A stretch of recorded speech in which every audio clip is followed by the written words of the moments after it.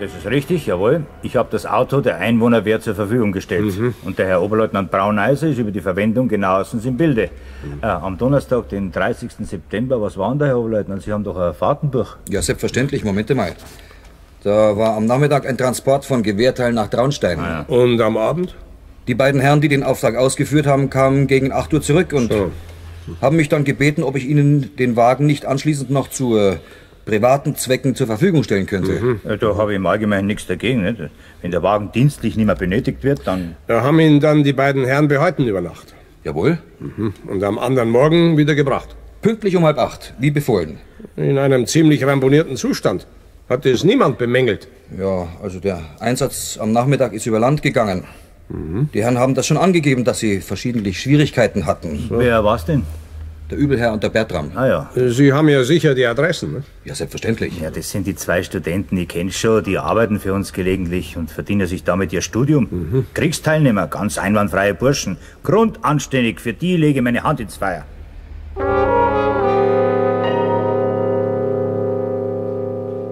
Sie studieren alle zwei an der Technischen Hochschule. Jawohl. Jawohl. Und äh, diese Fete an dem besagten Abend am 30. September, wegen der Sie sich das Auto ausgeliehen haben, waren da auch Damen dabei. Nein. Nein, nein, das war reiner Herrenabend. Ah, mehr ein Zechgelage. Ja, so kann man vielleicht auch sagen. Jawohl. Ja, ist ja kein Schand unter Studenten. Und äh, die alten Herren haben auch fleißig mitzecht. Eisern. Bis zum Schluss. Respekt. Seid recht blau gewesen alle miteinander. Hm, ziemlich. Es ist aber keiner so weit äh, aus dem Rahmen gefallen. Es ist auch keiner früher gegangen, haben sie gesagt. Nein, Nein. nein, niemand. Alle acht Mann. Bis in der Früh um sieben. Jawohl. Jawohl. Donnerwetter, das ist eine Ausdauer. Und das Auto von der Einwohnerwehr ist die ganze Nacht vor der Tür gestanden. Im Hof, äh, da ist so ein kleiner Hinterhof in dem Haus, wo ich wohne. Ich verstehe bloß eins nicht. Ihre Wohnung, wo die Fete stattgefunden hat, Herr Übelherr. Bertram. Ja, übelher bin ich. Ach, müssen Sie entschuldigen. Ich bin manchmal ja bis Und es ist auch nicht meine Wohnung. Ich habe da bloß ein möbliertes Zimmer. Ah, recht. Aber ähm, wie Sie an dem Donnerstagabend um sieben zurückgekommen sind von Ihrer Dienstreise nach Traunstein, haben Sie sich zuerst bei dem Oberleutnant Brauneiser gemeldet, nicht? Vom Ringhotel in der Blumenstraße. Ja. Jawohl. Und anschließend sind Sie sofort mit dem Auto heimgefahren. Jawohl. Jawohl. Ja, weil um halb neun Ihre Fete angefangen hat. Jawohl. Jawohl. Zu was haben Sie denn dann überhaupt das Auto gebracht an dem Abend? Das Stückel weg hätten Sie doch gerade so gut zu Fuß gehen können. Sind doch höchstens 15 Minuten von der Blumenstraße in Ihre Wohnung, oder? Also wir, wir waren, weil es war eine ziemlich anstrengende Fahrt an dem Nachmittag und äh, da waren wir ziemlich, äh, ja, der Haut, kann man sagen. Hm, dafür haben Sie aber danach dann tapfer durchgehalten. Es war auch wegen der Getränke, die wir noch besorgen mussten. Und für den Abend. Ach so. Und wo haben Sie die besorgt? In äh, Traunstein. Ja, die haben wir schon hinten drin gehabt im Auto und, und die hätten wir sonst tragen müssen. Hätten Sie es tragen müssen, freilich. Und wo in Dranstein? In einem Laden. In, äh, privat, beim Kriegskameraden. Adresse von dem haben Sie zufällig nicht im Kopf. Doch, aber mei, das, das war ein bisschen illegal und äh, ungern. Ungern. Und wer von den Herren hat in das Auto hinten reinbisselt? Ein bisschen? Wieso? Oder ist mit dem Auto vielleicht auch noch was anderes transportiert worden als Gewehrteile und Getränke? Von uns nicht? Natürlich. Sie waren ja die ganze Nacht auf der Fete. Jawohl. Dafür gibt's acht Zeugen. Und meine Hausleute haben ja auch gesehen, dass, dass wir erst am anderen Tag in der Früh weggegangen sind. Alle miteinander.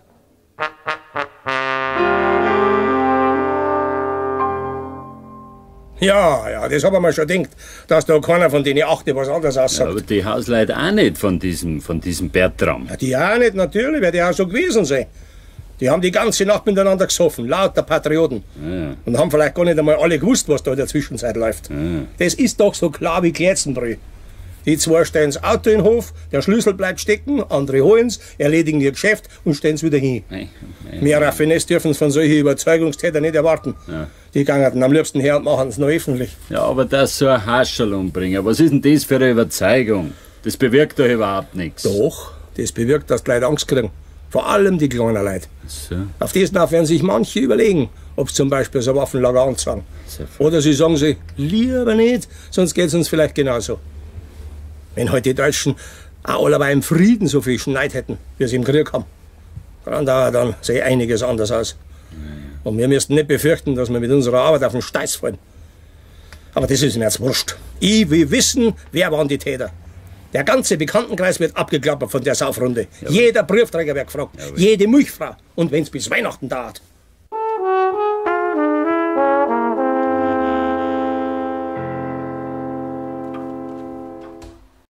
Rauchen tun's? Rauchen? Nein, ja, ich meine, so hin, hin und da mal eine Zigarette. Also, Zigarren, nix. nein, äh, eigentlich, eigentlich weniger. Hm, die sind teuer geworden, die Zigarren. Da kann man viel sparen. Ja. Und was können Sie jetzt da noch alles werden, laufbahnmäßig? Ja, also, äh, Kommissär, äh, Oberkommissär. Ah, jawohl. Und in Ihrer jetzigen Position verdienen Sie da auch schon einigermaßen. Gefatti, du tust ja gerade so, als ob der Herr Grandauer meine Hand angehalten hätte. Nein, nein, nein, bitte, das macht der Freund Radl, das, wenn Ihren Herrn Vater das interessiert. Ja, ganz allgemein. Ja, also, schon mehr äh, direkt. Ne? ich, also ich stehe mir da nach der neuen Besoldungsordnung, nicht wahr? Also, als sozusagen als Beamter auf Widerruf. Da sind Sie doch gar kein richtiger Beamter. Ja, ja, nein, äh, ab April 21. Ah, jawohl. Ja, da stehe ich mich also durch die Inflationszulagen und so weiter, also auf circa 700 Mark monatlich. Gibt's jetzt da wirklich nichts anderes zum Erzählen? Fragen halt einmal, ob ihm sein Beruf Spaß macht zum Beispiel. Für euch ist immer nur der Spaß der Spaß. Ja. Ein Beruf hat man nicht zum Spaß, nicht? Und bitteschön, geh mal rüber zu deinem Bruder und sag, er soll das Negergedudel leiser machen. Am Sonntag. Ja, ich sag's ihm. Und du an Herrn Grandauer nicht so blank, gell? Geht's zu? Oder gefällt Ihnen sowas auch? Was? Ach, ach so, nein, also ich bin da nicht so auf dem Laufenden. Ich mein, wir machen ja unser Geschäft damit. Ja, die jungen Leute sind wir narrisch auf dieses amerikanische Zeugs, dieses Dekadente. Aber wohin das führt?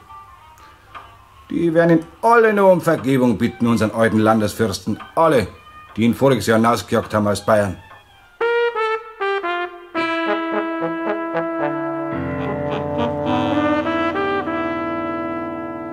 Noch im Oktober 1920 und nicht erst zu Weihnachten hatten die Kriminalbeamten mit Unterstützung der Fahndungsabteilung 94 Personen ermittelt, die alle mehr oder weniger zum Bekanntenkreis der acht Zechbrüder gehörten. Aber es war kaum jemand unter ihnen, der als Täter in Frage gekommen wäre. Fast alle hatten sie für die betreffende Zeit ein überzeugendes Alibi oder waren so gut beleumundet, dass man sie unbedenklich fallen lassen konnte. Bis auf den da, Max Linhardt. Privatstudent. Privatstudent? Was ist denn das? Ja, ich weiß auch nicht, Herr Oberkommissar. Vielleicht, dass er heute so für- sich studiert. Das ist der mir auch. Wir studieren jetzt einmal so ganz für uns den Herrn Max Linhardt. Ja. 27 Jahre alt, Lehrerssohn aus Freising. Leben die Eltern noch? Nein, die sind beide tot. Wir haben uns erkundigt. Hm, Leutnant AD, aha, EK1, EK2. Nach dem Krieg Freikorps. Mhm, jawohl. Bayerischer Ordnungsblock, aha. Ein rastloser Kämpfer.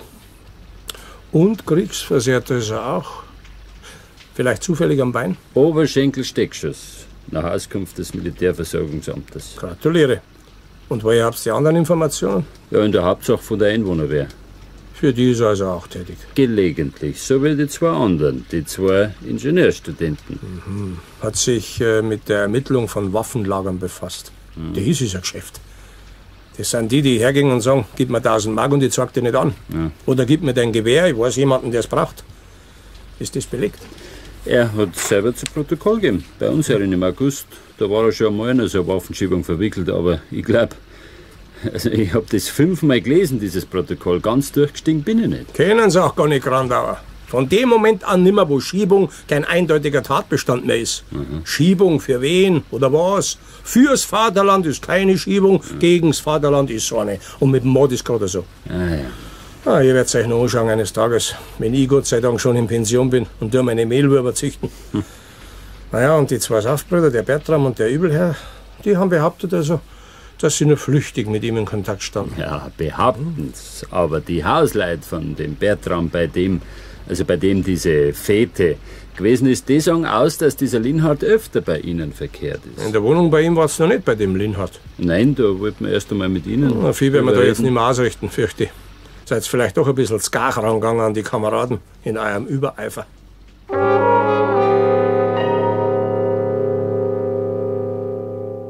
Ausgezogen. Was habe ich gesagt? Am 1. Oktober. Ja, Überraschend. Oder hat er schon länger vorher kündigt?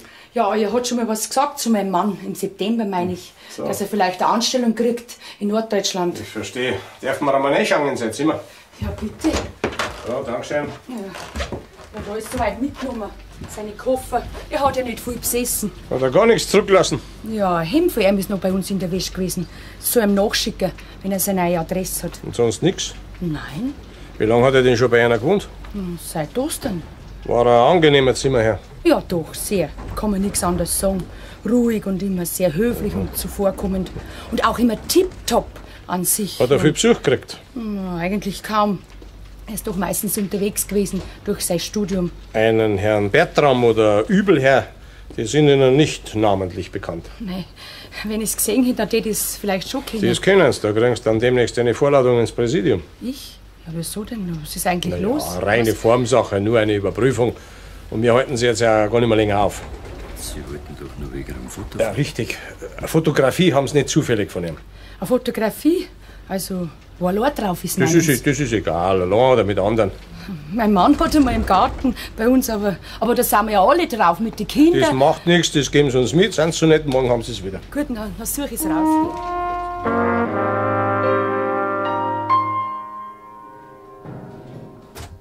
Also, der Beschluss liegt vor. Das Fahndungsblatt kann raus. Jawohl, Herr Oberkommissar. Aber das war erst wieder ein Ringkampf mit dem Herrn Staatsanwalt, weil ihn die Verdachtsmomente auf Anhieb nicht überzeugt haben.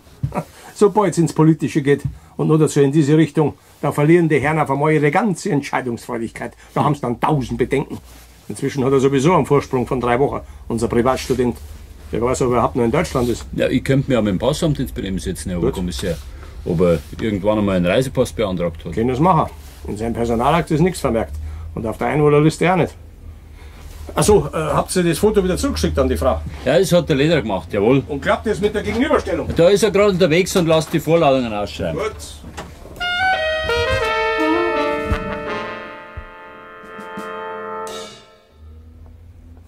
Noch einmal. Wann ist ihm der Pass ausgestellt worden? Am Freitag, den 8. Oktober. Und das Antragsformular? Ist am selben Tag in der Früh vorgelegt worden. Und auf Mittag hat er seinen Pass gehabt. An einem Tag? An einem halben. Also das gibt's doch gar nicht. Das ist doch unmöglich. Sowas dauert drei Tage, mindestens. Es kommt nur besser.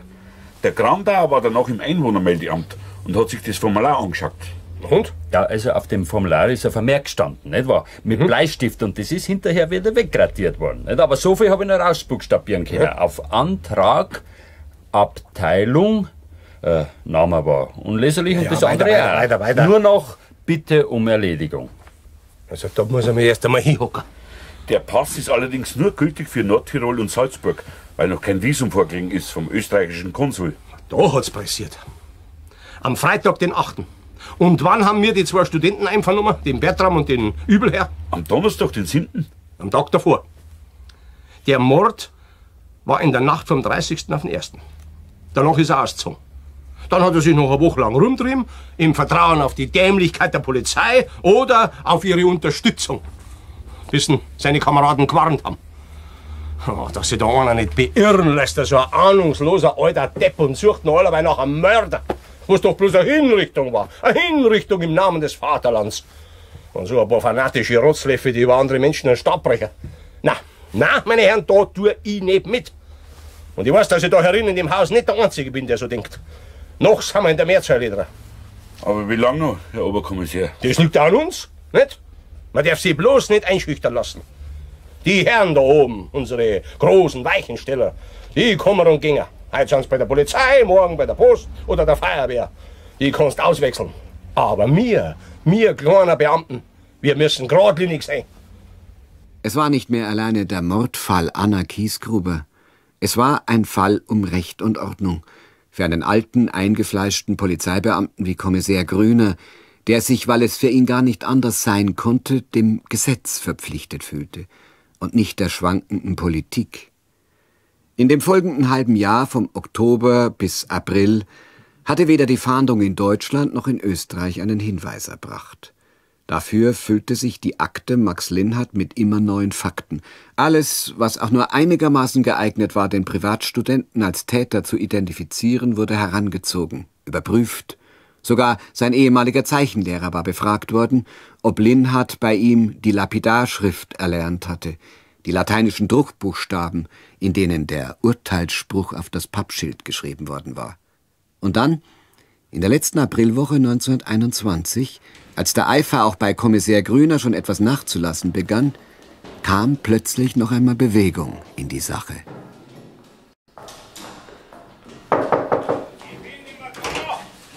Entschuldigen Herr Kommissar. Was Wichtiges? Ich hab heute meinen Kegel Ja, an. eine, eine Anwaltskanzlei hat gerade angerufen, Silbermann und Herz. Sie hätten also die Information, dass der Linhardt zurzeit in? München ist, im Hotel Oberland, unter dem Namen Jordan.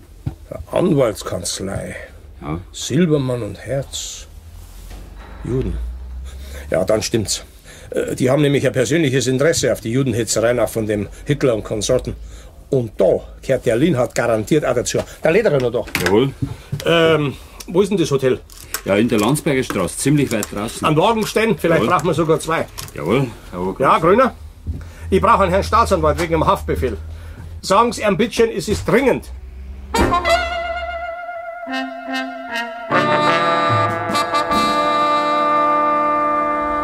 Ja, ja, das hat er gesagt, weiß ich. Aber ich kann meine Maßnahmen jetzt nicht gut mit dem Herrn Präsidenten abstimmen, wenn er nicht da ist. Jetzt muss halt schnell gehandelt werden. Von einer Anwaltskanzlei. Silbermann und Herz. Juden, ja? Und? Ja, ist das... Naja, dann sind wir heute umsonst den Landsberger Straße gefahren. Wäre ja auch kein Beinbruch. Ein Hotel. Oberland. Also gut, in einer halben Stunde, 7 Uhr. Sie wissen, wo Sie den Herrn Präsidenten jetzt telefonisch erreichen. Und wenn nicht, übernehme ich. Jawohl, auf meine Verantwortung.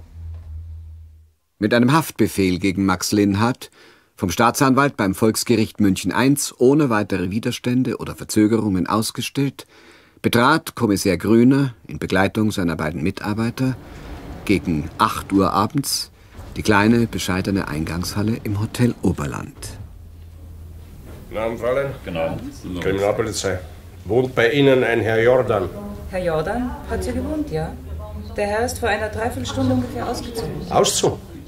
Vor einer Dreiviertelstunde. Er hat einen Anruf bekommen. Ich habe das Gespräch selber aufverbunden.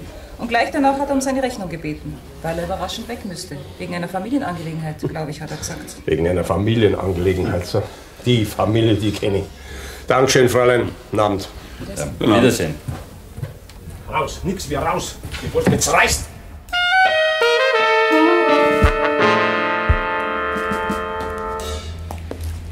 So, und jetzt pack es. Jetzt kommt alles auf den Tisch. Die Sauerei mit dem Pass und, und alles. Herr Oberkommissar, bitte eine Gage, ich mache es nichts unüberlegt. Ich lass mich doch nicht für dumm verkaufen. Eine halbe Stunde nachdem ich mit dem Staatsanwalt telefoniert habe, wird er gewarnt. Von wem denn? Vom Staatsanwalt? Und der hat mit unserem Präsidenten telefoniert und der weiß der Teufel mit wem. Familienangelegenheit, ja, wohl. Eine einzige gottverdammte Sippschaft.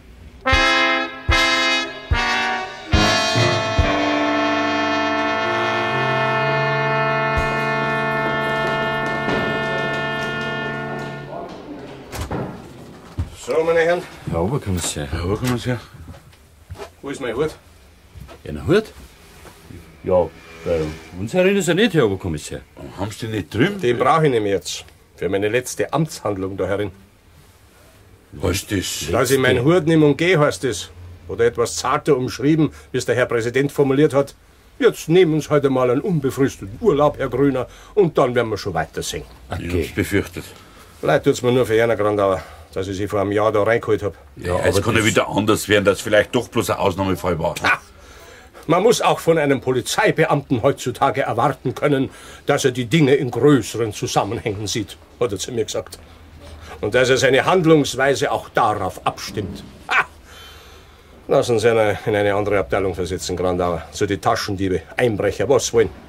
Zuhälter, Säfkenacker, Wechselreiter. Da haben Sie es vergleichsweise mit anständigeren Leuten zu tun, als da herin, wo die Politik mit spielt. Ja, aber Herr Oberkommissar, dann kommen Sie jetzt äh, gar nicht mehr rein. Die nächsten acht Wochen einmal gewiss nicht. Ja, aber zu meiner Verlobung, Da können wir schon. Ja, so, na, das haben Sie ja gesagt, freilich. Wann ist denn? Am 1. Mai. Der Herr Lederer kommt auch. Ja, das ist ja schon der nächste Sonntag. Ja, selbstverständlich komme ich da gerade an. Mit Vergnügen. Wenn ich schon sonst bloß in Trägen eingelangt hab bei dem Fall, das ist doch der einzige Lichtblick. Und der wird Gebühren gefeiert.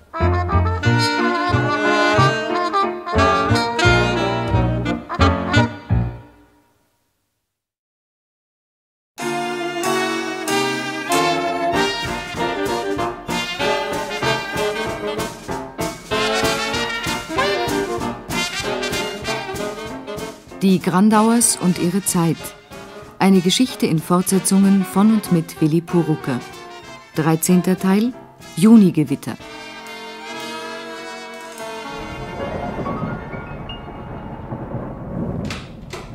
Also dann gute Nacht beieinander. Servus, Grandauer. Es war in der letzten Juniwoche 1923, abends gegen halb sechs Uhr. Kriminalassistent Benno Grandauer verließ wie gewöhnlich um diese Zeit seine Dienststelle im Münchner Polizeipräsidium und er hatte sich auf keine größeren Ereignisse mehr eingestellt, als dass er schlimmstenfalls auf seinem Weg durch die Stadt in das Gewitter geraten könnte, das schon den ganzen Nachmittag über in der Luft lag und so unangenehm auf die Stimmung drückte. Servus. Ah, servus, Schregel. Wie ist denn jetzt hinausgegangen? Hast du schon was gehört? Nein.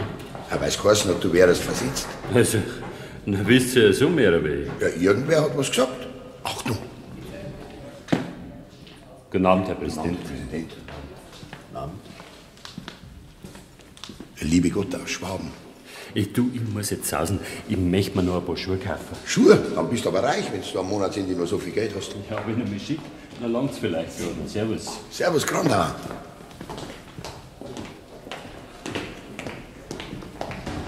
Guten Abend, Herr. Guten Abend.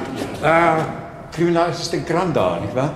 Jawohl, Herr Regierungs. Ich wollte Sie sowieso sprechen. Kommen Sie doch gleich mal mit rein. Oder sind Sie jetzt gerade dienstlich unterwegs? Nein, Herr Regierungsrat, ich hätte jetzt gerade äh, Feierabend. Naja, dann passt ja sowieso. Ich nehme an, Sie wissen, worum es sich handelt. Die Angelegenheit ist inzwischen bei mir gelandet. Sie können sich setzen. Ja, danke, Herr Regierungsrat. Ihr Antrag auf Versetzung in eine andere Abteilung? Nun ja, Oberinspektor Motz hält Sie nicht fest, aus begreiflichen Gründen. Nicht wahr? Da liegt Ihnen noch weiter nichts in den Weg. Ja. Können Sie sich bei ihm bedanken. Jawohl, Herr Regierungsrat. Ich meine, Sie haben doch ansonsten eine tadellose Führung. Wie lange sind Sie jetzt schon im Kriminaldienst? Seit Oktober 20, Herr Regierungsrat. Na also, da weiß man doch Bescheid. Menschenskind. Warum haben Sie den Burschen denn laufen lassen? Ich, Mal äh, ehrlich. Ja, ich, ich habe ihn nicht äh, laufen lassen, Herr Regierungsrat. Er ist geflüchtet. Geflüchtet? Ja. Und warum haben Sie dann nicht von Ihrer Schusswaffe Gebrauch gemacht? Ja. In so einem Fall. Haben Sie doch nicht, wenn ich das Protokoll richtig verstanden habe, oder? Ja, äh, nein, äh, also das, das heißt, es ist, es ist richtig, jawohl. Der Mann hat sich erwiesenermaßen an einer politischen Demonstration beteiligt, nicht wahr? Und anschließend an einer Plünderung. Himmel, Donnerwetter nochmal! Das ist doch kein Kavaliersdelikt. Der Mann hat drei Konservendosen genommen aus dem Konsumladen. Gewaltsam. Nachdem er vorher die Fensterscheiben eingeschlagen hatte. Ja, Das nennt man Plündern, wie Sie vielleicht wissen. Es ist auch nicht mehr genau feststellbar gewesen nachträglich, also wer die Mhm, Scheiben eingeschlagen mhm. hat, weil es waren ja mehrere, die sich da was rausgeholt haben aus dem Aha, Laden. und weil sich mehrere Leute strafrechtlich schuldig gemacht haben, ist das in Ihren Augen eine Entlastung für den Einzelnen. Nein. Oder wie sehe ich das? Nein, Herr, nein, Herr Regierungsrat, deswegen nicht, aber die, ich meine, die- Leute haben ja, weil sie, weil sie ja buchstäblich nicht mehr wissen, von was sie leben sollen mit ihren Familien. Vorige Woche hat das Pfund Brot äh, 250.000 Mark gekostet, in der Woche kostet es 300.000 Mark. Die wissen ja nimmer, ich meine, der Mann hat vier Kinder daheim und er ist arbeitslos. Sagt er. Und Sie hatten ja auch sogleich die Möglichkeit, das zu überprüfen, nicht wahr? Nein, aber das nicht. Das, aber es nimmt doch keiner drei Dosen Schweinefett, bloß, äh, also sagen wir, um sich zu bereichern. Das zu beurteilen, mein Lieber, ist nicht Sache der Polizei, das ist Sache der Gerichte. Und Sie hatten die Aufgabe, diesen Redelsführer zum Zwecke der Aburteilung dingfest zu machen. Jawohl. Stattdessen lassen Sie ihn flüchten und deuten noch nicht einmal durch einen Warnschuss an, dass Sie entschlossen sind, die rechtsstaatliche Ordnung gegen diesen linken Mob zu schützen. Nötigenfalls mit Waffengewalt. Sie waren doch Soldat, nicht wahr? Jawohl, Herr Regierungsrat. Und? Haben Sie da auch immer zuvor solche sozialromantischen Überlegungen angestellt, bevor Sie geschossen haben? Ja, da war Krieg, Herr Regierungsrat. Ja, das ist auch Krieg. Wenn sich eine Meute von Umstürzlern durch die Straßen unserer Stadt wälzt und raubt und plündert. Lassen Sie sich das mal von daher durch den Kopf gehen. Jawohl. Ja, und wegen Ihrer Versetzung. Ja, Sie sind ja ohnehin noch Durchläufer, nicht wahr? Ja, da will ich mal sehen, was ich für Sie tun kann. Danke, Herr Regierungsrat. Ja, Sie können jetzt gehen. Jawohl, Herr Regierungsrat. Und lassen Sie sich mal gelegentlich den obersten Knopf annähen an Ihrem Mantel. Ach so, ach so ja. Ja, ja, ist schon muss gut. ich schon gut. Ich wollte Sie nicht kritisieren damit. Jawohl, Guten Abend. jawohl. Guten Abend, Herr Regierungsrat. Danke.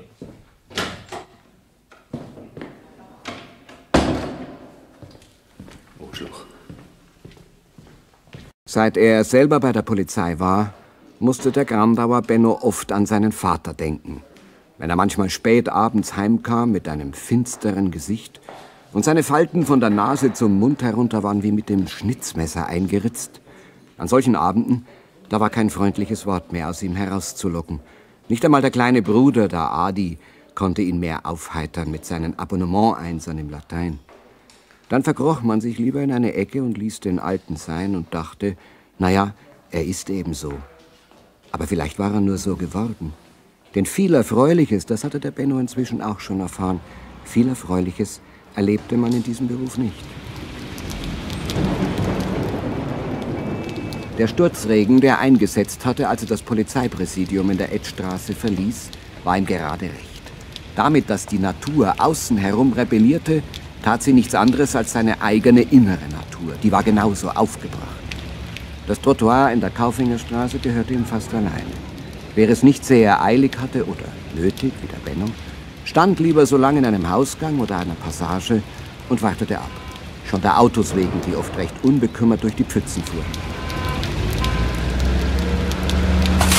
Ja, Herrschaftszeiten, Hamid, Scherder. Meinst vielleicht der Fußgänger ist kein Mensch? Ja, ja, einer hab ich gemeint. Du brauchst nicht so hoch, als er drauf stand. Sag einmal, sieh ich richtig? Du bist doch der Grandauer, Benno. Kennst mich nimmer? Der Metzgerwille. so ist es. Alter Spezi! Der Wille. Ja, sag. einmal. Das bisselt ja nicht schierlich. Komm, die Leiter steig ein.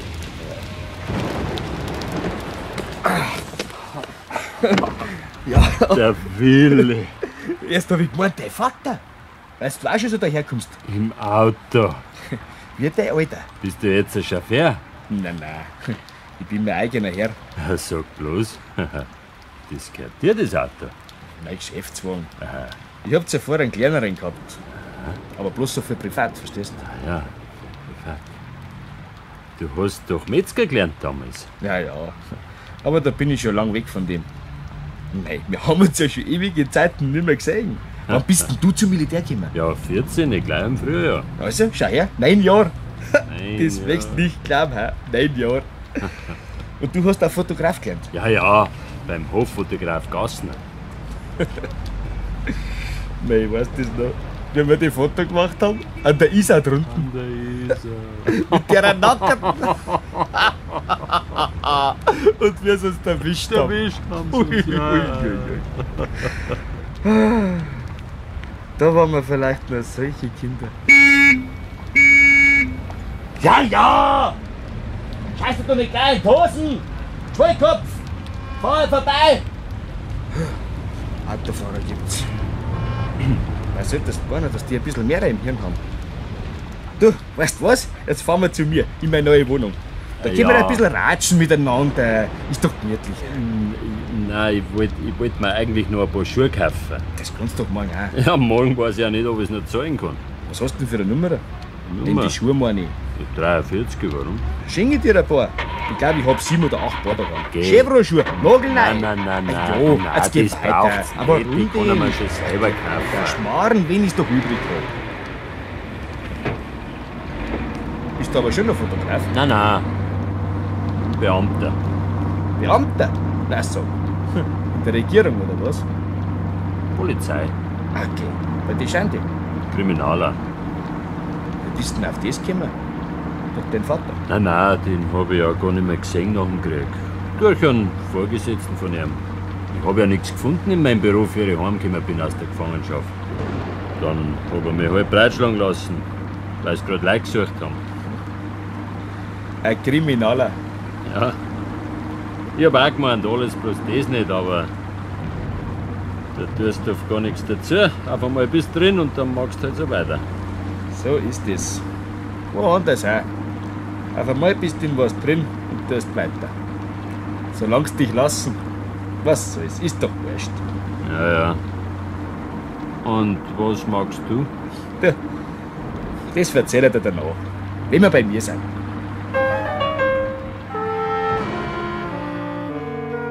Willibald Leitner, später bekannt als Metzger Willi, war genauso wie der Grandauer Benno in der Umgebung des Münchner Ostbahnhofes aufgewachsen und hatte dort auch gemeinsam mit ihm die Volksschule besucht.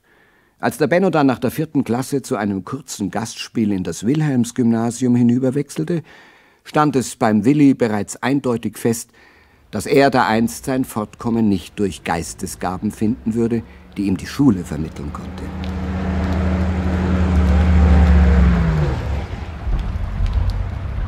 Da wohnst du? Ja. In dem Haus? Wohnen natürlich bloß lauter Großkopfer die drin. Und der Schnallen. Aber der Exklusive. das weiß aber bloß ich. Für die anderen ist sie eine Probierdame. Okay, Ja, voll ja. für Dame. Ja, ja. Also komm.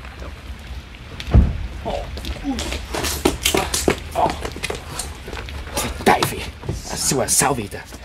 Bei dir läuft das Wasser auch schon bei der Hosen und raus. Oh, alles Marmor. Ha, das ist ein Hausgang. Wie eine Kirche, gell? Ja, und der Schwester die Luise, die ist verheiratet, sagst Äh, die kleine Bäckerei in der Kirchenstraße. Kennst du das doch? Freilich, beim Greitmeier. Den hat's gehabt. Ein Sohn. Der alte ist ja schon lang gestorben. Ein Max, so ein bisschen ein Gewamperter. Ja, das ist er halt nicht mehr. Einen Fuß hat er verloren im Krieg. Na sag, das ist natürlich schlecht. Fahrst du uns auch noch erinnern? Fahren wir auf damit? Ja, mir egal.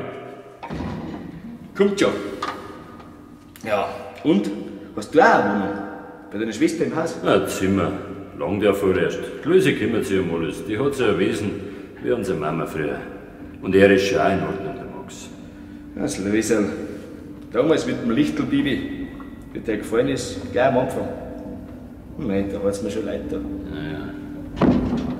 Also, steig ein.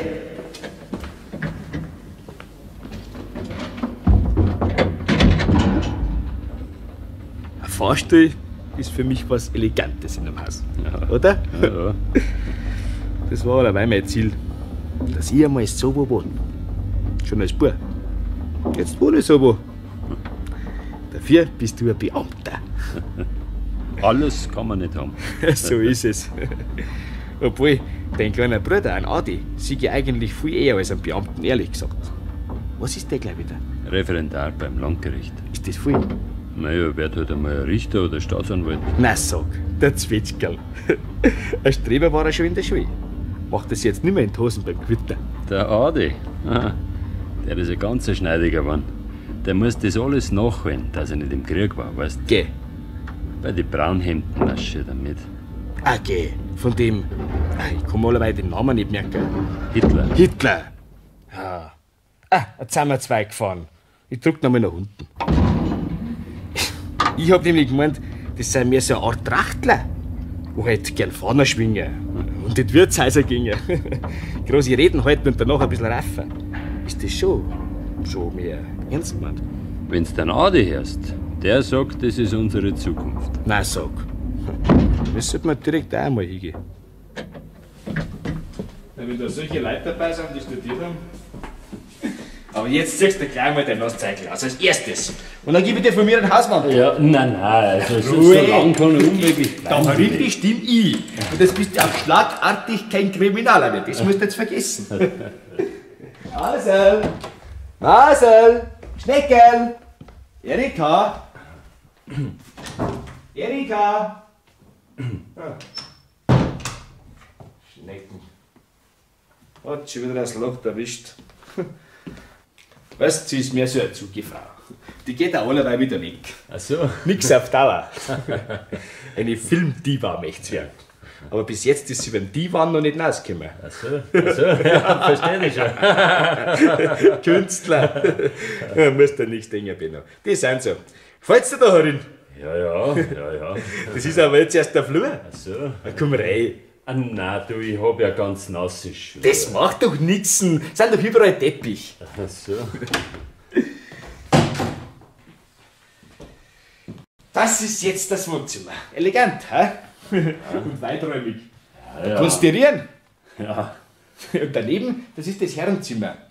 Kann man durchgehen, durch die Flügeltüren. Ah, ja. Und da sitze ich bloß, wenn ich was schreibe. Ja, die kostet doch ein Vermögen, die Wohnung. Ja, billig ist nicht. Ja, magst denn du das? Bei der Inflation? Es ist auch viel Glückssache, Benno. Weil gerade in der Filmbranche, wo ich tätig bin, wenn der Mensch, sagen wir, dass er seinen Alltag vergessen möchte, und er hat ja einen Haufen Grund dazu, was macht er? Er geht ins Kino. Ja, also, ja, ja, ja. dann gibt es Leute, und nicht wenig, die haben die Mittel, dass sowas finanzieren. Jetzt einmal wurscht woher. Und die wollen natürlich, dass sich die verzinsen, ihre Mittel. ja. Ist auch verständlich, oder? Weil, schau, jede Notzeit ist ja auch andererseits wieder eine gute Zeit. Für die anderen. Ach so. Ja. Die Kunst in der Branche besteht eben in der Hauptsache darin, dass man zu ihren Leuten hinkommt. Mit den Mitteln. Ja, ja. ja und äh, was sind das für Filme? Kinofilme. Nein, ich mein, um was geht's da? Liebe, Natur, Abenteuer. Es ist ja alles erst im Aufbau begriffen. Also, erzähl dir erst einmal was, damit du deine nasse Hosen ausziehen kannst. Ah, nein, du, das, das macht Gib mir gar nichts Mantel aus. her, geh weiter und red nicht lang. Und machst lieber ein Bier, oder? Ich, ich hab auch einen Shampoos. Also, du bist doch allerweil noch der gleiche gespielt. Nein, weil mir das einfach wirklich unbandig freut. Da bin ich kindisch. Woanders bin ich vielleicht wieder so.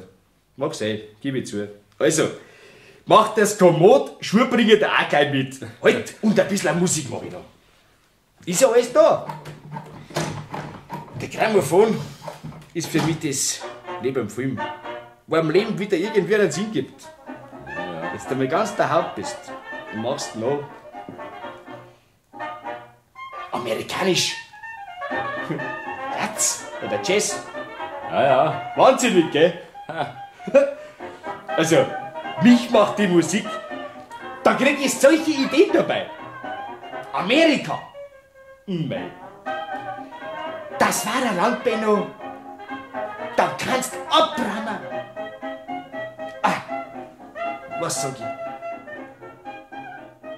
Willibald Leitner alias Metzger Willi wäre einem Kriminaler unter anderen Umständen vielleicht weniger einladend entgegengekommen und jener hätte in der Selbstdarstellung des Willi ganz bestimmt einige Widersprüche erkannt, die nach Durchleuchtung verlangten. So aber waren die beiden, was der Münchner alte Spätzl nennt. Und das von Kindheit an, vertieft durch den Genius Loki des Ostbahnhofes und der Isar-Anlagen am Gasteig. Und so etwas ist mehr als Verwandtschaft. Ich hab erst gar nicht aufgepasst, aber jetzt sieg ich's auf einmal. Du hast ja einen Verlobungsring. Verzeih. Ja. Ich bin halt verlobt. Und? Was ist denn für eine? Hat's einen Kies? Das ist für uns eigentlich weniger wichtig. Ja, da die auch sagen. Wenn alles andere stimmt. Ja, ja. Menschlich und so. Ja, ja. Und dass man sich sehen lassen kann mit ihr. Eine Dicke zum Beispiel. Oder wenn eine zu wenig Busen hat. Also, so viel Geld gibt's gar nicht. Wie lange seid ihr schon verlobt? Zwei Jahre. Und? Mit dem Heiraten? Ist nix? Tja, alles nicht so einfach. Wart's Eltern? Auch, ja. Von der Musikalienhandlung im Tal. Soleder. Kenn ich. Von meinen Platten. Aber die haben ja alle keine Auswahl. Er ist halt ein bisschen schwierig, der Alte. ja, das ist nichts für dich gewesen. So ein Geschäft eines Tages. Ah, unmöglich. Da war ich bloß der Polante. Ich sehe ja an der Tradl und ihrem Bruder. Nicht? Die haben ja keinerlei Einfluss, nix, alles er. Und er redet nix und teilt nix. Bloß, dass das Geschäft immer weiter runterkommt, weil er nichts mehr mitkriegt. Die Tradl sagt, er macht Sachen. Lasst sie Zeug aufschwätzen, was kein Mensch kauft. Heimorgeln. okay. Er kauft eine Heimorgel in der jetzigen Zeit. ja, so. Ist ja schon ein bisschen schlagflüssig. Der? Hm. Ja, wenn zum Doktor gehen. Der tat ihn gleich in eine Nervenklinik. das ist das Telefon, warte. Äh, Ja, ja. Probiert dabei schon die Schuhe, ob da passen. Äh, Leitner? Erika, servus, wo bist denn du? So, wann? Woher weißt denn das? So, aha, jetzt gleich. Ach so, also, mach ich. Dankeschön. Servus. Ja, unwichtig. Nein, nein, bitte bleib sitzen, Benno. Ja, nein, also für mich wird's ja jetzt auch langsam Zeit. Pressiert doch nicht. Ich, hol nur schnell ein paar Flaschen Bier. Äh, wegen mir aber nicht. Ja, sowieso, weil es kann sein, dass da noch ein Besuch kommt. Ja, b- bring mir mein Zeigel, sei so gut. Jetzt pass auf. Bis du angezogen bist und Schuhe sollst dir auch noch ein paar raussuchen, geh ich schon einmal dabei und hol's Bier. Äh, Da kann ich doch gleich mitgehen. Nein, bist du fertig, bist du schick mich. Okay, das ist doch ein Schmarrn. Glaub mir's, Benno. So ist besser. Also, bin schon fort. Im Badezimmer ist der Hosen, gell? Wenn du das suchst. Servus dabei. So ein Hirsch. Und ich lass mich einfach überfahren. Herrschaftszeiten, ich muss daheim. Inzwischen war es halb acht Uhr geworden und Bennos Schwester, die Frau Greitmeier, hatte wie gewöhnlich um diese Zeit das Gröbste schon hinter sich. Die Bäckerei war geschlossen, die Regale leer, kein Stück Brot war übrig geblieben, keine Semmel, nichts. Und jetzt war auch alles schon wieder sauber geputzt, der Ladentisch, die Glasvitrinen, die Bodenfliesen nass herausgewischt, die Messingklinken blank gewienert. Nun konnte die Luise ein wenig aufatmen. Endlich war Feierabend, und sie brauchte sich nur noch um den Haushalt zu kümmern und das Abendessen, um ihre kranke Schwiegermutter und um das, was an Schmutzwäsche angefallen war oder auszubessern, zu nähen, zu flicken, zu stopfen, das Übliche. Und auch ihr Mann tat an diesem Abend, was seit mehreren Wochen üblich war, seit dem Frühjahr, als die Inflation mit einem Mal ins Galoppieren kam. Er saß am Wohnzimmertisch unter der Hängelampe mit den bunten Perlfranzen und zählte die Tageseinnahmen, ordnete sie in Haufen von Scheinen, die schon beinahe die ganze Tischplatte bedeckten. Lauter Papier. Geh, so reich schmeiß doch nicht alles Ah, durcheinander. Ja Gott, Sakrament, bald muss das mit dem Schubkarren auf die Bank fahren. Jetzt kannst du es wieder aufheben. Bennos Braut war an dem Abend auch da, Fräulein Soleder. Aber das war längst nichts Besonderes mehr. Sie kam fast regelmäßig ein, zweimal in der Woche.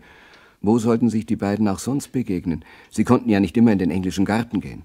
Und bei ihr zu Hause war es nie so ungezwungen, so gemütlich. Da war der Bräutigam nur zu Besuch. Was ist jetzt nachher mit der, der Wohnung, die was da in Aussicht habt? Okay, Max, sind doch alles bloß Träume. Erstens sind wir noch nicht verheiratet und zweitens verlangen die inzwischen derartig viel Miete. Es gibt ja keine Wohnungen in München oder eben bloß sauteuer. Ja, mit meinem Vater ist im Moment nicht zum Reden. Kennst du die Situation? Jetzt heiratet's endlich, na hat Leiche euch was. Das ging auch bloß über den Vati seinen Kopf weg. Weil er mich braucht im Geschäft. Ich sag mal halt so, wenn's vielleicht doch einmal irgendwann besser wird, Ja, wirtschaftlich. irgendwann, irgendwann, ja, am St. Nimmerlstag. Dabei seid's alt und schier. Der- Benno, der geht auf den 30er zu und du, du bist halt auch nicht mehr so ganz. Naja, so. Ja, auch nicht mehr so ganz taufrisch, Ja, sag's nur. Kann man laut sagen. Ja, ist doch wahr, mir war das einfach zu blöd, die Hin- und Herziegerei da. Dein Bruder, der macht das auch nicht. Dafür ist er ja auch der Herr Sohn und darf kommen und gehen, wann's ihm passt. weil denen das Geschäft gar nicht interessiert. Und weil das so ist, muss eben das Fräulein Tochter herhalten. Von der kann man das ja verlangen. Hm? Und warum interessiert's ihn nicht an Kurt? Ja. Hey, jetzt. Mir hat unser Geschäft auch nicht interessiert, solange mein Vater da herin allein angeschafft hat und ich habe ihm gerade so einen Backofen einheizen dürfen und einen Tor geweigeln. Ja, ist schon richtig. Aber der Kurt, der wird nie ein Geschäftsmann. Auch anders nicht. Der ist halt mehr so ein bisschen, ein bisschen ein Luftikus. Klavier spielen den ganzen Tag, Gedichte aufsagen. Du kennst ihn ja. Ich mein, mir gefällt sowas schon auch. Ja, ihm, das singt du auch ganz schön, oder? Ja, wenn's mir gerade danach ist schon. Aber im Moment, Was?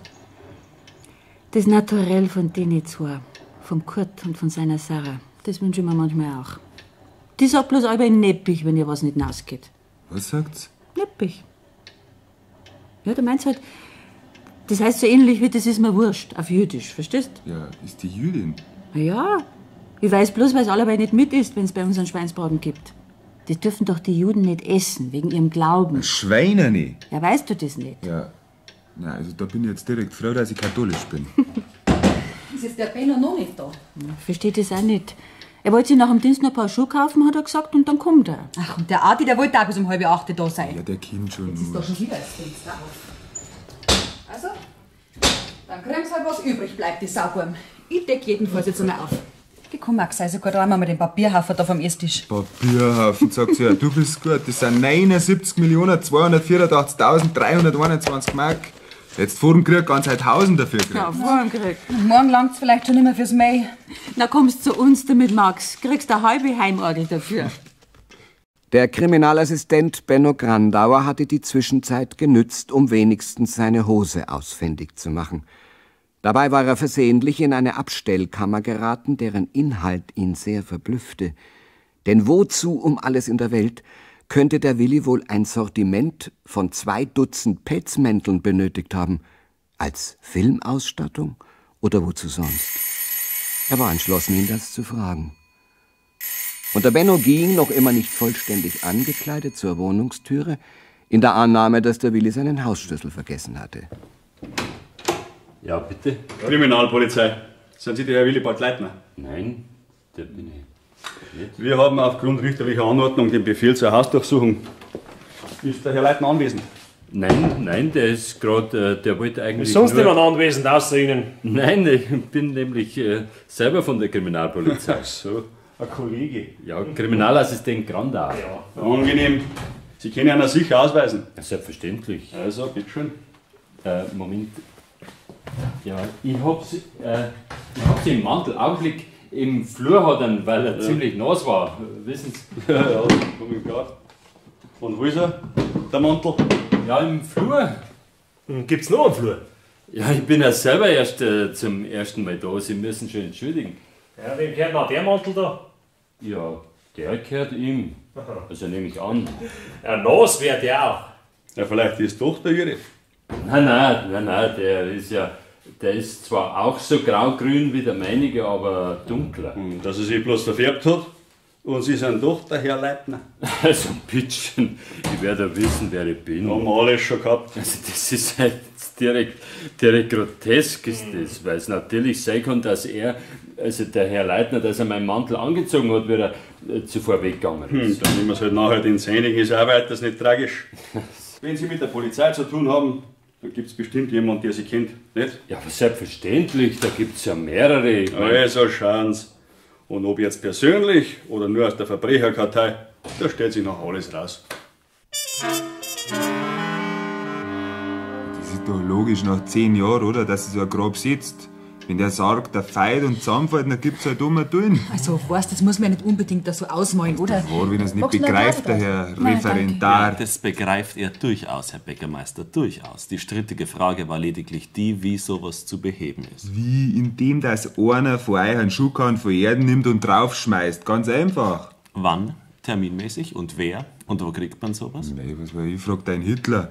Der weiß doch auf alles eine Antwort. Bitte, jetzt werdet unsachlich, Schwager. Wir reden ja in aller Freundschaft und es geht nicht um Politik, sondern es geht um eine Familienangelegenheit. Also, wenn er bis 10 nicht da ist, dann gehe ich. Kommst du aber schon auf den Friedhof, Tradl, oder? Am Sonntag, ja. Na, eigentlich ist er ja schon übermorgen der Mama ihr Todestag, aber da haben wir ja alle keine Zeit. Dann geht halt jeder allein schnell mal hin.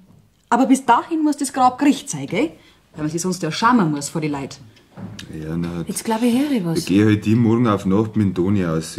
Die werden schon so viel Erden haben da, der Friedhofsgärtnerei. Benno, wo bleibst du denn so lang? Grüß dich, Benno. Grüß Servus, dich. Benno. Grüß dich, Schatz. Grüß dich. Hast du einen Einsatz gehabt, hä? Ja, ja, hab's hoffentlich schon gegessen. Ja, wenn du jetzt noch ein bisschen wartest, dann kannst du gleich mit uns frühstücken. Ja, sag halt, was war denn? Ich hab dir deinen Teller warm gestellt, Benno. Nein, nein, komm, komm, bleib da, ich hab keinen Hunger mehr. Jetzt setz dich her. Was Unangenehmes. Ah, Schieber, Betrüger, Spekulanten. Das sind die Herren unserer Zeit. Und wenn's das siehst, da langst du das Hirn, wenn man auf so jemand reinfallen kann. Metzgerburschen zum Beispiel. Können kaum lesen und schreiben. Aber eine Fassade, Auto, elegante Wohnung, acht Paar Schuhe, Chevrolet-Schuhe. Ah, jetzt sehe ich's erst. Du hast ja auch welche gekauft. Wo? Oh ja, Zeig einmal her. Schatz. komm. Nein, das ist ja nicht so wichtig. Jetzt zeig's halt her, du kennst Kopf. Ah, geht's. Aha. Fesch, oder? Ja, Was sagt ja, ihr dazu? ja. Ja, ein bisschen auffallend vielleicht. Giegel schon. Du, da gibt's doch einen Schlager. Scheußle, schicke Schäferschuh, Schäferschuh, Ich wollte es eigentlich selber nicht, aber Aber es war ein Sonderangebot.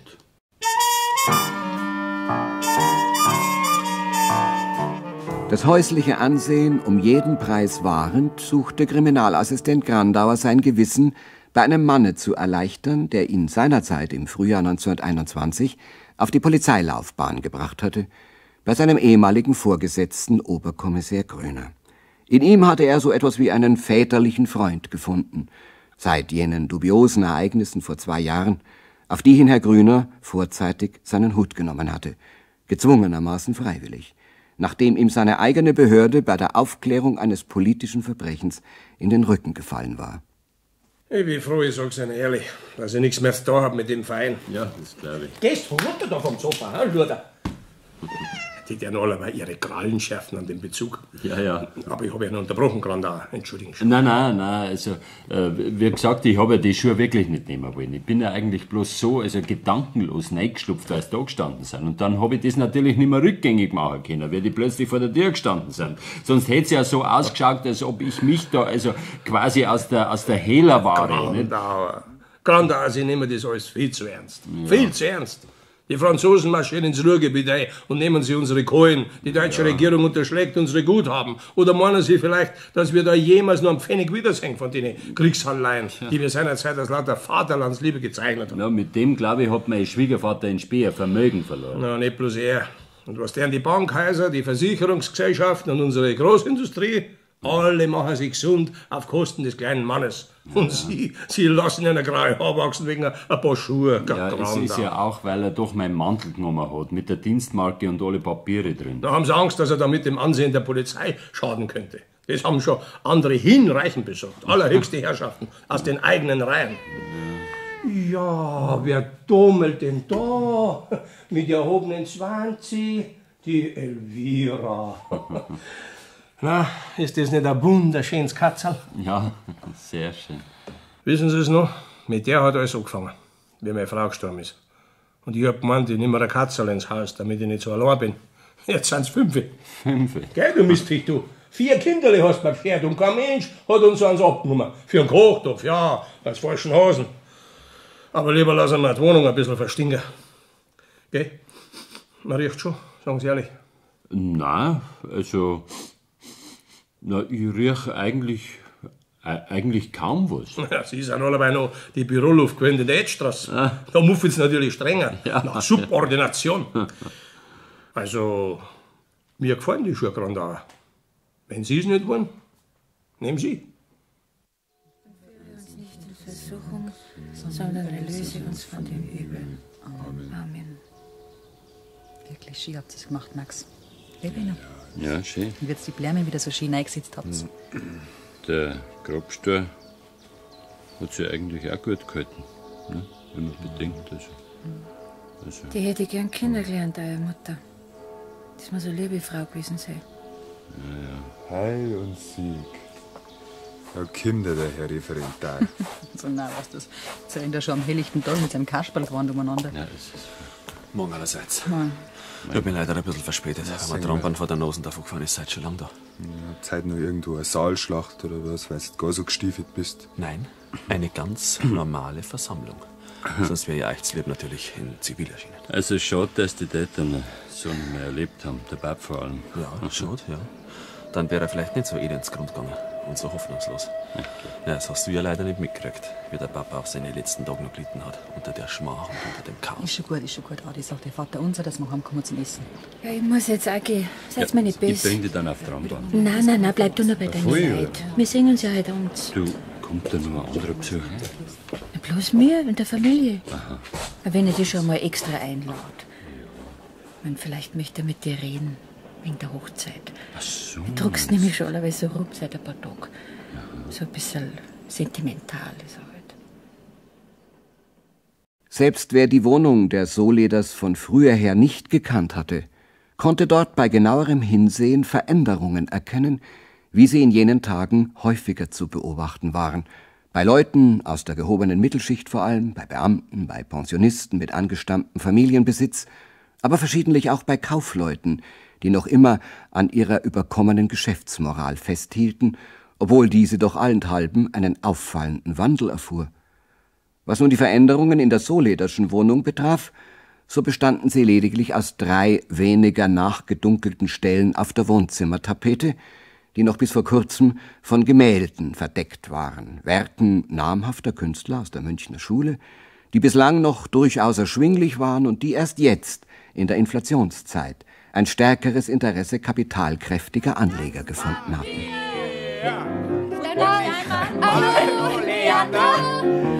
Bring uns zueinander.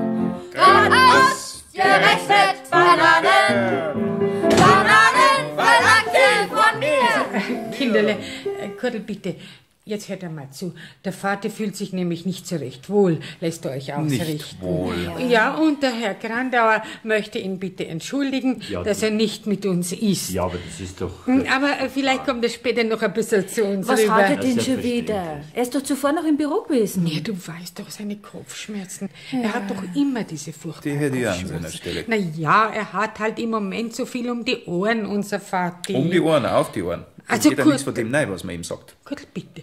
Gestern, Traudel, gestern, da haben wir ihm vorgeschlagen, er sollte uns wenigstens die Schallplatten überlassen. Selbstständig hat doch den Einkauf, Sinn. Verkauf, wie wir das für richtig halten. Und was war? Keine Reaktion. Eisiges Schweigen. Mein Gott, Kinder, das ist doch auch nicht so einfach, wie ihr euch das Ja, vorstellt. natürlich, davon haben wir die Kinderle keine Ahnung. Na, Mutti, wirklich, da muss ich jetzt am Kurt einmal recht geben. Wir stehen ja schließlich im Laden und wir wissen, was verlangt Und, wird. und, und wenn der Papperli sagt, äh, wir müssen das Heiderösle verkaufen, weil er 200 Stück davon im Keller hat, aber dieses dekadente Negergedudel, das führen wir in unserem Laden nicht, dann müssen die Kinderle eben folgen und tun, was der Papperli sagt. Aber die Kundschaft, Mama, Mama, die Kundschaft, die folgt ihm nicht. Und die Jugend ist ja unverschämt. Die hat auf, einmal, auf einmal hat sie einen eigenen Geschmack. Wo kam man denn da hin? Also bitte, jetzt tu mal nicht so, äh, so aufbegehren. Wo du schon weißt, dass der Vater sich nicht recht wohl fühlt. Der wird schon alles bedacht haben. Und da muss man halt auch mal ein bisschen zurückstecken können und abwarten, Ja. bis wieder Freilich, anständige Zeiten kommen. Gell, das sagen's doch auch, Herr Grandauer. Ja, ja, ich bin da leider, also in geschäftlichen Dingen, da, da bin ich leider nicht so für. Ja, dann fragen wir jetzt auch noch das Fräulein Campensi, wie sie die Angelegenheit beurteilt. Bitteschön, sagt Neppich, wenn dir nichts Besseres einfällt. Ja, das ist eben so. Bei uns zu Hause auch. Bruno hat sein neues Weltgefühl und Vater sagt, solange du deine Beine unter meinen Tisch stellst, hast du hier völlig zu essen, was ich bestelle. Gell? Das sagt er auch. Also schaut her. Das ist in alle anständigen Familien so, dass man das Alter respektiert. Aus Purpurgluren sprach des Himmels Zorn. Mein Blick ist abgewandt von diesem Volk. Sieg ist der Geist, tot ist die Tat. Und jetzt mach nicht wieder solche, du weißt doch, dass ich das nicht mag, deine Sprüche dann immer, wenn man vernünftig redet. George Mama, deutscher Dichter der Gegenwart. Wir wollen doch dann jetzt essen. Ne? Kosmisches Empfinden Es gibt aber fein nichts Besonderes, ja, gell? na, bitte machen Sie doch keine Umstände, um Gottes Willen. Aber es wird mir schon irgendetwas einfallen. Ich muss Ihnen nur leider jetzt Ihre Braut entführen, Ja, ja. dass mir ein bisschen hilft in der Küche. Kommt, Adele. Ja, Mutti, komm na gleich. Also, die Frau ist von einer Ahnungslosigkeit, das tut einem manchmal richtig weh. Der Vater weiß alles, der Vater kann alles, der Vater wird's schon machen. Na und, lass ihn doch. Der spürte doch auch, dass denn wirklich hat ja kein Interesse hast an seinem Kram. Die in ihren Weg und wir in den unseren. Nebbig. Deine Natur, Sarah. Die Wunderbar. wir manchmal. Aber das wäre dir vielleicht auch nicht völlig wurscht, wenn das Geschäft von deinen Eltern in den Graben ging. Nee, wurscht nicht, aber die dickst du nur deswegen gleich anmotze. Gestern. Schon wieder ein Brief im Büro gelegen. Vom Amtsgericht. Ja, ich hab ihn gesehen, aber er hat ihn gleich verschwinden Ja, lassen. Amtsgericht, Amts, das, das kann irgendein Lappalie. Warum, warum hat er den so schnell verschwinden lassen? Vielleicht hat er eine Erbschaft gemacht und will es euch schon beibringen. Ja. Die Sarah. Unverwüstlich. Herr Soleder war nach dem Abendessen nicht mehr erschienen, und als sich dann gegen zehn Uhr auch seine Gattin zurückgezogen hatte, war die Jugend endlich unter sich, mit der mütterlichen Maßgabe artig zu sein und ihre Abwesenheit nicht zu Vertraulichkeiten und so weiter auszunützen, die dem guten Ruf schaden. Komm jetzt, Sarah, bitte. Du weißt schon, was ich meine. Nee, du, ein Berliner Song, Ja. da gibt's eine Menge. Was die Rosa Valette immer gesungen hat. Ja, das vom Walter Mehring, das meinst du, ja? Genau, Ach, der rutscht mir doch einen Buckel lang. Der Benno kennst du nicht, weißt? Benno, das ist so typisch berlinerisch. Das macht's einfach Ja, fabelhaft. vielleicht nicht, nicht so laut wegen deiner Eltern. Ja, es wird schon nicht so laut. Herrschaften, kommen Sie näher, kommen Sie ran, ich singe nun. So leise ich kann. Berlin, simultan. Im Autodress ein Selfmade-Stand, Passage frei, der Präsident, hier hält er mich um das Café. Ein Geistprolet verreckt im Dreck, ein Girlwig mit dem Schattenband, ein Kerl feist am Kokottenstand. Her mit dem Scheck, Schiebung mit Speck, alles ist Schnuppe, komm her, süße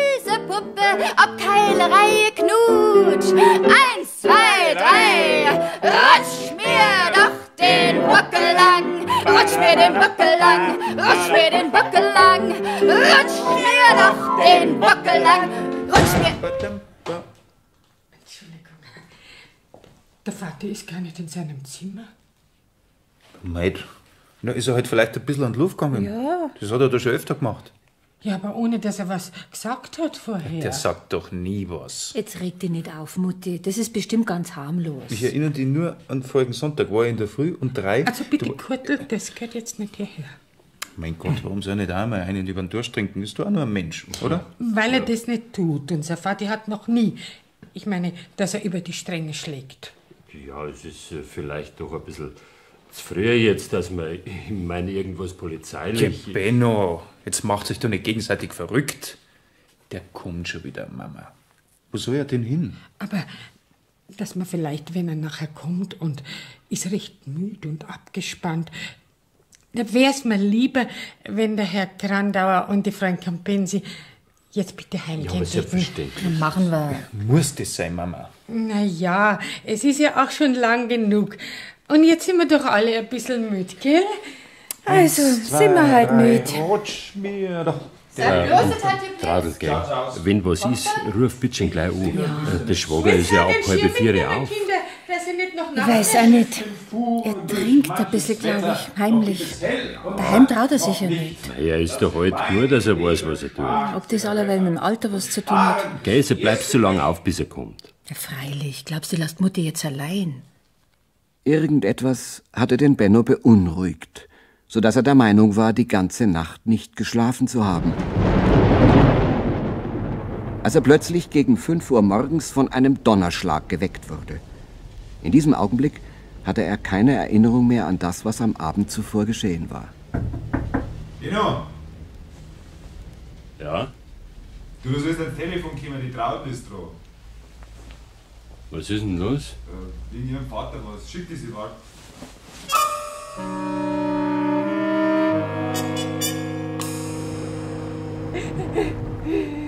Mutti, bitte.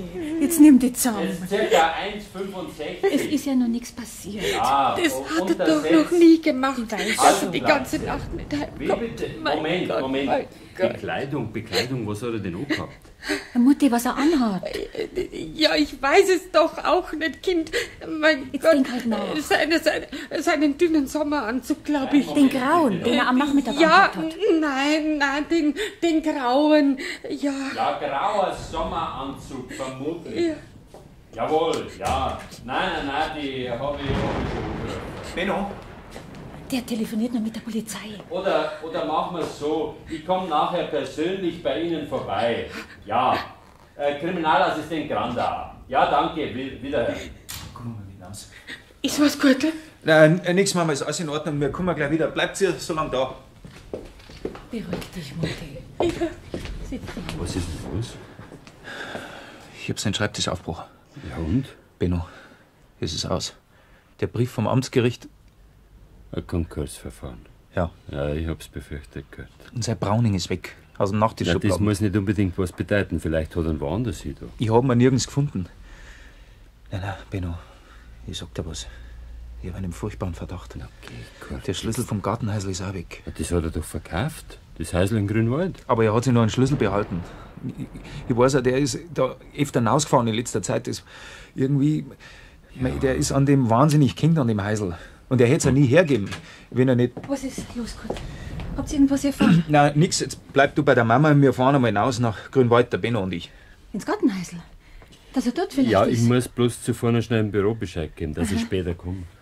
Jetzt sag ehrlich, Kurt. Meinst du wirklich, dass er dort ist? Möglich, dass er da ist, ja. Ich, Du denkst an was anderes, gell? regt's da draußen? Mir brauchst nichts vormachen, Kurt.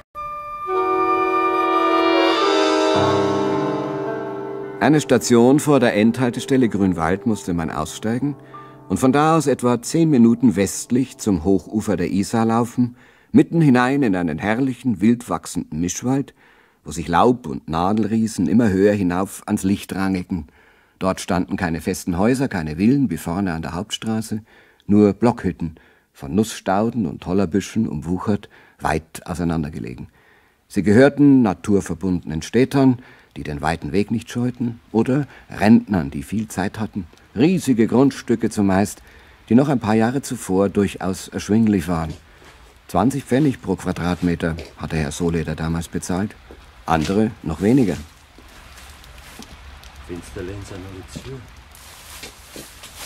Aber da drin brennt ein Licht. Papa! In dem hinteren Raum. Papa! Ach so, Leder. Papa! Soll ich äh, probieren, ob die Tür offen ist? Lass mich sehr schnell gehört. Nein, nein, ich, geh- ich gehe schon mit. Also mach auf. Mach auf!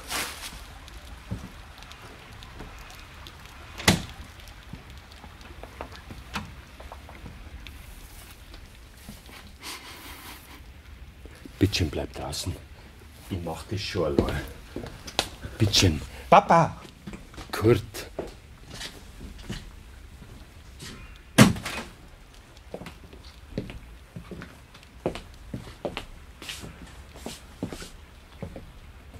Mein Gott. So ein Wahnsinn. Ich verstehe das nicht, wenn er, wenn er bloß irgendwas gesagt hätte. Es ist doch. Mein Gott, wenn er bloß irgendwas gesagt hätte! Ich stehe da. Ich stehe da und kann nicht einmal warnen.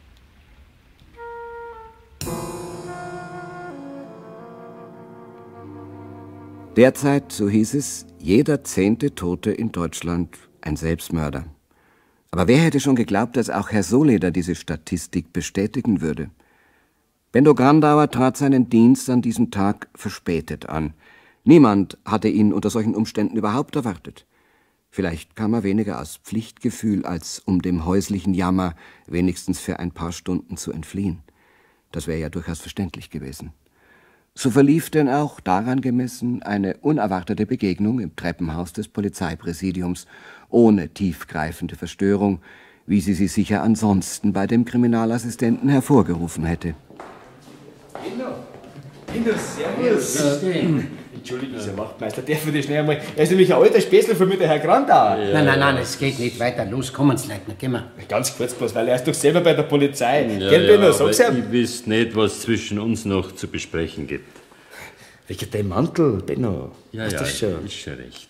Das ist nämlich wirklich bloß ein Versehen gewesen. Drei Finger aufs Herz. Ja, ja. Und ich bin ja danach selber so erschrocken. Wie er in dem Mantel, in den Taschen weglag und auf Ja, einmal der ja, Kriminalwappel das in der Hand Das geht mir nichts mehr an, mach deine Aussagen vor die zuständigen Beamten. Brauche ich gar nicht. Für das habe ich meinen Rechtsanwalt. Der hat gesagt, in ein paar Tagen bin ich wieder draußen. Das ist gar keine Gefahr. ja. Und dann hocken wir uns aber zusammen, gell? in aller Gemütlichkeit und lassen die alten Ja, ja, Zeiten. Kommen Sie, Leutnant, gehen wir weiter, Ja, kommen Sie. vierte Benno. Und gell, wir zwei bleiben die Alten. Entschuldigen Sie einen Moment. Ja. Wie fühlst du denn in die Schuhe? Weißt du's?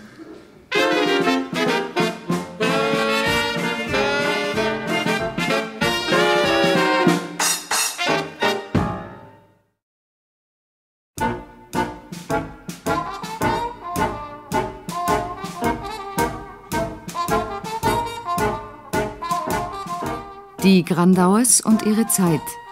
Eine Geschichte in Fortsetzungen von und mit Willi Purucker. 14. Teil Umzüge.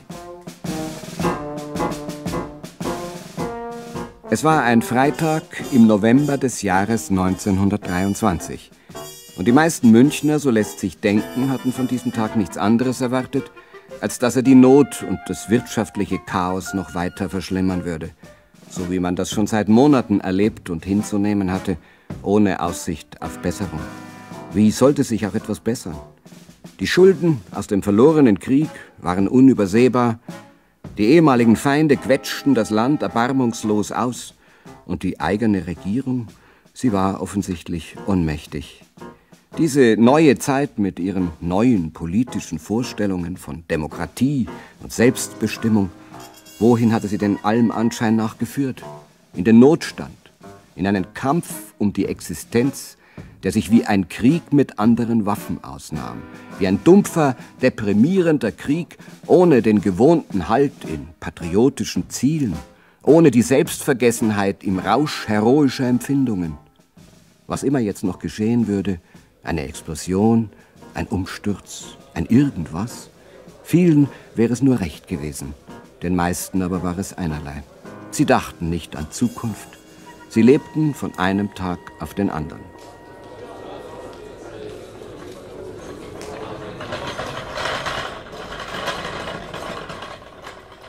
An diesem Novemberfreitag, noch früh am Vormittag, kam der Altgeselle Anton Schöpf mit einem Handwagerl von der Bäcker-Einkaufsgenossenschaft, nachdem man sich auf die rechtzeitige Warenlieferung schon lange nicht mehr verlassen konnte, und er sah, während er seine Mehlsäcke in Richtung Ludwigsbrücke zog, dass die merkwürdigen Aktivitäten, die dort schon auf dem Hinweg zu beobachten waren, inzwischen noch bedrohlichere Ausmaße angenommen hatten. Bewaffnete Landespolizei auf der einen Seite und drüben den Rosenheimer Berg hinauf bis zum Bürgerbräukeller eine große Menschenmenge, Fahnen in ihrer Mitte, schwarz-weiß-rote und etliche von diesen neuen martialischen Hackenkreuzstandarten mit dem Adler obendrauf. Und im Gewimmel biederer Hüte auch Stahlhelme und SA-Mützen, Schlägerkappe in den Augen des Bäckergesellen. Irgendetwas schien von dort oben aus in Bewegung zu kommen. Irgendetwas musste auch schon in der vergangenen Nacht geschehen sein. Das konnte man den Plakatanschlägen entnehmen und den vielen widersprüchlichen Proklamationen, die überall an den Häuserwänden klebten. Oder dem Gerede der Leute, die dafür tausend Erklärungen parat hatten, Vermutungen, Prophezeiungen. Aber worum ging es wirklich? Zehn Minuten zu Fuß entfernt, gegenüber der Johanneskirche, rackerte sich die Frau Kreitmeier in ihrem Bäckerladen ab, um die Kundenschlange zu bändigen, die bei ihr ums tägliche Brot anstand. Ein Pfund, Frau Buckel, tut mir leid, sonst kriegen die anderen nichts. Wir sind aber fünf Leib, Frau Kreitmeier. Ich kann's doch nicht ändern, wenn's nach hinten noch nicht reicht. Wie viel kostet jetzt das Pfund? Das steht auf der Tafel, da schauen Sie halt drauf. 33 Milliarden? So 33 sauber. Heute in der Früh hat es gekostet 31. Dann hätten Sie ums Zimmer kommen müssen, jetzt haben wir die neuen Preise. Die sind für uns maßgebend. Äh, wer ist denn der Nächste? Ich habe jetzt gar nicht mehr so viel Geld, sicher gerade. Vielleicht, dass wir ein Stück abschneiden für das, was fehlt, bitte Meine Frau, wie viel haben's denn? Ja, ich mein, ich kenne mich da gar nicht mehr aus mit den Lappen, wissen Sie. Ich, ich gebe Ihnen halt, was ich hab. Da schauen Sie her. Ach, das war jetzt alles. Zeit, ich kann doch das jetzt nicht nachzeigen bei dem Betrieb. Bitte macht aber die Ladentür zu. Es geht ja zwingend dem auch nicht schneller, wenn die Leute reindrucken. Der Herr an der Tür. Jetzt sagen Sie halt die anderen, die sollen so lange draußen warten. Also nachher, dann bringen Sie mir halt morgen einen Rest, Frau, okay? danke. Wir sollen dabei warten draußen. Sie kommt sonst nicht mehr durch. Wecker, die Verderner sind tappiger. So, Leute. Denen gehört bald das. Jetzt geht's auf! Jetzt kommt die Revolution und Bayern wird frei! Hinterstein! Ja, das ist doch einfach vorneidrucken. Hey, hey, red mich auf. Du weißt ja gar nicht, was gespielt wird. Du blödes Weiberl, du. Oh, sind, sind Sie so geschert, wir stehen uns auf. Frau, jetzt ich Ihnen was. Das ist mir wurscht. Ich stell mich an oder nicht. Aber jetzt geht's auf. Jetzt marschieren sie auf Berlin. Und der General Ludendorff an der Spitze. Jawohl! Das der Früh. Ja, ja, besoffen. Das sagt man dann. Geht's doch vor zum Rosenheimer Berg. Da stehen sie, marschbereit. Und der General Ludendorff an der Spitze. Das interessiert uns nicht, stellen Sie da hinten an, wie jeder anständige Mensch. Und mit euch Liberale, Was denn? da wird am ersten aufgeräumt. Ratzeputz, da wird Spitzenfreundel. Alles wird ausgehauen. Die ganze jüdische Sozisabande. Gehör's da mit Ihrem Schmarrn auf. Und die ganzen Novemberverbrecher übereinander. Alles wird Spitzenfreundel. Ja, da werden wir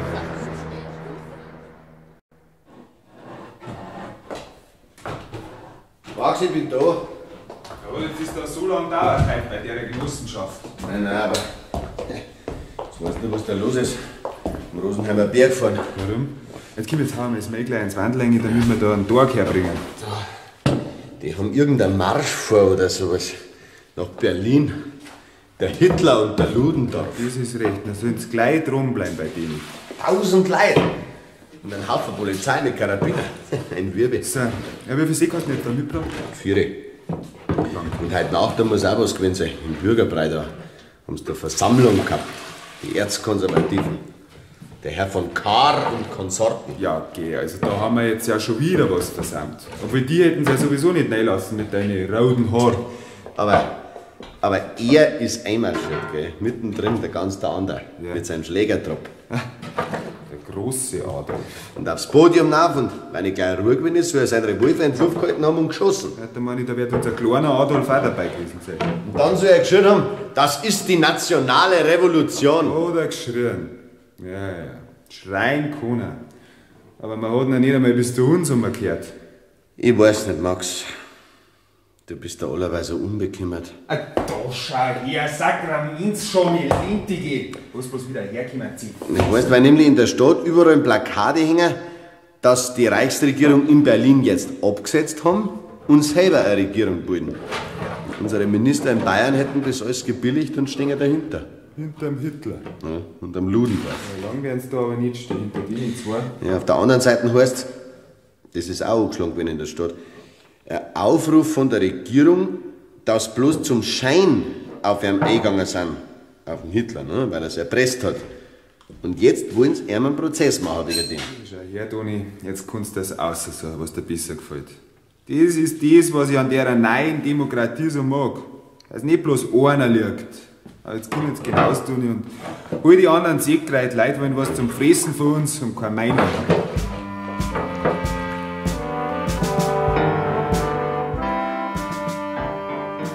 Der Bäckermeister Max Greitmeier hatte erst wenige Jahre zuvor ein halbes Bein in Frankreich zurücklassen müssen und war seither, obwohl ihm die neue Prothese nach Professor Sauerbruch wieder zu einiger Beweglichkeit verhalf, für politische und ganz besonders für nationale Bewegungen eher unzugänglich geworden.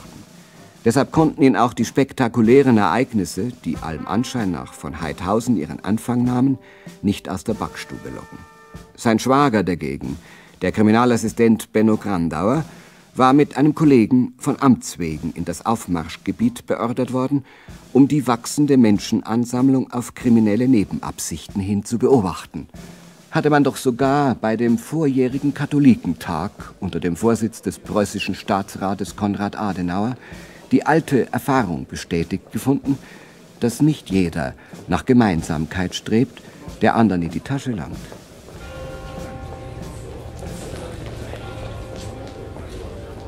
Überall, auf dem Marienplatz und auch hinter dem Rathaustor im Tal, wimmelte es nur so von Menschen.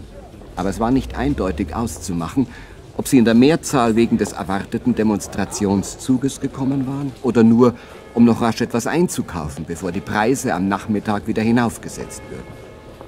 Die beiden Beamten gingen langsam und mit der bekannten Unauffälligkeit durch die Menge in Richtung Isartor, blieben hier und da stehen, warfen einen Blick in die meist leeren, trostlosen Schaufenster und so gelangten sie dann auch vor die Musikalienhandlung Soleder, deren eiserne Rollgitter seit dem Juli dieses Jahres nicht mehr hochgezogen worden waren.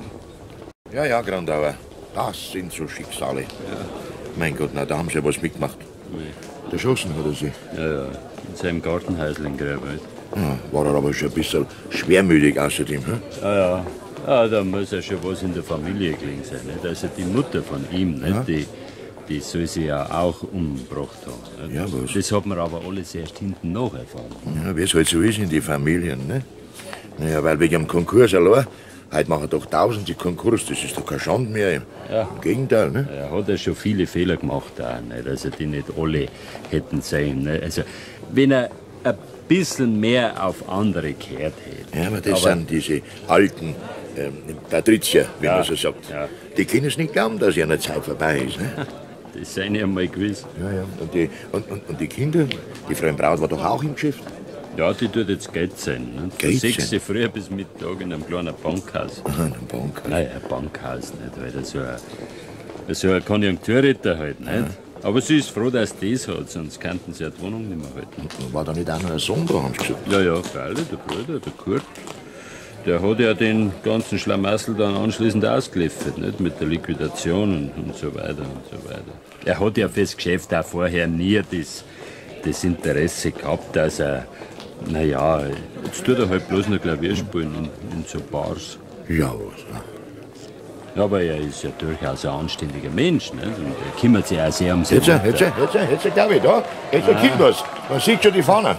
Also, die Leute sind doch komisch. Marschieren, marschieren und Fahnerwind singen und Uniformen und schon reißen sie einen Hut vom Kopf. Ja, mei.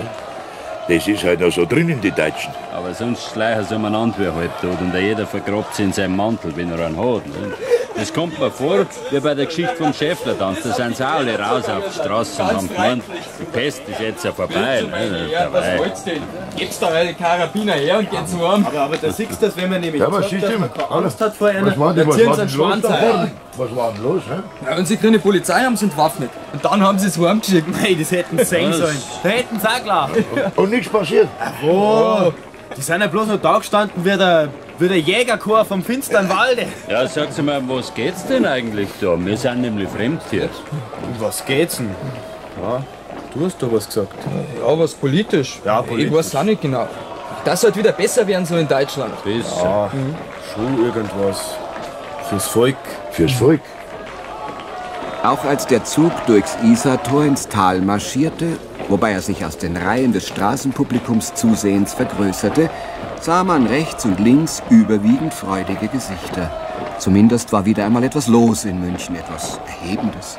Denn vorneweg flatterten Fahnen und dahinter schritten Männer mit entschlossenen Mienen und unter ihnen unleugbar ein kampferprobter General, ein Held des Vaterlandes. Sieger von Tannenberg oder doch wenigstens der zweite Sieger, solange er sich mit Hindenburg im Nachruhm noch nicht einig war. Neben ihm Herr Hitler, etwas unscheinbar, aber selbstbewusst und kräftig auftretend. Dann ein hübscher junger Offizier, den man von Zeitungsbildern kennen konnte, als Jagdflieger und Träger des Mérite, Hermann Göring.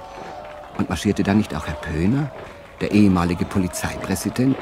Ein Mann, dem allerdings nicht von der Mehrzahl der Beamten nachgetrauert wurde. Ja, und ebenfalls ganz vorne ein Fahnenträger, dessen Namen der Kriminalassistent Grandauer noch von seinen Jugendjahren her in Erinnerung hatte. Ein Schulfreund seines kleinen Bruders, damals im Wilhelmsgymnasium. Schlechter Turner, wie es hieß, aber ein tüchtiger Katholik, der Heini. Auch er war inzwischen Mitte 20 und wollte nicht, dass es so weiterging. Aber er sah immer noch aus wie ein Musterschüler, dieser Heinrich Himmler. Seiner Fahne folgten Reichswehrsoldaten, Fähnriche der Infanterieschule, adrette junge Männer mit geputzten Stiefeln, keine Duckmäuser, keine schmuddeligen Schieber. Der SA fehlte vielleicht noch der letzte Schliff, die Tradition, aber auch sie reckte das Kinn nach soldatischem Vorbild. Und mittendrin, im zwölften Glied, er hatte damit insgeheim schon gerechnet, entdeckte Benno Grandauer dann plötzlich auch seinen Bruder Adolf. Der Schmale, mit den dicken Brünglasern. Ja. Das ist einer Bruder. Ja, ja. Ja, was? Äh, ist der nicht beruflich? Nein, nein, der ist Referendar beim Landgericht. Ja, schau her. Ja, ja, da sind alle möglichen Leute dabei, man sieht's ja. Ja. Aber, aber, ob's einen Sinn hat oder nicht. Also, ich muss ehrlich sagen, man hat halt zu wenig Einblick in die Politik. Ja, also wir haben da auch nicht äh, also dieselbe Auffassung in allem, aber Meier ist halt mein Bruder, ne? Natürlich, das geht ja vor, ne? Ein Bruder ist ein Bruder. Und außerdem, schlecht ist es nie, wenn ein junger Mensch Ideale hat. Bald darauf beendete Fräulein Sohleder, die Braut des Kriminalassistenten Grandauer, ihre neue Halbtagstätigkeit, nachdem sie sackweise Banknoten durch ihre Finger hatte laufen lassen, und beeilte sich, um noch vor Mittag in die Stadt zu kommen, denn es ging das Gerücht, dass bei Beck Damenstrümpfe für weniger als eine Billion zu haben waren. Jetzt, wo der Winter vor der Türe stand, vielleicht eine unwiederbringliche Gelegenheit.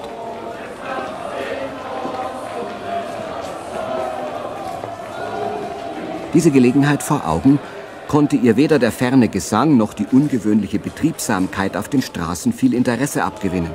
Und dass man den Odeonsplatz gerade als sie dort ankam von Passanten räumen ließ und ausgerechnet am Eingang zur Residenzstraße ein Polizeitrupp Aufstellung genommen hatte, das war einfach ärgerlich. Denn nun musste Fräulein Soleder einen Umweg machen. Und wer wusste, ob die Strümpfe inzwischen nicht ausverkauft waren. Sie hastete also zum Hofgartentor, in der Hoffnung, dass sie dem Trubel durch einen Schlenker um die Residenz entkommen würde. Und dabei traf sie mit ihrem Bruder zusammen und dessen Freundin. Grüß dich, Sarah! Aber bitte schön, seid mir nicht böse, aber ich hab's furchtbar eilig. Wo rennst du denn hin? Strümpf von beim Weg. Ein Sonderangebot. Du solltest auch welche mitbringen. Nee, du, ich glaube nicht, nee. Aber ich fürchte, ich hab sowieso nicht Also ich so glaube, viel du Geld. spinnst. Du kannst doch da nicht durch bei dem Wahnsinn. Hintenrum hab ich gemeint. Hintenrum. So, was ist denn eigentlich Ja, los? sag mal, lebst du auf dem Mond oder was? Keine Ahnung. Ich hock doch seit sechs in der Früh in dem Kellerloch und seh nix wie Papier. Nee, du Traudel lasset. Ich würde da jetzt auch nicht hingehen. Die latschen dir bloß auf die Füße. Dann hast du Strümpfe und keine Schuhe mehr. Der Marienplatz war schon vor einer Stunde gerammelt voll. Ich bin doch durchgegangen, bevor ich Sarah abgeholt habe. Die ganzen Irren sind unterwegs. Hörst du das nicht? Du so lang singen. Böse Menschen haben keine Lieder, Mein du. Gott, und sowas lasst man wählen. Sie hat auch gemeint, das ist ein Faschingszug, die Traumtänzerin. Ja, in Berlin, da machen sie auch Rabatz. Aber euren Hitler, den nimmt doch bei uns keiner ernst. Der ist doch eine Schießbudenfigur. Wief, sehr wief. Alle Berliner sind ja wahnsinnig wief. Und die Juden sind noch viel wiefer, gell, Schatzi? Und die Berliner Juden, das sind ja überhaupt die allerwiefsten. Weiß ich nicht. Ich kenne auch dämliche. Ja, ich auch. Ich hab mir sogar nicht ausgesucht. Jetzt hört's aber auf. Weißt Sarah, der Kurt ist da allerweil so. Du, wenn's bloß Schafstiefel siehst, dann geht für dich schon die Welt Wie unter. der das ist auch Stiefel, übertrieben. so der Mann. Das Oh, Unheil schleicht auf leisen Sohlen. Hat einer aber Nägel dran, die Waden in Schäfte gesteckt, das ist ein Kerl nach deutschem Schnitt. Und jeden soll der Teufel holen, dem das nicht schmeckt, wenn er ihn in den Hintern tritt. Vielleicht schauen Sie schon um. Er muss sie produzieren. Es ist einfach. Was ist denn jetzt? Schießen die? Na, Knallerbsen. Bleibt ihr da stehen. Gut, lass doch, Mensch, da musst du doch jetzt nicht hin, wenn Bleib. ballern. Gut. Sag mir bloß, was los ist.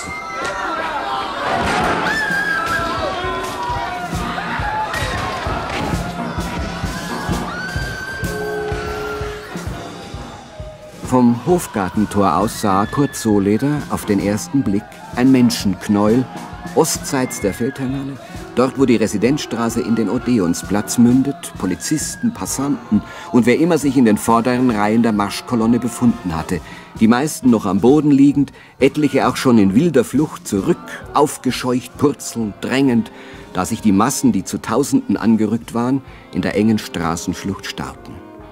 20, 30 Sekunden lang hatte der Schusswechsel gedauert. Dann hoben sich aus dem Knäuel heraus zwei Gestalten, Offiziere, und schritten seltsam unbeirrt, beinahe feierlich und ohne sich umzusehen in die entgegengesetzte Richtung, überquerten als einzige den menschenleeren Odeonsplatz, vorbei an einem Panzerauto, das dort stand, Und einer von ihnen war, Kurt hatte ihn sofort erkannt, der General, der Held von Tannenberg, auch diesmal scheinbar unbesiegt.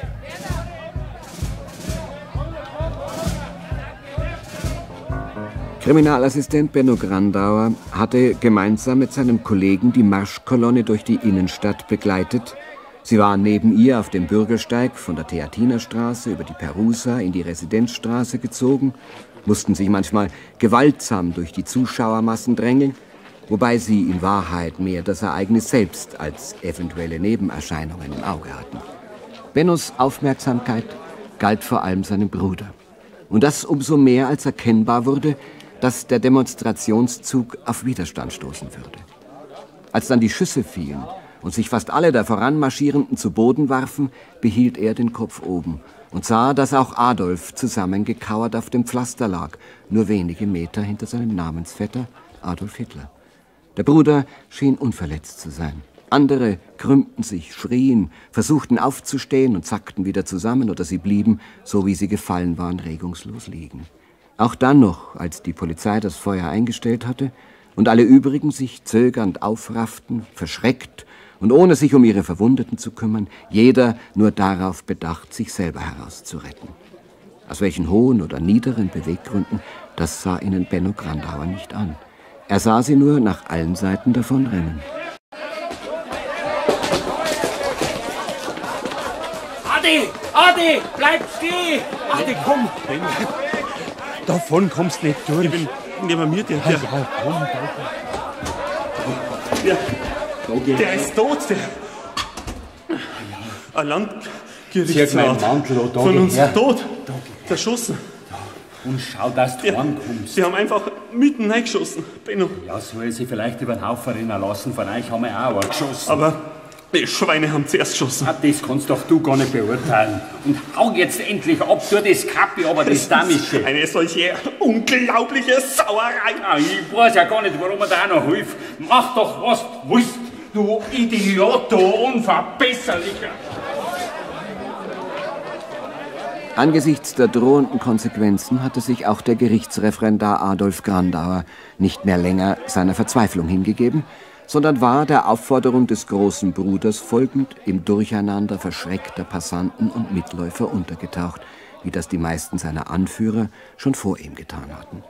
Derweil lagen die 14 Putschisten, die von den Schüssen der Polizei tödlich getroffen worden waren, noch immer auf dem Pflaster und ebenso auf der anderen Seite ein Polizeihauptmann, ein Hauptwachtmeister und ein Hilfswachtmeister, die für die Verteidigung der Republik mit ihrem Leben bezahlen mussten.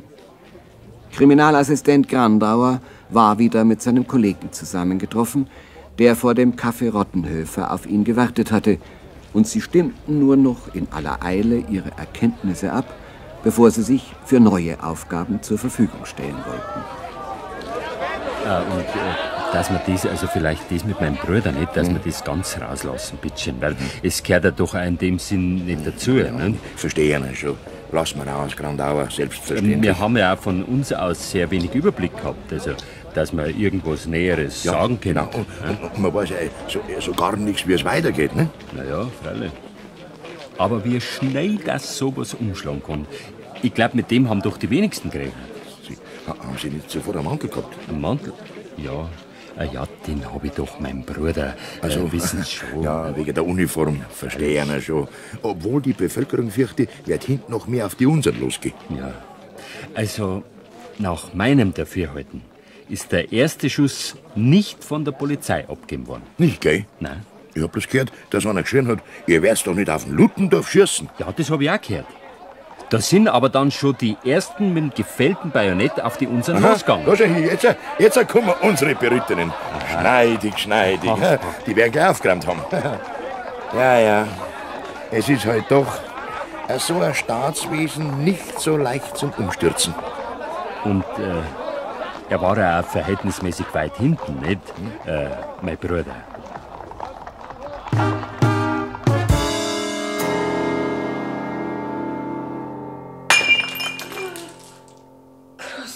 Gott im Himmel. Na, na. Jetzt ist der auch kaputt. Oh Gott, oh Gott, na, jetzt ist der auch kaputt. Alles geht kaputt in dem Haus. Alles. Ich hab Glück nimmer. Was war denn, Mutti? Unser schöner Taufelaufsatz. Ach du liebe Zeit. Na komm, mach dir nichts draus.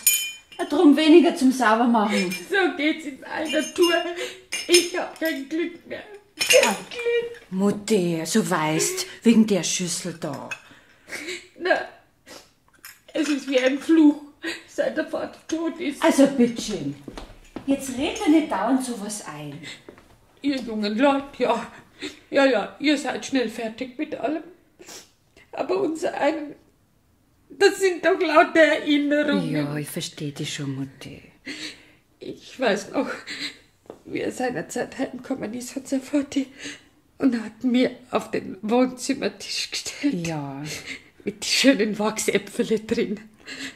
Da war man noch eine glückliche Familie. Und so Vater und wir. Na komm, Mutti, jetzt geh halt ein bisschen mit hinüber zu uns, dass du auf andere Gedanken kommst, ha? Der Benno erzählt gerade, was heute alles los war. Es ist halt vorbei. Unsere Zeit ist vorbei. Was will ich denn da noch?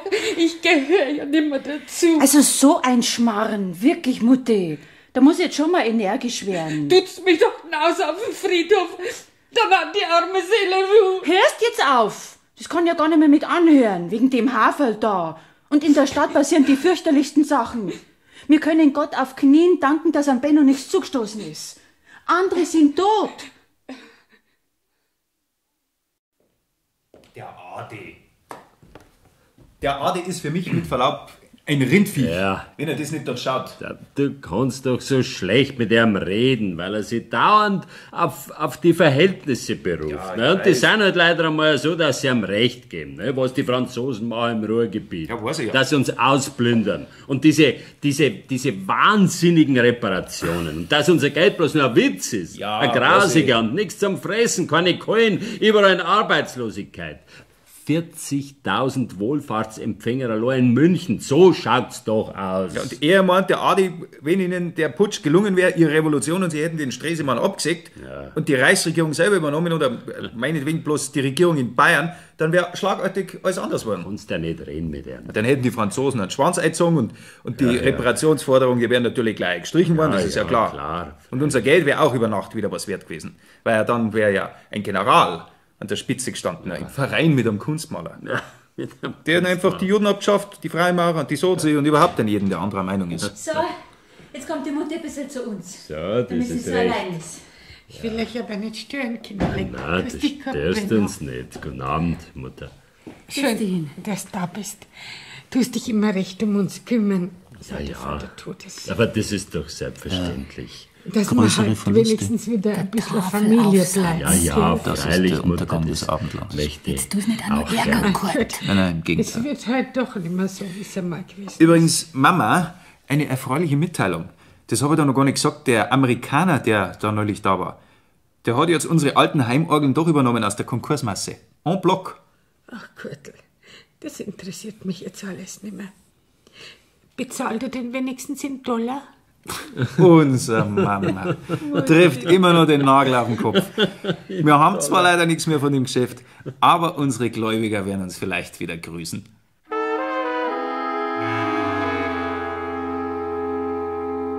Sehr beglückend hatte Benno Grandauer seine Besuche in der Solederschen Wohnung auch früher nie empfunden. Seit den tragischen Ereignissen im Sommer kam er zwar regelmäßig drei, viermal in der Woche, aber ohne sich allzu lange dort aufzuhalten. Als er am späten Abend dieses 9. November 1923 nach Hause ging, vom Tal über die Ludwigsbrücke nach Heidhausen, dieselbe Strecke, auf der am Vormittag der gescheiterte Aufmarsch begonnen hatte, waren die Straßen beinahe menschenleer. Der ganze Spuk schien wie weggeblasen. In den Häusern brannten nur spärliche Lichter, eingedenk der Strompreise. Überdies waren die Nächte jetzt schon ziemlich frostig, und wer kein Heizmaterial besaß, legte sich eben lieber ins Bett, als in der kalten Stube zu sitzen. Die Bäcker hatten es da etwas leichter. Sie mussten weder hungern noch frieren, und schon deshalb war der Benno nicht ungerne bei der Schwester geblieben im Haus seines Schwagers, wo man ihn damals nach Krieg und Gefangenschaft so bereitwillig aufgenommen hatte. Benno? Guten Abend, Löse. Hast du schon was gegessen? Ja, ja, danke schön. Der Max schon im Bett? Ach, der hat heute wieder solche Schmerzen gehabt in seinem Bein, weißt Furchtbar. Du, ich muss in der Küche noch was aufräumen. Ja, ja. Sitzt dir ein bisschen dazu? Ja, nicht. Magst du ein Bier? Nein, Bier eigentlich nicht. Äh, einen Kaffee hätte ich auch noch da. Ein Kaffee gern? So. Ach, übrigens, äh, du, der Adi war da und hat dir deinen Mantel gebracht. Ja, Adi. Was hat er gesagt? Du hättest mir ihm gegeben und er ist bloß in den Laden reingekommen und dann gleich wieder gegangen. Blöde Kerl, der Blöde. Du, ist irgendwas gewesen, weil er so ausgeschaut hat oder so. So kasig und so hier Ring um die Augen. Aber jetzt, jetzt erhalten sie einen Reh. Als gemeint haben, sie sind schon am Ziel. Wegen der Gaudi da, was, was da heute los war in der Stadt. Gaudi. Da hat's Tote gegeben und Verwundete. Ah, na stimmt das also doch, dass der Ludendorff tot sein soll und, und der, der Hitler. Am Ludendorff ist ja gar nichts passiert, den haben sie in der Brennerstraße festgenommen und der Hitler ist einer ausgekommen. Ja, von dem weiß man nichts. Die Leute haben so bloß eine Zeit im Lohn da herin. Die haben das ja gar nicht so mitgekriegt, da heraus. Ja, und der Adi, war der am Ende dann auch dabei? Ja, der, der, der Depp, der Freile, in der vollen Montur. Ne? Aber jetzt, jetzt kann er sich ein Trachtenanziegerl draus machen lassen, ne? weil sie es verboten haben. Sein Hitlerzeug. Ja, den ganzen Verein. Und die Haupträdelsführer werden strafrechtlich verfolgt. Kurz mal, dass die am Adi vielleicht noch noch was tun. Ach, der Adi. Der ist ja zum Glück bloß ein Würstler, Kleins. Aber die anderen, die wo schon in der Nacht zuvor rumgegangen sind und haben die Leute verhaft vom Landtag, so sie natürlich, nicht? So sie, die Stadträte, nicht? Und Bürgermeister. Verhaft haben sie die. Verhaft, auf den Lastwagen aufgeladen und hinaus in He Forst zur Aburteilung als Novemberverbrecher von einem Nationaltribunal unter dem Vorsitz unseres ehemaligen Polizeipräsidenten. Und er, er hätte schon parat gehabt, seine Todesurteile fix und fertig binnen drei Stunden zu vollstrecken. Da läuft sie mir gleich ganz eiskalt am Buckel runter. Der Mensch. Ich kümmere mich sonst nicht voll um Politik, aber wie ich das gehört habe, ich sag das lese ich heute Mittag bei der Feldherrnhalle. Da waren wir noch im Zweifel, ob sie unbedingt hin schießen müssen. Aber sie haben's.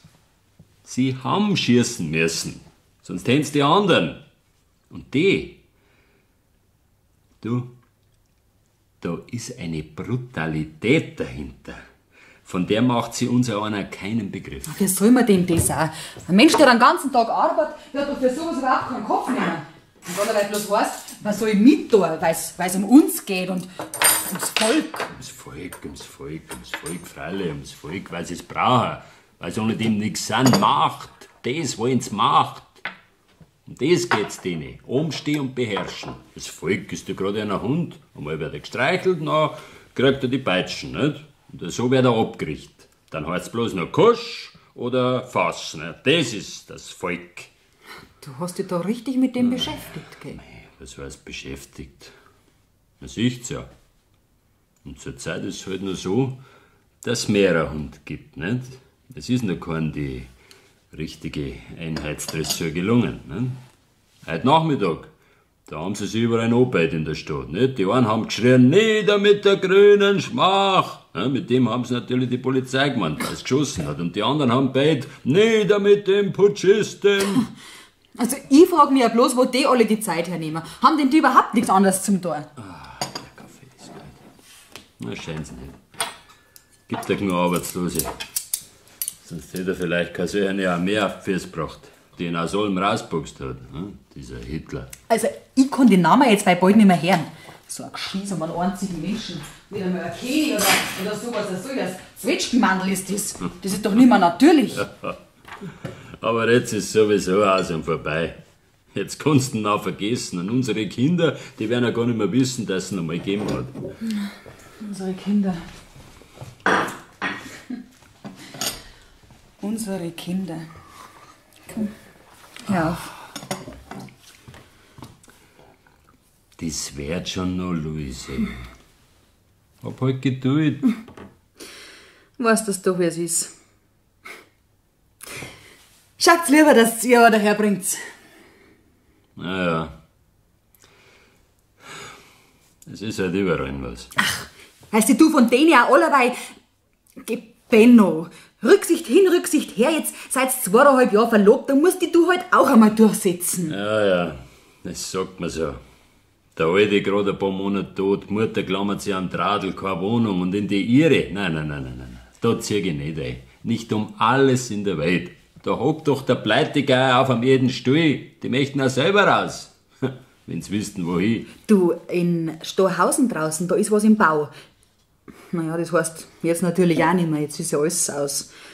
Aber wenn da vielleicht doch das neue Geld kommt, wir sagen, du müsstest dich halt einmal erkundigen. Ja, ja. Oder sie. Kann der auch mal was in die Hand nehmen, Traudel, nicht? Geh, die hat doch jetzt genug um die Ohren. Das darf's glauben. Naja, ein bisschen verwöhnt sind sie schon. Sie und ihr Bruder.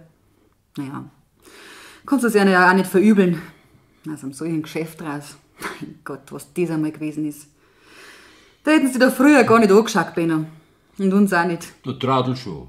Der Tradel, doch, doch, doch. Tradel schon. Ja, ich wusste ja auch nicht madig machen. Sie ist schon recht, ein Traudel. Aber für die anderen, da war es Zeit, dass die auch mal der Wind ein bisschen abblasen hat und nicht bloß über die kleinen Leute.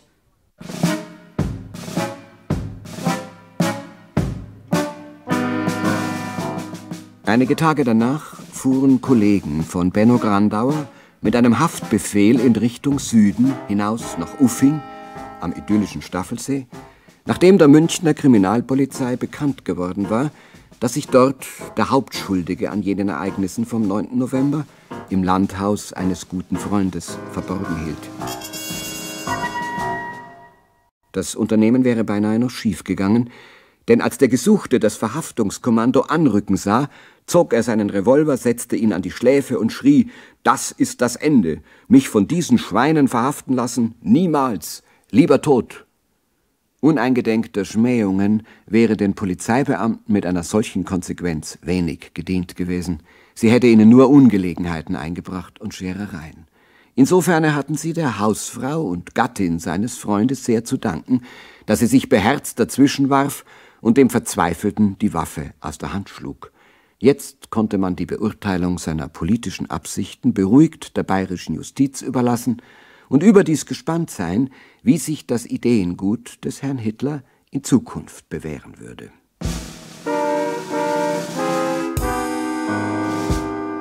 Aber diese Spannung war schon am darauffolgenden Freitag, den 16. November, in den Schatten anderer Ereignisse geraten, die der Allgemeinheit wesentlich näher lagen, so dass vom Schicksal der inhaftierten Putschisten bald nur noch in Münchner Studentenkreisen die Rede war.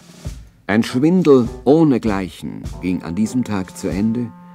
An seine Stelle trat ein ehrenwerter Bluff. Von nun an bis auf weiteres galt eine Billion so viel wie eine neue Rentenmark. Und Tausende von Papierlieferanten und Notendruckern hatten ihre große Zeit mit einem Schlag hinter sich. Die anderen, die eine erbärmliche Zeit hinter sich hatten, das Volk, es konnte nicht glauben, dass seine Not ebenso mit einem Schlag vorbei sein würde. Mit Recht, es gab dazu auch vorerst wenig Grund.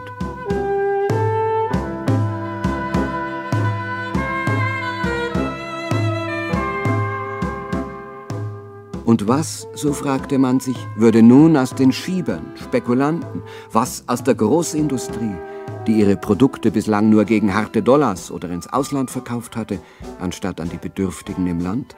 Wie würde die Operation Leuten bekommen vom Schlage eines Hugo Stinnes zum Beispiel, den Königen der Inflation, wie die Zeitungen sie nannten, solchen, die sich von der Not nicht beirren ließen, die sie sich zunutze machten, den Gewinnern an einem Volk von Verlierern. Was war jetzt mit ihnen an der Wende zu einer neuen Gerechtigkeit? Was sonst, als dass sie auch in Zukunft ihre Nase weiter vorne haben würden? Hieß es nicht immer schon, dass Gott auch diesen Unterschied gewollt hat? Und sollte man auf das hin etwas anderes tun als hoffen, ergeben und schlau, dass sich der Eigennutz der Auserwählten auf irgendeine Weise auch für den kleinen Mann rentierte?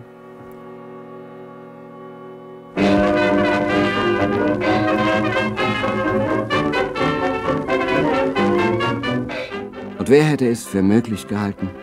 Kaum ein Vierteljahr danach erlebte München seinen ersten großen Nachkriegsfasching.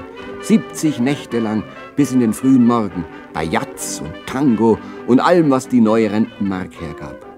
Sie hatte damit ihre lokale Bewährungsprobe bestanden. Denn endlich kam auch der Leichtsinn offiziell wieder zu seinem Recht. Und wer daran nicht teilhatte, konnte, wenn er die Dinge münchnerisch betrachtete, moralisch entrüstet und zugleich befriedigt sein. Selbst die vielen Arbeitslosen, die den Anschluss an das kleine Wirtschaftswunder noch nicht gefunden hatten, verhielten sich meist ebenso und begannen zu hoffen.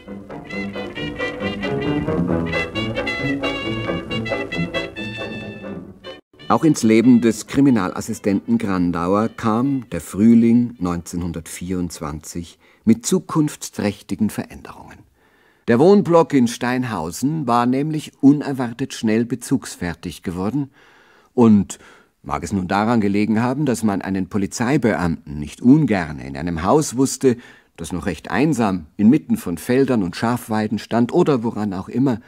Benno Grandauer hatte das unverschämte Glück, darin eine Wohnung zu bekommen, mit dreieinhalb Zimmern, Küche, Bad und einem freien Blick über die Gaskessel hinweg und über die fernen Gleisanlagen des östlichen Güterbahnhofes auf die ganze Alpenkette vom Wendelstein bis zur Zugspitze.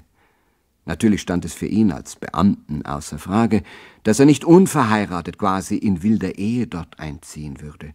Das hätte auch seine Schwiegermutter ins B niemals gut geheißen, nachdem sie sich schon netterweise mit einem Zimmerchen zur Hofseite begnügen wollte.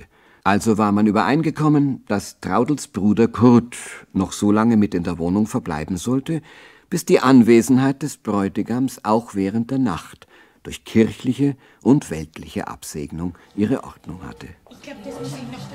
Jetzt seid ihr ein bisschen ruhiger. Am letzten Märzwochenende war der Umzug zwar im Wesentlichen durchgeführt und Sonntagabend so gegen 5 Uhr auch schon das Gröbste getan, aber es herrschte keineswegs die feierliche Stimmung in der neuen Wohnung vor, wie sie dem Ereignis dieser Stunde eigentlich zugekommen wäre und wie sie zur gleichen Zeit das geistige München im Auditorium Maximum der Universität erfasst hatte.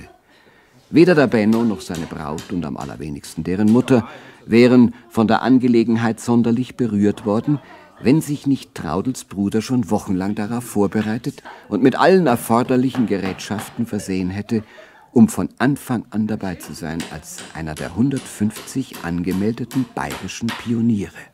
Bittschön, jetzt seid halt einmal ein bisschen leiser. Ich höre ja sonst nichts bei dem Krach. Was willst denn, Kurt? Schau, das liegt doch nicht an uns, dass du nichts hörst. Das liegt an dem, weil das ja gar nicht gehen kann, wenn du da bloß so ein Drahtl einfach aus dem Fenster raus. Der hängt doch bis zum Hof runter. Ach ja, Und drunten hat er Kontakt mit dem Regenrohr. Geht, da braucht man eine riesige Antenne dazu. Ich weiß doch von unserem Ja, Polizeifunk dann her. habe ich halt den Kurs umsonst Gell, mitgemacht. Das Ja, sagst du ja auch, alles. Bummel da Das ist doch Radioclub. gar nicht möglich, sowas. Der Benno sagt's auch, Kurtel. Ach so, am Zigarrenkistel, wie soll denn da was rauskommen? Spielzeug, na ist er wenigstens beschäftigt und geht uns nicht im Weg um. Also jeden tun sie schon irgendwann die Dinger. Ich hab das selber mal gehört in Berlin. Ja? Da haben sie auch Lautsprecher. In Lokale. Weihnachten schon zu Hause war. Ja, ja, ja, in Berlin, Herr. Na, was denn, was denn? Ist ja auch ganz klar, nicht wahr? Da, da brauchst du für diese gar keine Apparate mehr. Na, na, ganz einfach, weil ja jeder Berliner von Haus aus ein Lautsprecher ist. Klar. Und hier sind eben wieder ganz anders. Hier haben sie noch die Probleme mit den Kopfhörern. Was haben wir Probleme? Wieso eigentlich? Weil so viele ihre Hosen nicht drüber kriegen. Was, äh, Hosen? Ist das ein Witz, Sarah? Nee, das ist so. Also verstehe ich nicht. Die, die hat man doch am Kopf, die Kopfhörer. Ja, aber nun kommt es eben drauf an, wo man den hat. Also, Sarah, du bist Das verstehe ich nicht. Verstehst du das also? Ich verstehe das nicht. Also, ich sehe mir direkt schnappen, die Berliner Pflanze, die knappen. Seid ihr mal Start? Ich hör was. Jetzt hab ich ihn drin. Ganz deutlich. Kommt mal her, schnell. Mama, da geh her, teilt euch den zweiten Kopfhörer. Da nimm du den. Sari, Ja. Hoch du bei mir mit war- Treff. Jetzt. Fantastisch. Jetzt hab ich ihn hergebracht. Fantastisch. Das Deutschlandflied. Wie hast du ein Telefon? Durch die Luft. Ohne Draht, Wellenübertragung. Ich höre nichts, Kinder. Kurtel, wie, wie muss ich denn Ans das da... Ohr, Mama. So. Ans Ohr ganz nah. Ja, Jetzt ist aber irgendwie wieder vorbei, oder? Also angenehm ist das Unser Kofik mir lieber einen Wellensittich, der pfeift schön. Jedes Wort. Glasklar. Jetzt höre ich was. Fantastisch. Als ob einer redet. Fantastisch. Ich hör's auch. in den großen, den Äther durchmessenden Rundfunkverkehr der Welt. Die Deutsche Stunde in Bayern werde den Deutschen nunmehr zur Ehre, dem Lande Bayern zur Förderung der Volkswirtschaft und Kultur, zur Mahnung und stolzen Zierde. Was ist denn das? Ist die stolze Zierde, die hört sich so an. Was ist denn das? Da hat doch jemand was an der Antenne gemacht. Das hat ja direkt einen Ruck gegeben. Vorsicht, der Apparat! Allmächtiger Oh Gott, Also Kurt, leise, leise, gell? Du, du ich möchte möcht kein Feindschaft Ja, natürlich, da rennen sie doch davon. Ich hab euch schon gesehen. Sauber am Elende. Nein, Kinder, die verstehen doch das noch nicht. Es wird schon so ein Publikum zusammenkommen in dem Block. Na bitteschön, du musst ja nicht daher in Wohnen gehört, wenn das das Haus nicht fein genug ist. Jetzt hört's doch auf, mein Gott, wegen so einer Palle. Kick doch mal, Coachchen, was sie dir an deiner Antenne hingehängt haben. Lass mal sehen. Von Schamperl. Ein Nachtafeler Blecher. Oh. Ich finde das nicht komisch. Mein Gott, jetzt lach halt du auch mal. Du bist doch sonst nicht so humorlos. Begreift ihr denn das nicht? Jetzt habe ich drei Monate lang hab mich auf den Augenblick vorbereitet. Und jetzt? Wer weiß, wer den schon alles benutzt hat. Also ich muss schon Super. auch sagen, das machen Gassenkinder und keine wohlerzogenen Kinder. Na, alles was recht ist. Also geh, trauen Sie mir nicht da. In unserem alten Haus hätte sowas nicht gegeben. Nein? Ja, ja, ja, ja, natürlich nicht. Also, aber ich bin jedenfalls froh, dass ich die Wohnung da herin gekriegt habe. Nicht? Und ob das Gassenkinder sind oder nicht, das ist mir, also das ist mir ehrlich gesagt, das ist mir vollkommen egal. Wir waren auch Gassenkinder bei uns daheim und keine feinen Kinder. Ja, Mutti, Mutti, das finde ich auch. Und wir können dankbar sein, dass wir da herin sein dürfen. Vor allem am Benno. Na ja. Großzügig ist. Ja, dann gehe ich halt wieder rüber in meine Kammer, wenn die Mutter gar nichts mehr zu sagen Naja, jetzt komm, Mut, so ist das nicht Na ja, gemeint. ich weiß schon, wenn man alt wird und hat keinen Mann mehr, dann Okay, ist man halt bloß noch geduldet. Geh, Mutter, das ist Benno. doch... Sie sollte es wissen. Sonst mischt sie sich in alles rein. Die geht dann schon über zu ihr. Ich glaube, Gott, jetzt später. bist du dran, bevor ich mich für dich geniere. Du, äh, das schon. das war ein bisschen blöd von mir. Entschuldige, Benno. Okay, komm, geh weiter, Kurt, das ist doch nicht so wichtig. Äh, soll ich schnell unter den Hof, dass man... Na, nix. Den lassen wir jetzt dranhängen. Der ist ja aus Blech. Solchen Zufällen verdankt die Menschheit einen großen Teil ihrer Zivilisation. Und wer weiß, vielleicht ist das Radio eines Tages gar nicht mehr denkbar ohne den Solederschen Pujamperl-Effekt. Was?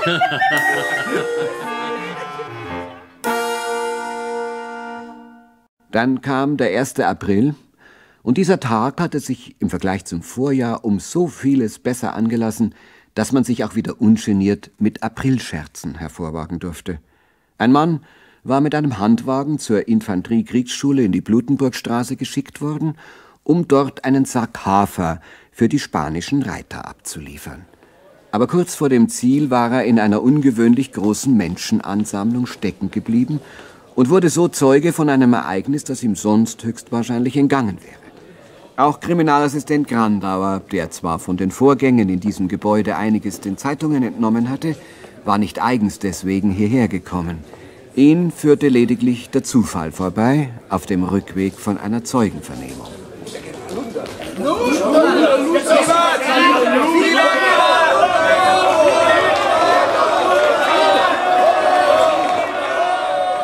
Dass sich unter der freudig gestimmten Menge auch sein Bruder Adolf befand, war kein Zufall.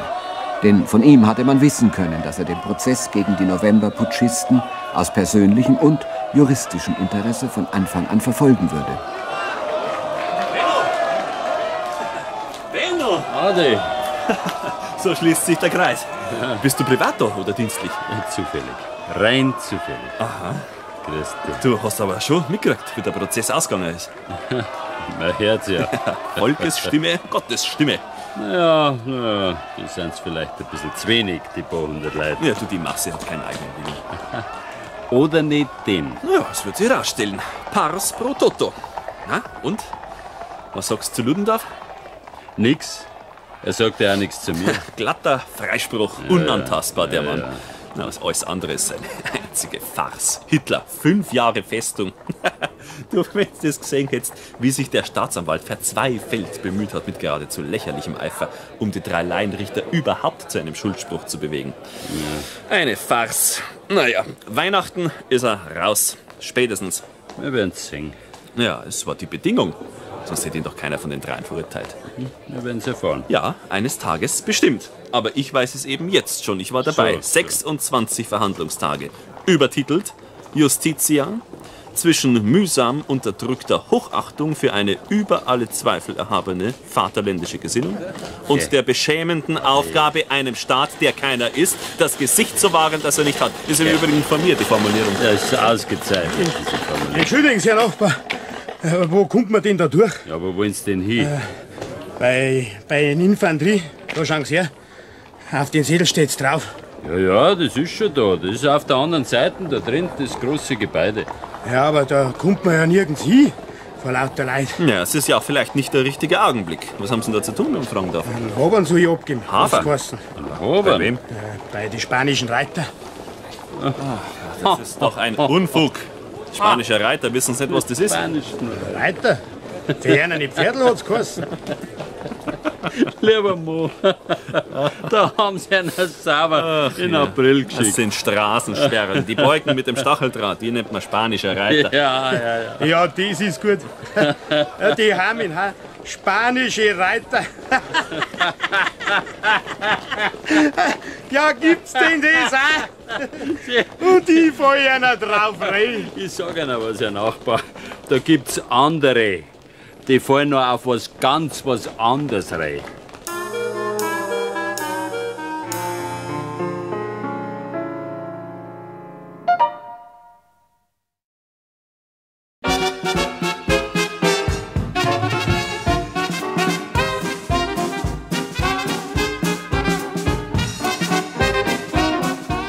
Die Grandauers und ihre Zeit. Eine Geschichte in Fortsetzungen von und mit Willi Purucker. 15. Teil Ehrengäste. 1925. Zwar war das Jahr noch lange nicht vorbei, aber man konnte doch jetzt schon sagen, alles in allem, nicht schlecht, gar nicht schlecht. Es ging aufwärts. Freilich nicht überall und für jedermann, doch verglichen mit den Jahren zuvor, und überhaupt man war ja nun lange genug selbst auf der Nase gelegen, fast jeder, zu lange, als dass man sich ohne zwingenden Grund mit der Not anderer beschäftigen wollte. Bedauernswerter zugegeben, unglücklicher, die noch immer nicht in den Tritt gekommen waren. Aber doch nicht ausgerechnet jetzt, wo man sich gerade eben ein wenig aufgerappelt hatte. Die Not gab sich ja auch ganz friedlich zur Zeit. Die Bedauernswerten hielten sich zurück, kaum Proteste, kaum Streiks oder Demonstrationen. Nicht einmal vor ein paar Tagen, am 1. Mai, passierte etwas Ausschweifendes. War also wieder einmal Frühling geworden. Das Münchner Hofbrauhaus hatte zur Maibockprobe geladen, zum ersten Mal nach vielen Jahren. Und zum ersten Mal war auch das Straßenbild wieder bunt belebt mit neuen, schmetterlingshaften Frühjahrsgarderoben. Nun, nachdem es der deutschen Textilindustrie lohnend erschien, sich ans eigene Volk zu wenden, an die große Dame bis hinunter zum kleinen Ladenmädchen, lohnend auch für diese vielleicht, ganz ohne Zweifel aber lohnend für die Männerwelt. Denn endlich waren sie vorbei, die Zeiten der biederen Schleppen, der prüden, knöchellangen Röcke. Die moderne Frau zeigte ihre Beine. Und auch die neue Reichsmark zeigte sich in ihrem ersten Lebensjahr verführerisch und doch stabil. Die neue Reichsregierung gar nicht ungeschickt und überdies seit April mit einem neuen Oberhaupt, das wieder nationale Würde zeigte, so wie man sie vor allem hierzulande forderte. Preußisch, ob zwar und in der Politik vielleicht nicht sehr erfahren, dafür ein Mann von altem Schrott und Korn, ein Standbild unbefleckten deutschen Mannestums, der greise Feldmarschall Paul von Hindenburg.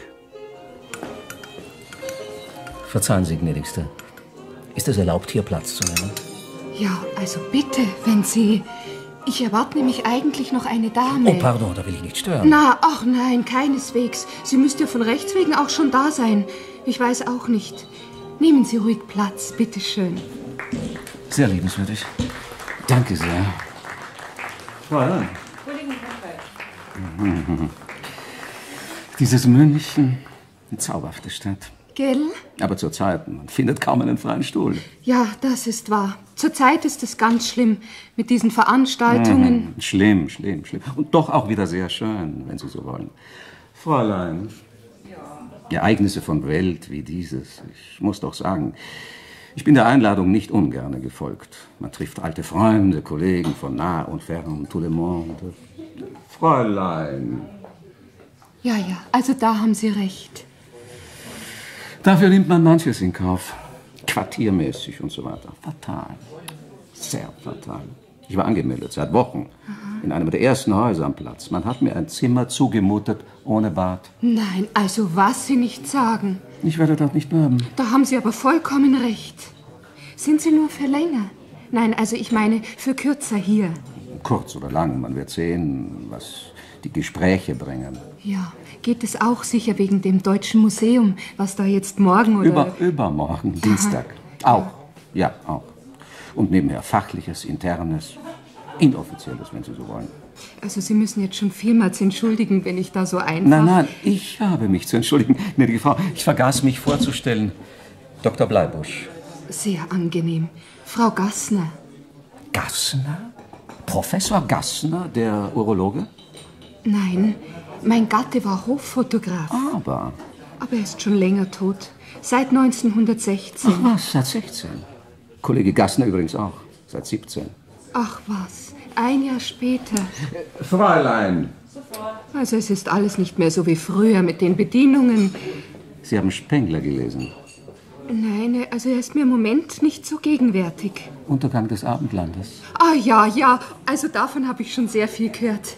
Ich höre auch sehr viel Radio. Ja, Radio kann sehr belehrend sein, durchaus. Also dann sind Sie wohl auch Arzt, wenn man jetzt so fragen darf. Wissenschaftlich, chemisch, pharmazeutisch. Forscher, wenn Sie so wollen. Das ist ein sehr interessantes Gebiet. Ja, da, jetzt spielt die Kapelle wieder. Wollen wir ihr ein wenig lauschen? Da kommt sie. Fräulein, also der Herr wartet schon seit fünf Minuten. München hatte es wieder einmal vermocht, nach einer Reihe eher zweifelhafter Darstellungen die Aufmerksamkeit des ganzen Reiches in einer unumstritten ehrwürdigen Angelegenheit auf sich zu ziehen. Obwohl erst für den folgenden Dienstag angesetzt, warf der Anlass sein Licht bereits mächtig voraus auf diesen ersten Sonntag im Mai. Denn viel Prominenz war interessehalber schon etwas früher angereist, um das typisch Münchnerische auch anderweitig zu erleben. Dort vielleicht, wo die Kultur sich mehr dem Leiblichen zuneigte als dem rein Geistigen. Draußen in Steinhausen, äußere Prinzregentenstraße 71, dritter Stock rechts, hatte man indessen einen anderen, eher bescheidenen Anlass zur Gastlichkeit. Es jährte sich nämlich zum ersten Mal der Tag, an dem Kriminaloberassistent Benno Grandauer, damals noch Assistent, das Fräulein Traude Maria Soleder zum Traualtar geführt hatte. Des kirchlichen und weltlichen Zuspruchs teilhaftig war es dann endlich auch mit den Moralbegriffen der Schwiegermutter und denen eines bayerischen Polizeibeamten vereinbar geworden, dass der Benno von seiner neuen Wohnung nun ebenfalls Gebrauch machte.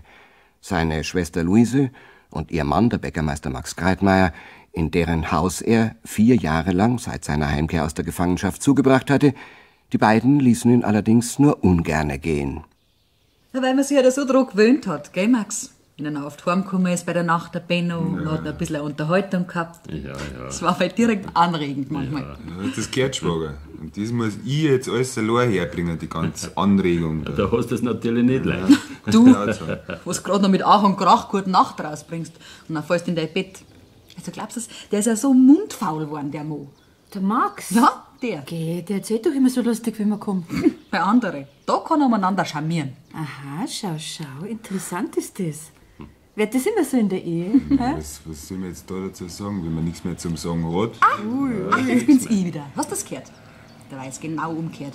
Er ist derjenige, wo er schafft. Und ich darf gerade rennen und sausen, dass er ihm alles hinricht. Ist doch so, oder? Ui, ein Flieger, schnell schaut. Komm, komm, jetzt lenk nicht ab. Ich bin schon, bin schon brav wieder. Du Luise, du bist schon bald eine halbe die Frauenrechtlerin, hä? Ach, da kriegst du manchmal einen solchen Grant.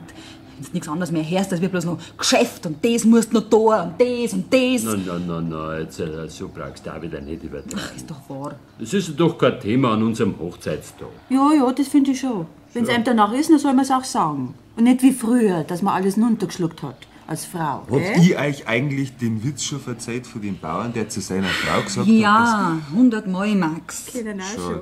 Ja, aber mir fällt gerade kein anderer nicht ein. Ja, meinst jetzt du, durch das sind äh, unglücklicher gewesen, die Frauen früher? Also, meine Mutter, unsere Mama Luise, die war doch die Ausgeglichenheit in Person, nicht? Und da hat's nie irgendwelche Auftritte gegeben oder dass einmal geheißen hätte, das bestimme jetzt ich. Na, es war auch gar nicht notwendig. Nein. Lieber ist ins Schlafzimmer reingegangen und hat gewarnt. Unsere Mama, Ja, gewarnt, gell? ja. Ja, wegen uns Kinder vielleicht, nicht? Weil wir wieder irgendeinen Schmarrn gemacht haben. Du vor allem. Na, erzähl nur weiter, jetzt kommt alles raus. Ist er so ein Schlimmer gewesen, der Benno, hä? Mei, Hätte ich gar nicht gedacht. Nein, nein, nein, nein. Nie Auftritte gegeben. Ja, weil es allweil alles zudeckt hat, unsere Mama. Bloß, dass der Papa nichts erfahrt. Bloß nicht, vor lauter Angst. Hm? Das war bei uns genau dasselbe. Der Vati hat die Hälfte nicht gewusst, was daheim los war, und wir haben nicht gewusst, was im Geschäft los war. Weil nichts geredet worden ist, bloß Ja, lauter ja, Belanglosigkeiten. Ja, und dann, wenn er das passiert ist vor zwei Jahren, mein Vati, da sind wir dann alle da gestanden. Hm. Und unsere Mutter, mei, die war ja so unselbstständig, dass nicht einmal ein Briefmarken allein aufs Kuvert aufgepackt hat. So war die. Was höre ich denn schon wieder von der Mutti? Ah, nix. Es geht ja nicht gegen dich. Ja, ja, du zeig nur lustig machen über die alten Leute. Nein, Mutti, wir reden lass bloß gerade, wie das früher alles so gewesen ist, in den Ehen, so, weißt Mein Gott, früher. Schöner. Na, das dürft ihr mir glauben. Schöner war's alles bei uns. So, wie man es heute oft hört bei den jungen Leuten, dass sie sich rumstreiten. Und die jungen Frauen wollen sich nicht mehr fügen. Ja, da Nein, wollen sie das nicht das fügen. wäre früher ganz unmöglich Ah, gewesen. ja, es. Der Vati und ich, da hat es nie auch nur ein unschönes Wort gegeben. Ah, stimmt aber nicht ganz. Geldradl, das weiß ich besser. Und solche Zerwürfnisse, wo der eine so sagt und der andere so. Also, das waren ja auch noch Herren damals. Die Männer. Zu denen hat man aufschauen können. Also, aufschauen müssen. Da braucht sie gar nicht lachen. Das ist war ein Passen. Warum machst du denn jetzt das Radio auf? Wir wollen uns doch unterhalten, Mutti. Na ja, und wenn dann der Gürtel dran kommt, dann hören wir ihn wieder nicht. Ach, ist er jetzt schon beim Radio, dein Bruder? Ja, einmal hat er was angesagt, bei der Nacht. Hier ist die deutsche Stunde in Bayern, hat er gesagt. Wir beenden nun unser Programm und wünschen Ihnen eine gute Nacht. Ja, genau. Ja, ja, ja. Und, und, und bitte vergessen Sie nicht, Ihre Antenne zu erden. Hat er gesagt? Ja. Über Radio. Ganz gestresst hat er geredet. Und bitte vergessen Sie nicht, Ihre Antenne zu erden. Bitte schalte ich es wieder aus, wenn es euch stört.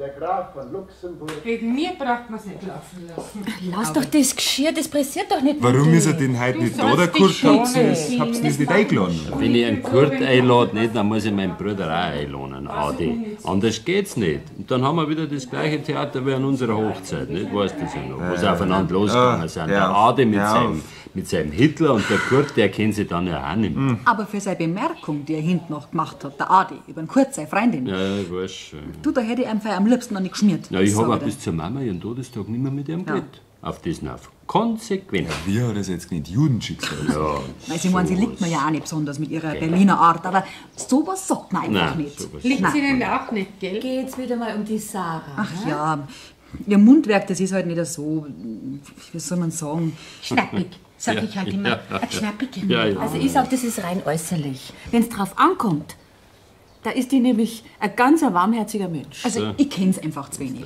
Die Tradel tut seit dauernd in Schutz nehmen. Ja, weil es mag. Sie hat einen Humor und das ist schon mal Genau. ganz Aber gut. der Adi, der Adi, der ist da, also mit Juden und, und Weltjudentum. Der hat keinen also Humor. Auf einmal. Wir sind doch früher, also bei uns daheim hat man doch gar nicht gewusst, dass da überhaupt einen Unterschied gibt. Naja, also, doch, doch. Im Geschäftsgebaren hat man schon das eine oder das andere gehört, gell? Ja. Unser Vater ist auch einmal mit der Schallplattenfirma, weißt du das noch? Die alte Sie, ich, ich sag Ihnen da was, Frau Solida, bei den Katholiken, da gibt's auch Schlawiner. Genau. Und bestimmt, bestimmt nicht wenig. Ja, und außerdem hätte der Vater denen ihren Krempel gar nicht abnehmen brauchen. Ja, das hat ihn ja. ja niemand gezwungen. Ja, ja, tut es nur immer so alles darstellen, als ob der Vati, der Vati. Der hat schon gewusst, was sich gehört, der Vati. Ja. Das war nämlich ein reeller Geschäftsmann. Aber die heutige Jugend weiß ja alles besser. Alles besser, da kann man sagen, was man will. Au weh, au weh. Ah, glaubst du das? Die Aber Mutti. sie ist gut zum Haben. Weil sie alle gleich beleidigt ist und rausgeht. Sei nicht so Weil sie sind halt einmal so, da kannst du nichts machen. Ja, aber gegen die meine, gell, Lucy? Die macht ja bloß noch ins Bett. Also komm jetzt her auf. Ja, ja. Was meinst du, Rachmann? Ja. Zur Feier des Hat sie Tages. jetzt den Kuchen auch schon mit Wenn du der Gescheite hast. Ich glaub schon. Du magst den meinigen haben, ich kann sowieso nicht mehr. Aber Ja, Kuckuck danke. ist keiner drauf, oder? Und die Männer mögen vielleicht auch noch was. Dann sollen sie sich rühren. Ich glaubst du, ich bin so verfressen in letzter Zeit. Das ist furchtbar. Ist doch ganz normal. Du isst halt jetzt für zwei, schau. Naja, aber schau mal her, für den sechsten Monat. Mir passt ja schon nichts mehr. Tausch mal. Mm, na, Siehst her. Kein Beicherl. Nichts. Gar nichts. Ein Haringer, unfruchtbarer bin ich. vielleicht wird's Ach eine Löse. War er jetzt schon beim Doktor? Ach was. Die wissen auch nichts, sagt er. Und wenn es nicht sein soll, dann soll es eben nicht sein. Was verzeiht denn da das Weiberl schon wieder? Hä? Was soll denn nicht sein? Sowas wie du. Ja. Und dann möcht's noch allerweil, dass ich mich fortpflanze. Mag noch wer einen Kuchen, hä, Max? Benno. Nein, danke. Wir sind schon bei der Sole der selige Erben. Ja, Vati seine Züge an. Leg halt da den Fuß ein bisschen hoch, Max, wenn er da schon weh tut. Ja, freilich, komm, Max, auf die Schultern ja, auf. das geht Komm. schon, jetzt komm jetzt. Ja, Keine ich nix. Ah, das tut gut. Weißt, wir sind gestern ein bisschen zu lang in der Stadt umeinander gerannt und da, Mhm. da spüre ich noch hinterher allerweil mein Dank des Vaterlandes. Eigentlich wollten wir ja bloß eine Hosen fähren beim Bamberger und Herz, aber also da geht's zu in der Stadt, sage ich euch. Und was sie alles hergerichtet haben, die Dekorationen, du in der Ja, wenn er Residenzstraße. nur anderthalb Jahre gewartet hätte, der Hitler, dann hätte er durch Triumphbögen marschieren können. Das ist Ja? alles fürs Deutsche Museum, gell? Ja, drei Tage lang. Also die tun auf einmal so, als ob sie einen Krieg gewonnen hätten. Ja, ich erinnere mich noch. Das war 1906, weißt du das noch, Lucy? Was? In dem Jahr, wo der Onkel Muckenthaler gestorben ist. Ach ja, wo der Kaiser da gewesen ist in München, gell? du, das war auch sowas. Vor 19 Jahren. Ja. Du bist damals. Ich war 12 und du. 1906, das kannst du ganz leicht ausrechnen. Achte? Achte. Ja, ja, da war die Grundsteinlegung vom Deutschen Museum. Und der Papa, unser Vater, ist abkommandiert gewesen vom Kriminal, hat man damals gesagt, zur Personenbewachung. Ja, heute bin ich dabei. Kaiser haben wir keinen mehr. Der tut jetzt Holzacker zu Dafür können wir es mit dem Flugzeug hineinhören aus Berlin. Du, und ich erinnere mich, jetzt fällt's mir ein, weil du zuvor gesagt hast, es hätte nie Auftritte gegeben daheim. Das war nämlich auch in der Zeit, wo der Papa so geschrien hat mit der Mama. Und dann, wo sie auch so geschrien hat und ist aus der Wohnung rausgerannt. Mein, weißt du das nimmer? Ja, ja. Wir sind in der Küche gestanden mit drei Kindern. Haben uns nicht mehr schnaufen trauen. Was da gewesen ist, im Einzelnen, man, man hat ja nicht gefragt, na, sie hätten sie auch nichts gesagt. Na, na, du, die Tante Franzi, die hat schon mal so Andeutungen gemacht. Später, nach dem Krieg. Die, alte Kupplerin. Die Frau Gastner. Von dem Hoffotograf Gastner. Ja, wo ich in der Lehre war als Bub. Also zu uns war es aber recht nett, da kann man wirklich nichts anderes sagen. Ja, ja, hat sein können. Auch, ja, ja. Aber sie hat ja schon zuvor einen unter die Erden gebracht, so einen alten Knacker. Mit Diridari, versteht sich. Ja. Und der Gastner, der hat ja auch hübsch was Ja. hinterlassen. Du, der, das war ein reicher Mann, der Gastner. Mei, reich. Das war unser Vater auch einmal. Naja, bloß der hat's gescheiter angelegt, sein Geld, der Gastner, in Realitäten. Ja, ja, die Franzi, eine Kellnerin vom Landrei, wie unsere Mutter. Die war ja auch bloß eine Kellnerin in derselben Bauernwirtschaft. Aber halt unsere Mutter, Mama. Ein Unterschied wie Tag und Nacht. Ja, und jetzt äh, habt gar keinen Kontakt mehr mit der Tante Franzi. Na, Ich hab's doch einmal kennengelernt. Weißt du das nicht mehr? Ganz am Anfang. eine Riesenwohnung in der Wiedenmeierstraße, das feinste vom Feinen. Sieben Zimmer hat, hat Sieben sie. Ja, Zimmer, ja, eine sieben Wohnung. Zimmer. Ja, dann haben sie jetzt eine Auflage gemacht, dass wenn mit reinnehmen muss, nicht wegen der Wohnungsnot. Das ist vollkommen zu Recht. Glaubst, sie hätte einmal bloß eine Andeutung mir gegenüber, was gewusst hat, dass wir was suchen. Nix, kein Wort. Lieber hat's fremde Leute einlassen. Herren natürlich, Zimmerherren. Max, schlaf nicht ein. Ja, was? Ja, bin Lass schon da. mal. Der saut ja alles ein mit der Ziege an. Zimmerherrn. Du, ob's vielleicht wieder verheiratet ist? Die hat doch alles. Zu was denn? Na, na, so dumm ist die nicht.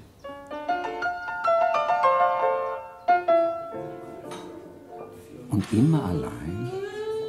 In all den Jahren? Ach ja, mein Gott. Man hat natürlich viele Bekannte. Aber Das ersetzt es nicht. nein, Nein. Ich kenne das, gnädige Frau. sind Sie auch verwitwet, Herr Doktor? Auch. Ja. Auch, ja, ja. Es sterben so fürchterlich viele Menschen. Sehr viele. Ich meine, oft schon so früh, gell? Eigentlich viel zu früh. Und auch die Medizin ist leider sehr oft machtlos. Das müssen wir zugeben. Wenn Sie das schon zugeben, als Fachmann. Man muss es zugeben, es hat ja keinen Sinn. Andererseits, wie oft wäre noch etwas zu retten? Aber der Mensch ist unvernünftig. Gell, ja, das sagen Sie auch. Ich glaube nämlich zum Beispiel, man müsste viel öfter einmal zu einem Arzt hingehen. Auch wenn man selber denkt, man ist gesund. Man ist es vielleicht gar nicht. Ja, einmal dies, wenn Sie so wollen. Und auch ein wenig selbst auf sich achten. Ja, ja. Mit dem Essen und Trinken, gell? Und so weiter. Das meinen Sie jetzt wahrscheinlich. Man kann essen, man kann trinken, man kann und so weiter. Die Natur des Menschen ist sehr aufnahmefähig, das ist wissenschaftlich erhärtet. Aber, jetzt kommt der Pferdefuß, wenn man sich gewichtsmäßig nicht aufgibt. Oh Gott, oh Gott. Ja, da haben Sie jetzt einen wunden Punkt bei mir entdeckt, Herr Doktor. Nein, nein, so habe ich das nicht gemeint, Nächste. Aber nein, Mai, es ist halt nein, so nein, schwer. So schwer. Moment, erlauben Sie, Sie sind eine Frau. Und da gibt es gewisse natürliche Erscheinungen. Nein, nein, also das ist jetzt sehr liebenswürdig von Ihnen. Aber bei mir ist es schon mehr. Ich weiß es ja auch selber.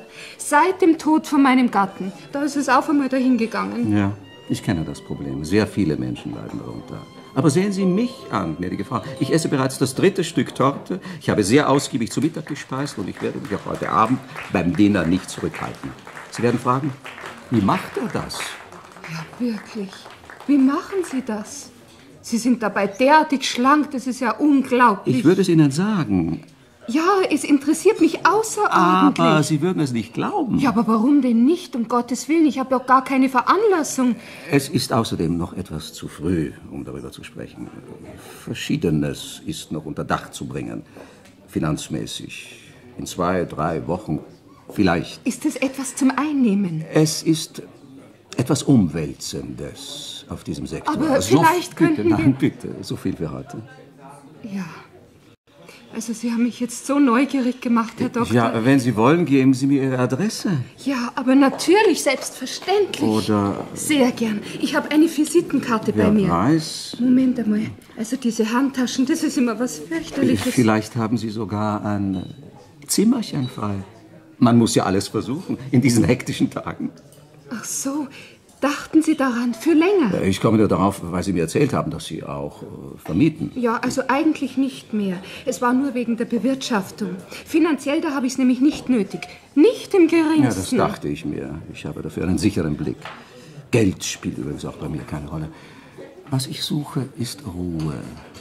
Wenn man den ganzen Tag in der Öffentlichkeit steht, alles fragt, Doktor, wie steht es, Doktor, wie weit sind Sie? Alles ist hinter einem her. Man möchte sich manchmal unsichtbar machen. Ja. Man muss es. Vielleicht sogar bei einer charmanten Dame, Oh, die einem noch etwas vermitteln kann. Von Menschlichkeit. Heiligste Worte von deutschem Willen und Wissen, der Wahrheit treu und reiner Schönheit beflissen, rufen laut uns ans Tor dieser Wunderwelt.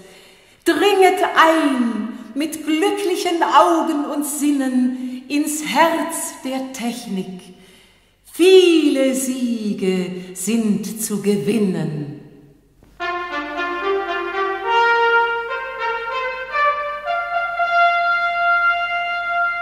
München also hatte die Welt mit einem neuen Museum bereichert. Mit einem deutschen Museum in den ersten Maitagen des Jahres 1925.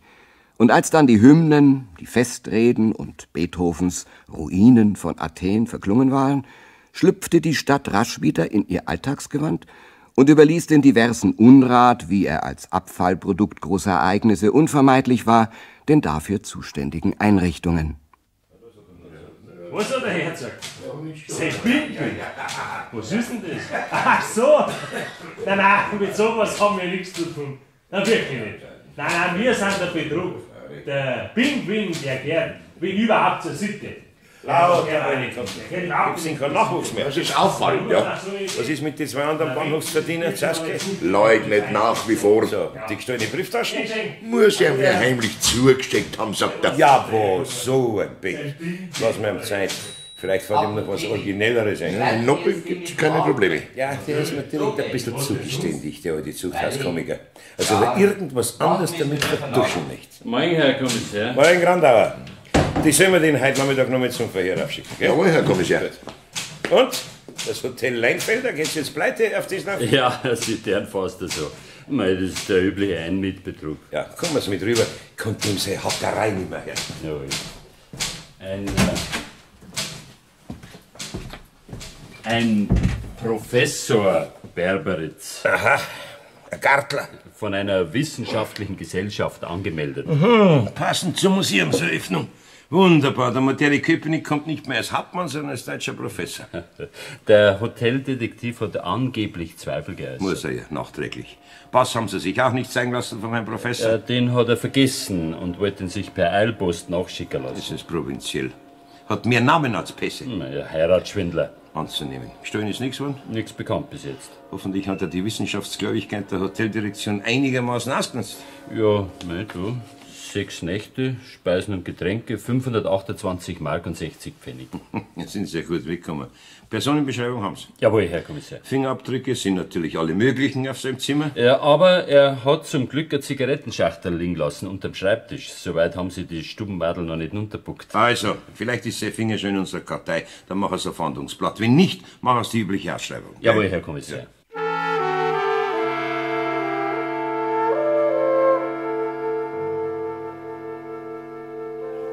Frühstück wäre jetzt serviert, mir Frau. Ist recht, Anne. Und tun Sie ihn bitte in der Küche bereithalten, wenn noch irgendwelche Wünsche sind. Jawohl, mir Frau.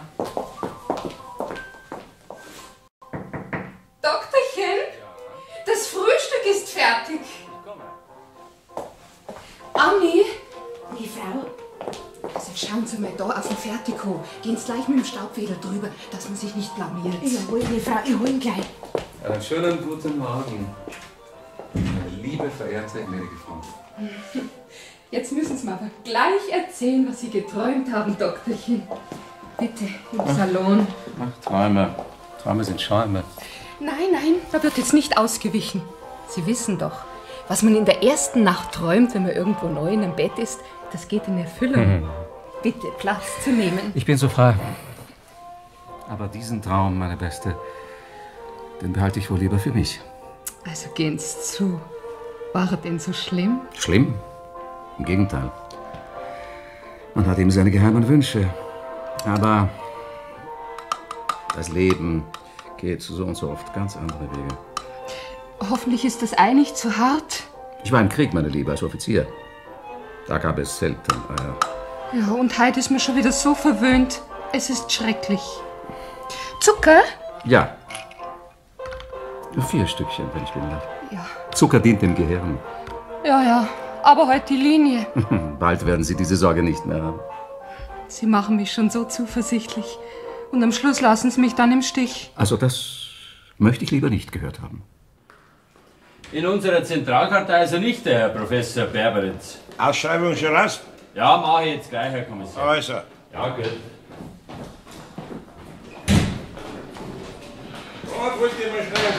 Ja, der Herr Oberkommissar. Adi, habe ich die Ehre gerade Grüß Sie, na gut, das ist eine Überraschung. Habe ich die Ehre. Gell? Ich gehe bloß einen Sprung in die Direktion, weil sie mich eingeladen haben im Juni nach Karlsruhe. Was? Zur internationalen Polizeiausstellung? Oh, schauen Sie, einen alten Pensionisten. Ja, sind Sie jetzt doch langsam dahinter gekommen, was Sie nicht gehabt haben? Na, na, muss schon sagen, der Spuk ist vorbei. Sie haben sich scheinbar wieder auf Ihre alten Tugenden besonnen. No, und unser spezieller Freund, der Herr Ex-Präsident. Ja, ja, habe ich gelesen, ja. Dem Auto der Rind. Ostern. Ostern. Tja, man muss die Feste feiern, wie sie fallen. Ja, so, da haben Sie recht. Jetzt erzählen Sie mir nur schnell, wie geht's daheim? Der Frau, alles in Ordnung? Alles wächst und gedeiht. Wann ist denn soweit? Im August. Das dürfen wir aber dann schon mitteilen. Ja, freilich. Ohne einer wird er überhaupt nicht darf. Na, ist ja auch besser, wegen dem Hausfrieden. Wenn es noch mal so einen Zusammenstoß gibt wie bei einer Hochzeit, Gehe wieder dazwischen. Ach so, ja, ja, der, Adi und der Schwager. Ist er noch Referendar? Ja, ja, beim Oberlandesgericht. Heuer wird er fertig. Jesus, der hat ja am Montag Namenstag. Aha. Vielleicht feiert er ihn gemeinsam mit seinem Namensvetter Adolf. Oder ist er nicht mehr so stürmisch? Ja, die sind jetzt alle nicht mehr so stürmisch. Nein, nein, die sind jetzt ja fast de demokratisch geworden, seit einer Anführer wieder heraus ist aus Landsberg. Okay. Ich war auch ganz gerührt, wie ich das gehört habe, dass ihn sogar der bayerische Ministerpräsident empfangen hat, an ja. Herrn Hitler. Ja, ja, und unser Oberbürgermeister, der Herr Scharnagel. Ah, die verkehren neuerdings in die feinsten Kreise. Es muss halt erst wieder eine gescheite Notzeit her, bevor sie die Sau rauslassen.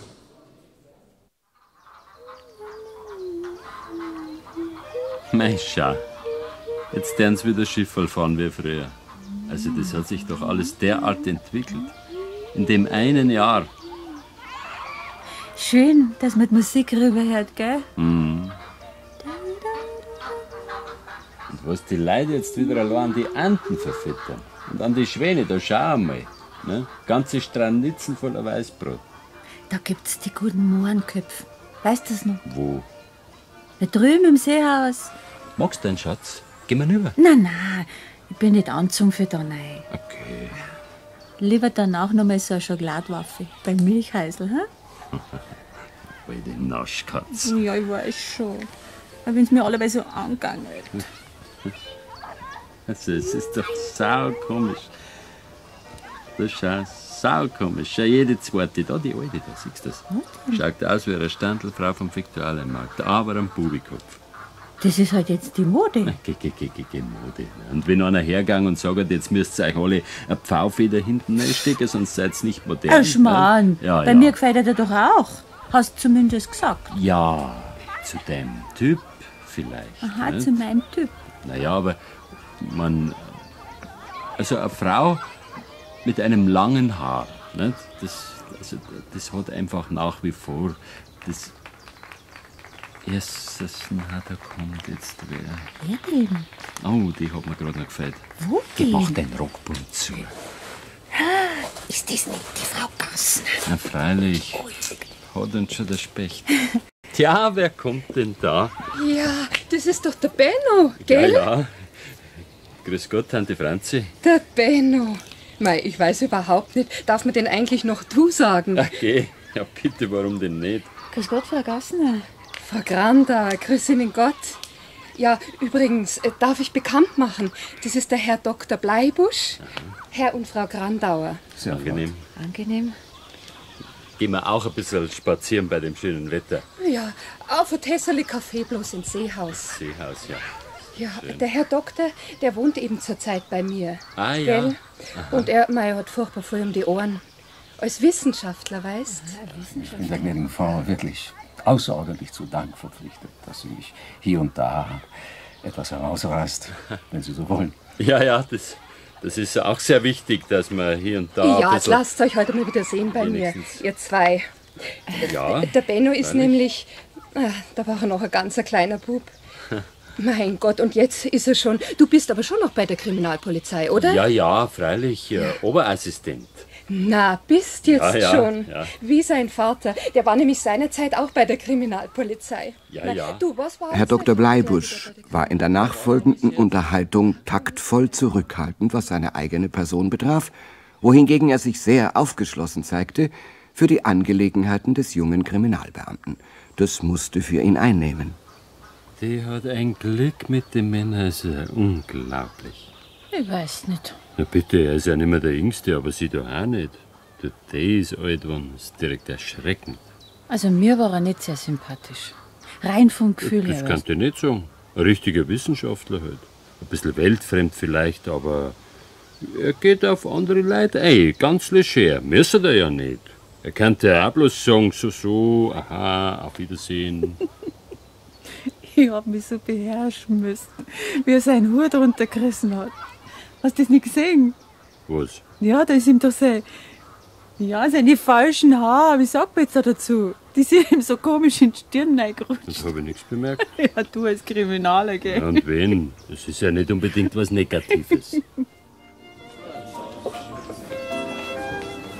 Nein, nein, nein, nein. Vielleicht ist es nur die Gunst des Augenblicks, meine Liebe. Dieser wunderschöne Tag, die zauberhafte Umgebung und Sie, Aufgeschlossenheit. Sagen Sie es mir halt.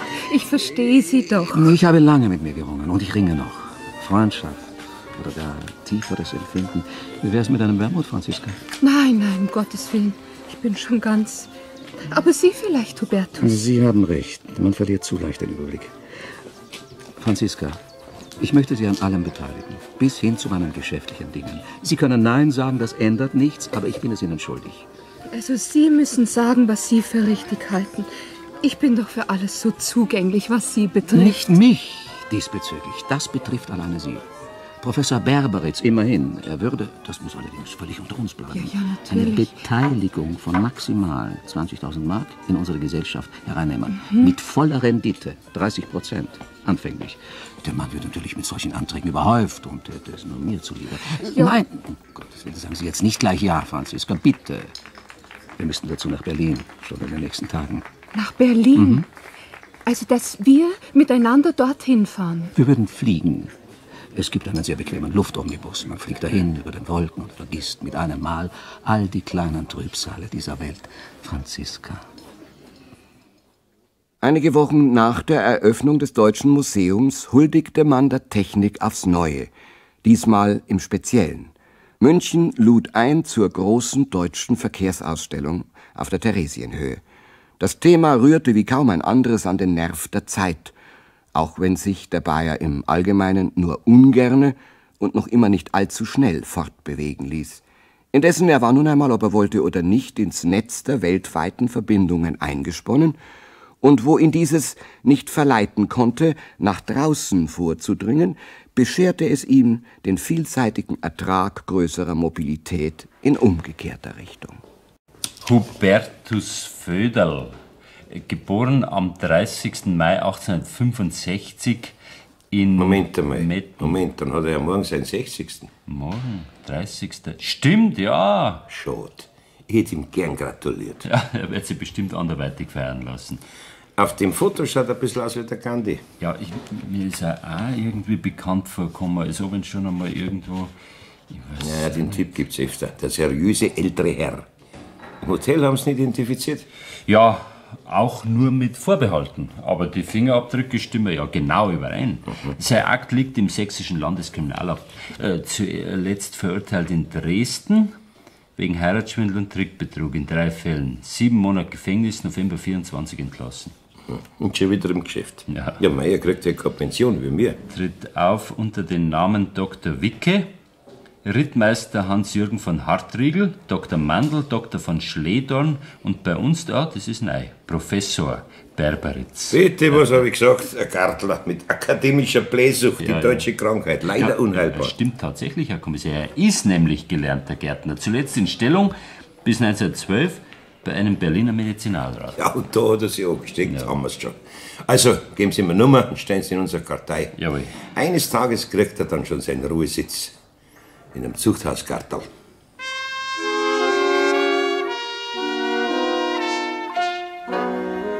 Neunzehn. 100, 2, 3, 4, 5, 6, 7, 8, 9. 20.000, 100 und 200. So, bitte sehr, gnädige Frau, wenn Sie es nochmal nachzählen wollen. Nein, danke, das ist schon in Ordnung so. Und wenn Sie bitte hier unterschreiben. Ja, ich sehe ein bisschen schlecht. Hier. Ja, hier bitte. Ja. Geht schon. Besten Dank, gnädige Frau. Und äh, sollen wir Ihnen nicht vielleicht ein Taxi bestellen? Es ist ja doch ein sehr ansehnlicher Betrag. Das ist sehr freundlich von Ihnen, aber ich habe schon einen Beschützer. Er sitzt gegenüber in der Konditorei. Ach so, ach so. Kommt überhaupt nicht in Frage. Doch. Franziska, die Luftbillets bezahle ich. Es ist aber doch wegen mir, dass wir nach Berlin fahren. Und ich möchte das auf alle Fälle übernehmen, Franziska. Hubertus. Aus Äpfelarmen, sagt man in Bayern. Also ich sehe schon, man muss sehr stark sein mit dir. Ja, das muss man. Und wir kaufen dir jetzt auch einen neuen Hut Nein. zu deinem Geburtstag morgen. Was soll ich tun? Ich werde einfach überstimmt. Das hast du jetzt davon. Von einer reifen Frau, die schon einen eigenen Kopf hat. Tut's dir noch immer nicht leid? Sag ehrlich. Hm, Dummerchen. Das war es doch, was ich gesucht habe. Eine Frau wie dich. Jetzt bin ich sicher schon wieder ganz rot geworden im Gesicht. Gell? Wenn du mir mal solche Sachen sagst. Schmeichler. Ich werde nichts mehr sagen. Sag's nur, was du dir denkst. Ach, übrigens, da ist das Geld, Hubertus. Nein, bitte, das rühre ich nicht an. Nein, ich möchte ja nur, dass du es einstweilen. Auch nicht einstweilen. Das bleibt in deiner Handtasche. Wir werden es zu Hause vielleicht in ein festes Kuvert tun. Einverstanden? Dann hast du es besser im Auge. Aber das Kuvert bleibt unter allen Umständen bei dir. Ich bin's. Benno! Grüß dich, Schatz. Grüß dich. So. Schnell, schnell, komm rein. Grüß Grüß dich. Was ist denn los? Der Kurt, schick dich. Was ist der Kurt? Schick Oh, im Radio? Ja, zuerst hat er schon was angesagt. Grüß Irgendwas dich, über Mutter. Ziersträucher hat er erzählt. Also jetzt höre ich überhaupt nichts mehr, Traudel. Jetzt ist ja noch Pause, Mutti. Habt ihr das gewusst, dass er heute? Ja, er ist über Mittag schnell vorbeikommen zum Essen. So, zum Neueste Essen. Stunde in Bayern. Es ist 6 Uhr, meine Damen und Herren. Wir setzen jetzt unser Programm fort mit einem Unterhaltungskonzert, ausgeführt vom Kammerquartett Annie Rosenberger. Unser Kurt, ja, Mhm. macht sich. So leis. Ich verstehe immer nichts, Kinder. War das? Freilich. Aber das ist immer so kurz, was er sagt. Warum redet denn nicht ein bisschen länger? Was soll er denn noch sagen, Mutti? Die anderen reden ja auch länger. Ja, musst du da mal einen Brief schreiben an Radio. Ich verstehe das nicht.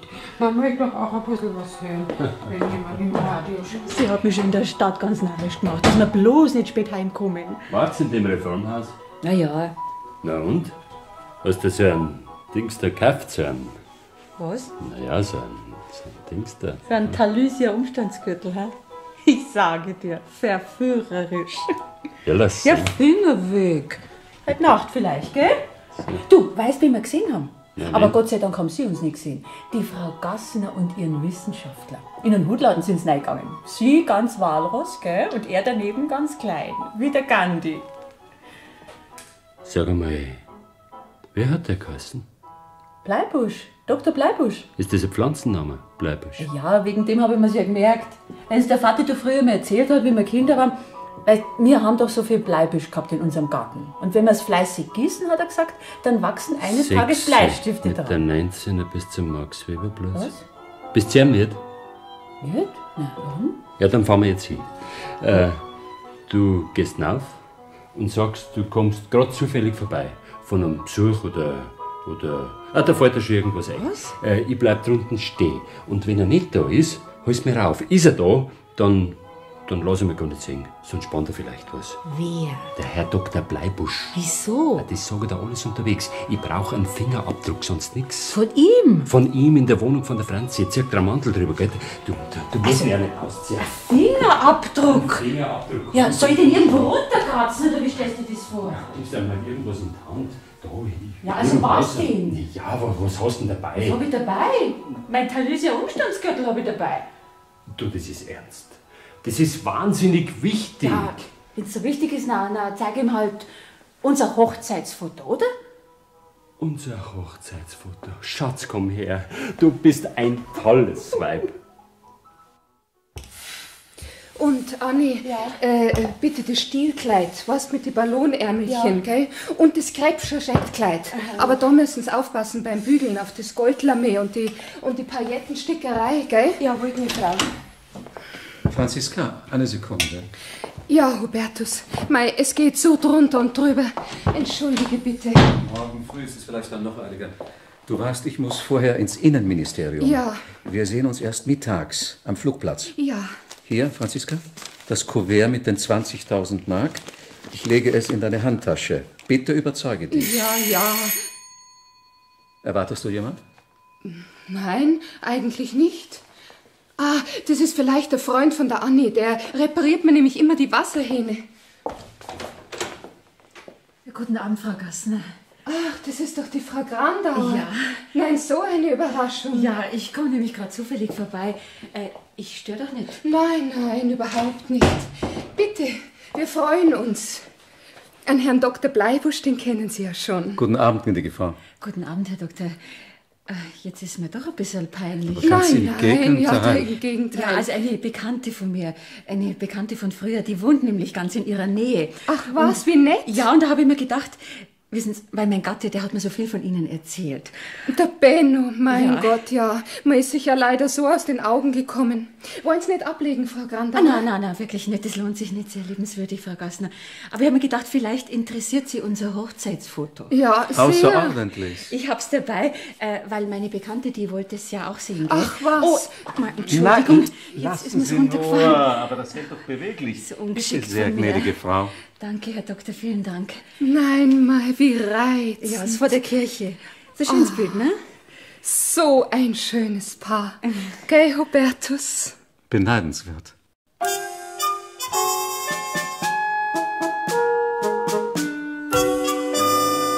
Ausgezeichnet, gratuliere. Die Idee mit dem Foto können Sie nicht was drauf einbilden. Ja, das ist mir eigentlich ganz, äh, eigentlich ganz spontan eingefallen. Mhm. Das hat er schnell gemessen. Ja, und dass Ihre Frau so prima mitgespielt Ja, hat. die, ja. Meine Frau, die ist ja da ganz versiert. Ja, ja, das Äh, merkt Dadurch, dass sie früher also ein großes Geschäft gehabt haben, nicht? die Eltern. Mhm. Sagen Sie einen schönen Gruß und meine Hochachtung. Ja, gern. Äh, mir ist er nämlich äh, schon beim ersten Mal irgendwie, also, also nicht so ganz koscher vorkommen, aber durch dieses Toupet und dann mit dieser dicken Müssen wir Hornbrille. eigentlich den Haftbefehl schon unterschrieben haben. Fahrzeug ist beantragt. Er steht ab 8 Uhr bereit. Mhm. Sie und der Bader. Schwierigkeiten wird es keine geben. Ja, mit ihm bestimmt nicht. Äh, Für die Frau Gassner wird halt ein Schock. Die kann froh sein, dass kein größerer geworden ist. Also Ja, gehen Sie dann gleich selber beim Staatsanwalt vorbei. Jawohl, Herr Kommissar. Und vergiss nicht, dass Sie ihm gratuliert. Ja. Äh, ähm, Herrn Staatsanwalt. Nein, Herrn Dr. Bleibusch. Er hat doch heute seinen so. 60.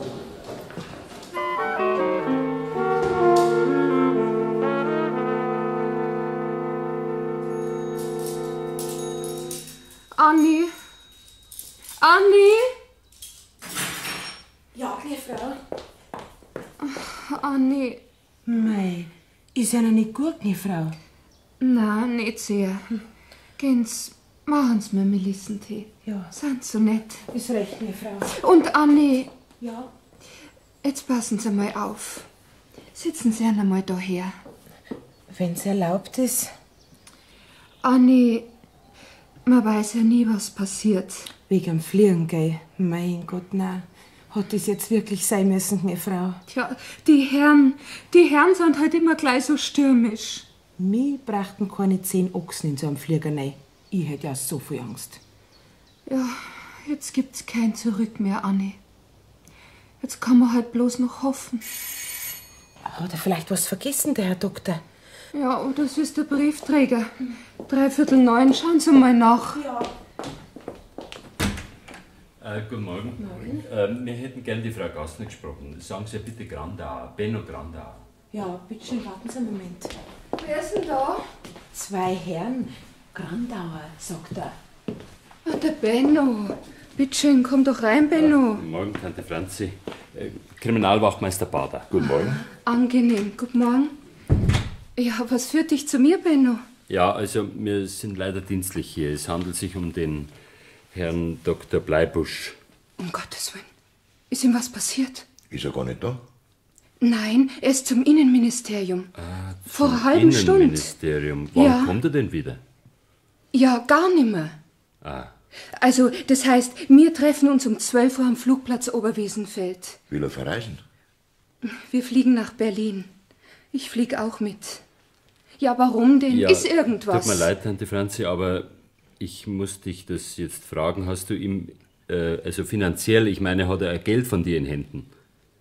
Der Herr Dr. Bleibusch. Ja? Keine Mark? Naja, umso besser. Ja, wieso denn, Benno? Wie kommst du denn auf sowas? Also, Ja. da bin ich aber jetzt direkt ein bisschen. Ja, wir haben nämlich einen Haftbefehl gegen ihn. Ein Haftbefehl? Jawohl, einen Haftbefehl. Na, das. Na, na, na, das muss ein Irrtum sein. Ganz bestimmt. Also, der Mann ist die Korrektheit in Person. Ja. Gerade in finanziellen Dingen. Ja. Ach, wo habe ich denn meine Handtasche? Ah, da, ja. Also bitte, da schau mal her. In dem Kuvert da, da sind 20.000 Mark drin. Und die nehme ich mit nach Berlin. Weil ich da durch ihn... Naja, und hier, schau her, hier sind unsere Flugbillette.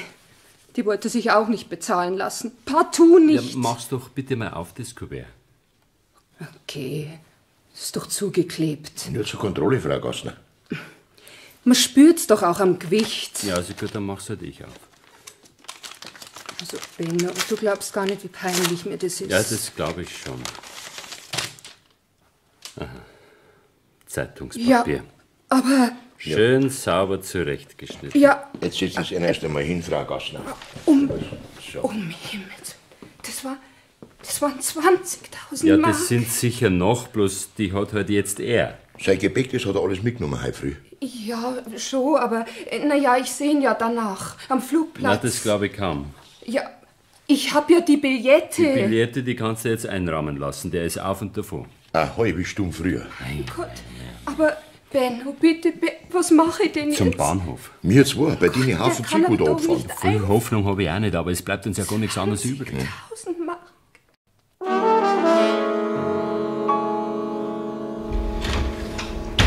Ach, äh, verzeihen Sie, gnädigste. Wäre es wohl erlaubt, hier Platz zu nehmen? Bitte sehr. Verbindlichsten Dank. Träger, Ja, hier herein. ist gut. Hinauf damit. Aber vorsichtig. Vorsichtig. Also, das, danke, das wär's dann wohl, guter Mann. Stimmt so. Dankeschön. Der Herr, vielen Dank.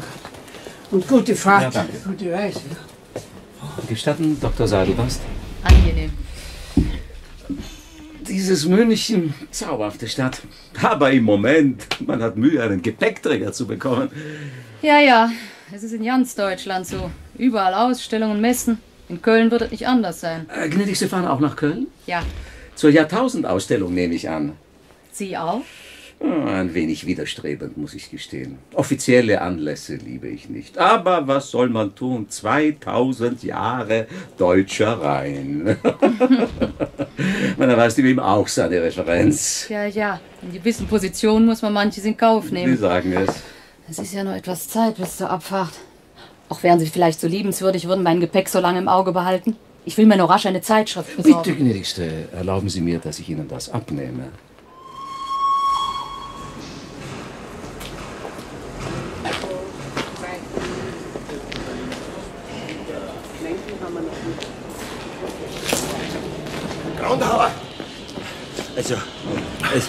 Im Schnellzug nach Wien war er nicht. Und was ist mit dem 1017 nach Hamburg? Den bin ich durchgegangen, aber es hat ja wenig Sinn. Ich kenne ihn ja bloß vom Foto. Ja, äh, dann packen wir vielleicht jetzt nur den 1028 nach Köln. Das ist der da. Ja, ja. Also, wenn er schlau ist, dann fährt er mit dem Taxi nach Basing Ja, und ja, steigt dort ja, ein. ich weiß schon, ich weiß, es ist zum Aus der Himmel. Arsch und Zwirn wegen der halben Stunde, also was der macht. Ja. Anrufen, dann soll der Kommissär selber entscheiden. Gut, ruf es noch. Ja. Ich schaue mir dabei noch ein bisschen um. Ja. Und Bader, Ja, Bader, wir treffen uns dann wieder da, bei den Zeitungsstellen. ja, ist gut.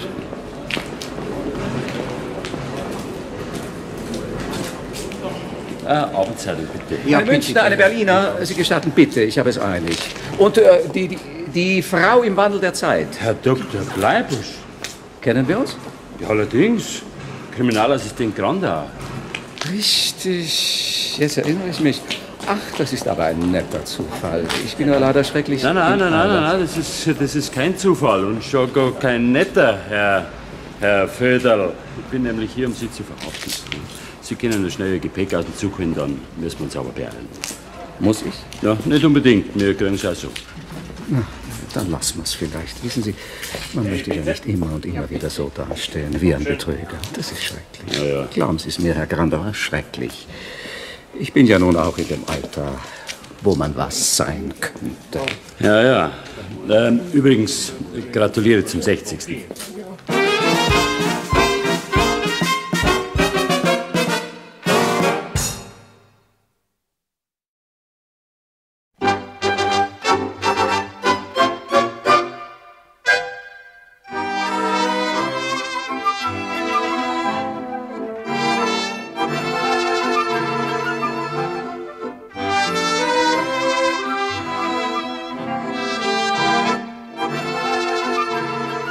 Grandauers und ihre Zeit.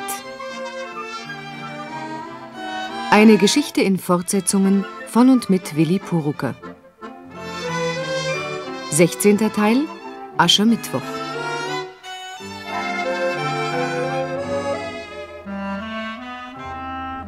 Mittwoch, den 23. Februar 1927.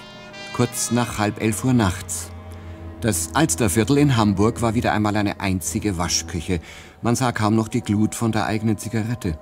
Aber Herr Tellkamp war ja hier zu Hause, am Schwanenweg, und hätte sich auch mit geschlossenen Augen zurechtgefunden.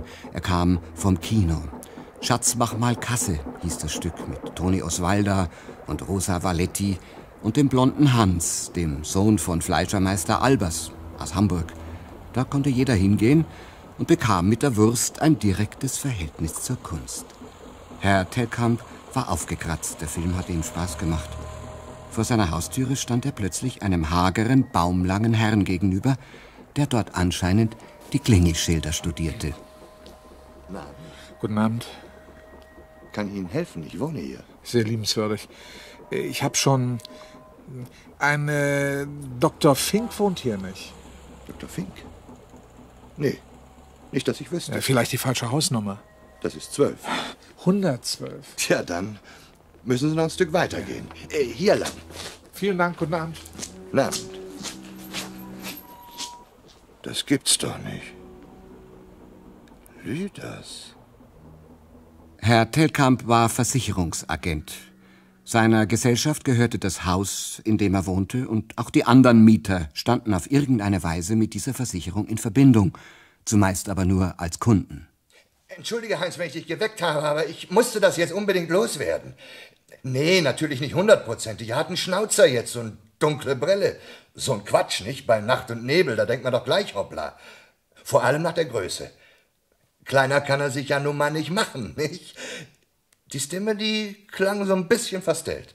Na klar merkt man das. Hat er, garantiert. Darum hat er sich ja so schnell verdrückt. Der kennt mich so gut wie ich ihn. Hab ich nicht, nee. Glaub ich nicht.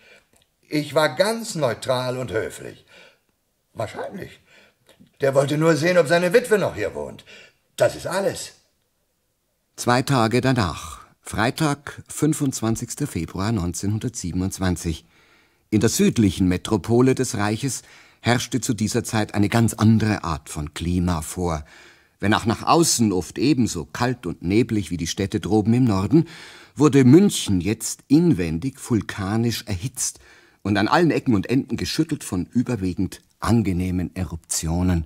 Denn der Fasching erreichte hier soeben seinen periodischen Höhepunkt. Und nur wenige Münchner konnten ganz sicher sein, dass sie nicht auch noch und sei es in letzter Stunde von seinem Funkenflug erfasst würden. Er war gestern der Chef. So. Im deutschen Theater. Haben Sie es nicht gemerkt?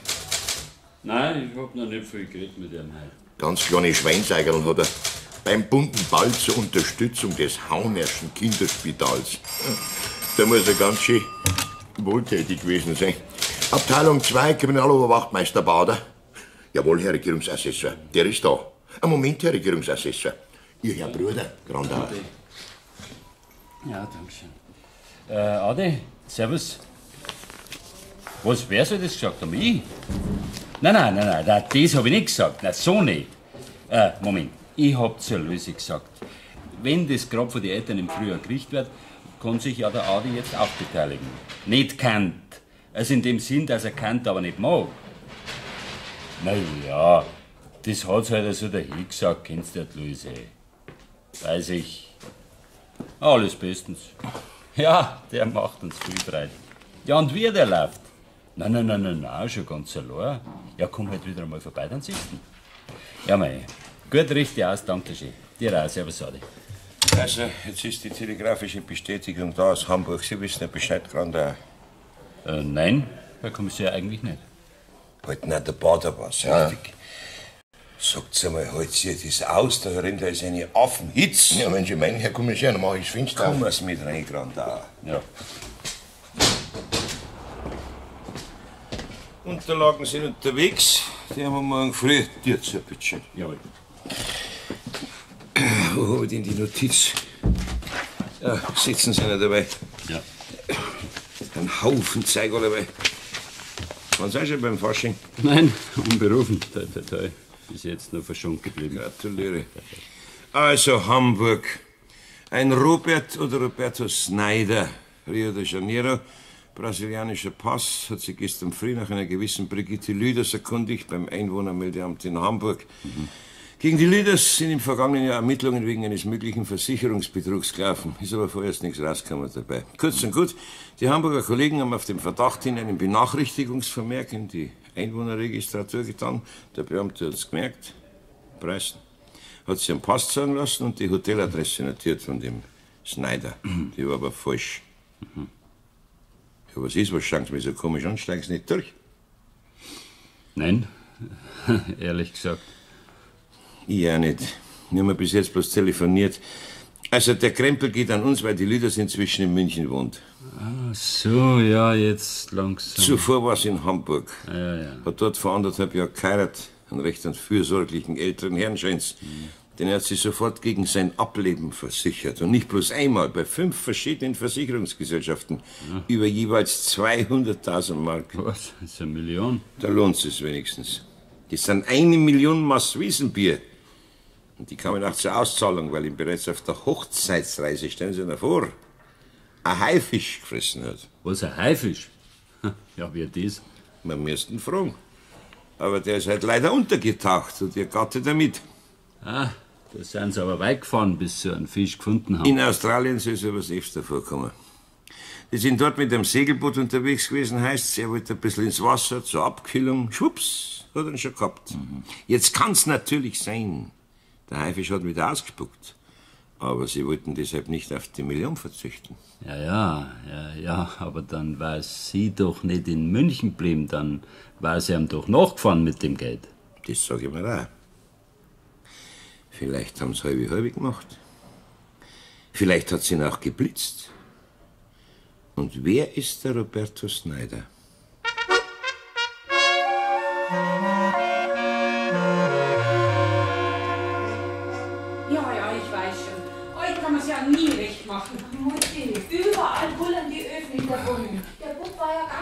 Geschwitzt. War Fieber hat, nicht? Nein, weil es zu warm angezogen hat. Ja, ich. Der hätte überhaupt nicht aus dem Bett dürfen mit seinem Husten. Ist ja nicht warm. Der Doktor hat sogar gesagt, er soll an die frische Luft. Da braucht nicht ein Doktor, wenn er sowas sagt. Das hat eine Mutter früher im Gefühl gehabt. Ja, früher, ja, früher. Das geht ja nicht. Wir leben aber jetzt, Mutti. Ich werde noch narrisch. Benno, ich hab dich gar nicht gehört. Oh, grüß dich, Herz. Grüß dich, Schatz. Was ist denn schon wieder? Ja. Weil sind allerweil so verhätschelt. Mit der dicken Gamaschenhosen und zwei Wolljackerl übereinander lassen da herin rumlaufen. Bloß weil sie aber friert, muss der Bub auch frieren. Was macht denn sein Höchsten? Ja, so wird er nicht besser. Schlaft er schon? Wahnsinn, Bitterleser. Sind wir Radisaftel? Ich war extra beim Dahlmeier drin. Bei uns Hause gibt's ja jetzt keine Rettich. Ja, was ist denn mit meinem Burleburm, hä? Tut er noch nicht schlafen? Der Papa ist da. Papa. Ja, der Papa, gell? Jetzt ist er da. Ja, und was hat der Papa denn in dem Titel drin? Hä? Da schau her, ein Gutti. Und für die Mama auch ein Gutti. Aber die heben wir uns für morgen auf, gell? Oh mei, so ein Biss, Husti. Du, das gefällt mir aber gar nicht.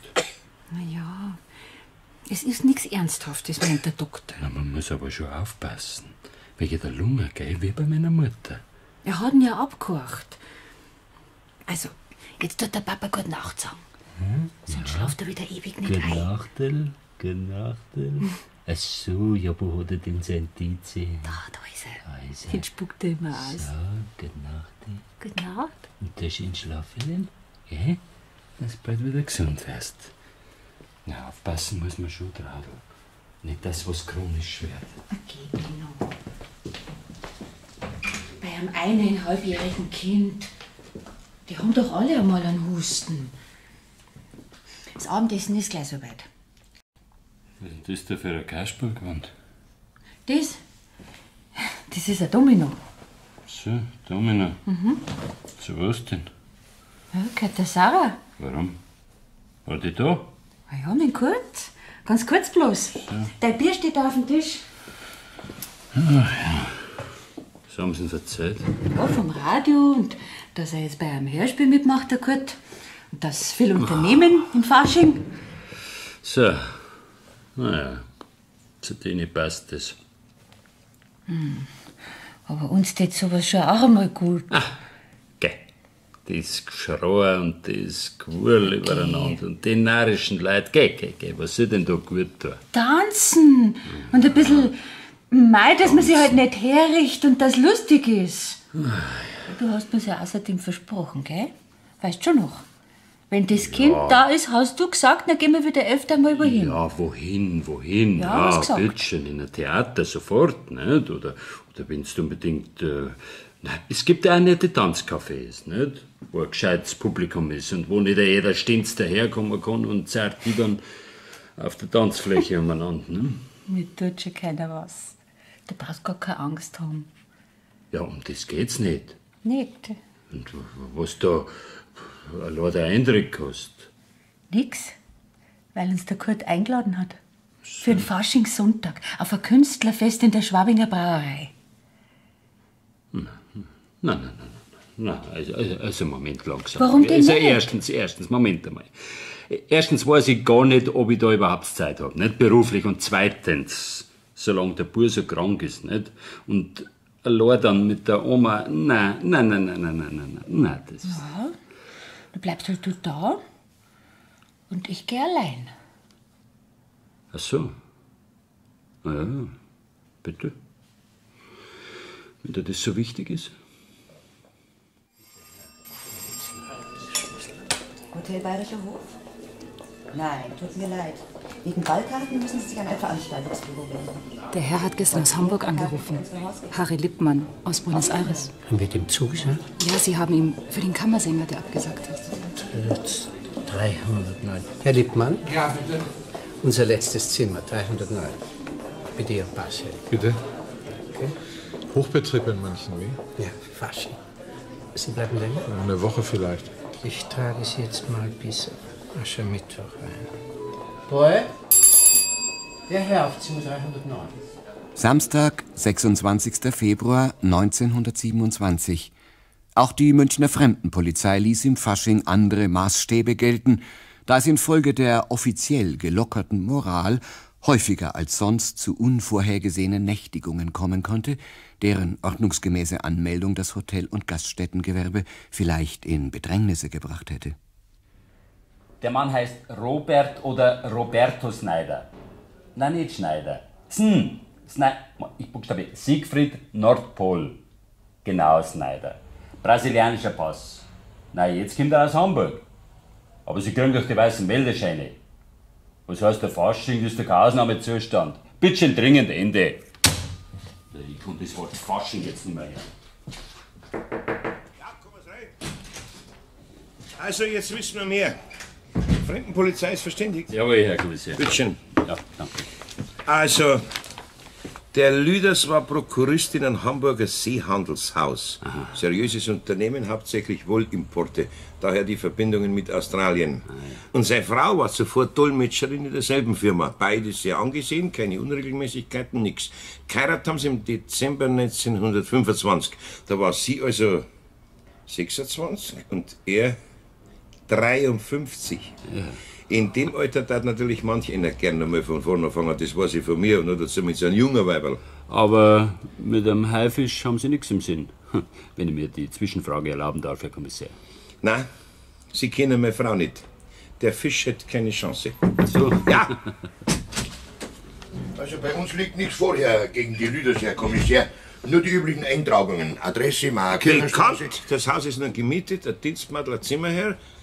Aber der ist nicht offiziell angemeldet, Dirk Spusi wahrscheinlich. Ehemaliger Jurastudent. Macht jetzt einen Tennislehrer. Was, ist ein Beruf? Ja, für Sie vielleicht nicht, Grandau, aber bei dem rasenden Sportsgeist neuerdings. Übrigens, den Sportsmann, den kennt sie angeblich schon von früher, weil sie noch in München studiert hat. Aber das sind alles nur Informationen mit Vorbehalt von einem Hamburger Detektivbüro. Arbeitet im Auftrag der fünf Versicherungsgesellschaften. Die sind natürlich hinter ihrem Geld her. Und die Schmalspurkriminaler auch. Die wollen ihr Prämie. Da geht's um größere Summen. Sogar nach Australien haben sie es geschickt, ihre Agenten. Ja, wir haben schon gefreut, wenn wir einmal nach Furt im Wald müssen. Tja, mei, irgendwo muss der Staat das Geld ja reinsparen, was die Leute kosten, die uns bei der Arbeit behindern, nicht? Außerdem, bis die rübergekommen sind nach Australien, Sechs, sieben Wochen mit dem Schiff. Da war ja alles lang gelaufen. Die Behörden haben seinen Tod amtlich beglaubigt. Gegenteiliges war nicht zu beweisen, ist er sonst nicht mehr dabei gewesen auf dem Segelboot, nicht? Anschließend ist sie dann nach Hamburg zurück und hat ihn für tot erklären lassen beim Amtsgericht. Die haben auch nichts einwenden können. Bloß die Versicherungsgesellschaften, die sind rebellisch geworden, wie es rausgebracht haben, dass sie gleich fünffach kassiert hat. Ob sie inzwischen mehr wissen, ihre Agenten, von dem Brasilianer oder sonst was, das werden sie uns kaum auf die Nosen binden, weil sie Angst um ihr Erfolgshonorar haben. Wir nehmen sie ihnen ja nicht weg. Leider. Aber die Versicherungen vielleicht, wenn wir die Schlauern waren.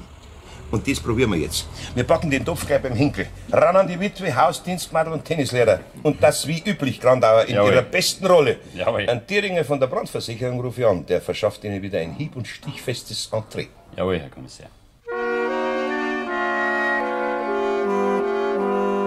Nein, nein, es geht ja eigentlich nur darum, ob im Haus also irgendwelche baulichen Veränderungen getroffen wurden. nicht? Das muss ja von Zeit zu Zeit überprüft werden. Also nicht solange ich da bin, das wissen die ja. Und die Tür, wo geht denn die hin? Also das ist äh, Herrn Villano sei. Also halt nur wenn er da ist. Er ist ja nicht immer. Darf man mal reinschauen? Ja, bitteschön. Die Herrschaft wird schon nichts dagegen haben. Aha. Ja, ja. Ui. Sie tun es halt nicht gern nach außen. Verstehen Sie mich schon? Als Witwe. Ja, es geht ja niemand was an. Die Leute stehen sie bloß zehn aus, nicht? Und er ist ein recht sympathischer Mensch, der Herr Villano. Ja, das Leben geht weiter. Das sag ich auch. Versorgt ist sie auch. Ja, mei, großzügig. Da wird nicht gespart. Was kostet, das kostet. Aber sie lassen die anderen auch mitkommen. Das kann man nicht anders sagen. Tja, leben und leben lassen. Ist er das da auf dem Foto, der Herr Nein, nein, er steht unten auf dem Flügel. Das muss von früher sein. Ein Jugendbild von denen zwei. Also vom Herrn Villano und der gnädigen Frau. Ah, Jetzt glaube ich, habe ich es auch bekehrt. Na ja, das sind's. Sie wollten eigentlich schon auf Mittag zurück sein, aber es ist ja doch ein bisschen weit von Garmischrei. ja. ja, ich bin ja soweit fertig. Ja, und ich muss jetzt beim Ausladen helfen. Komm wir's mit.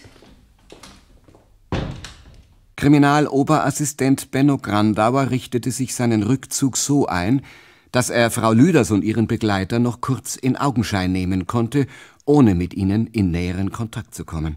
Sie waren noch im Skidress, so wie die winterliche Bergwelt es verlangte, Windblusen, stabiler langer Lodenrock die Dame, der Herr in Knickerbocker, und beide waren sie braun gebrannt, was erst seit neuestem auch und gerade in besseren Kreisen als erstrebenswert galt.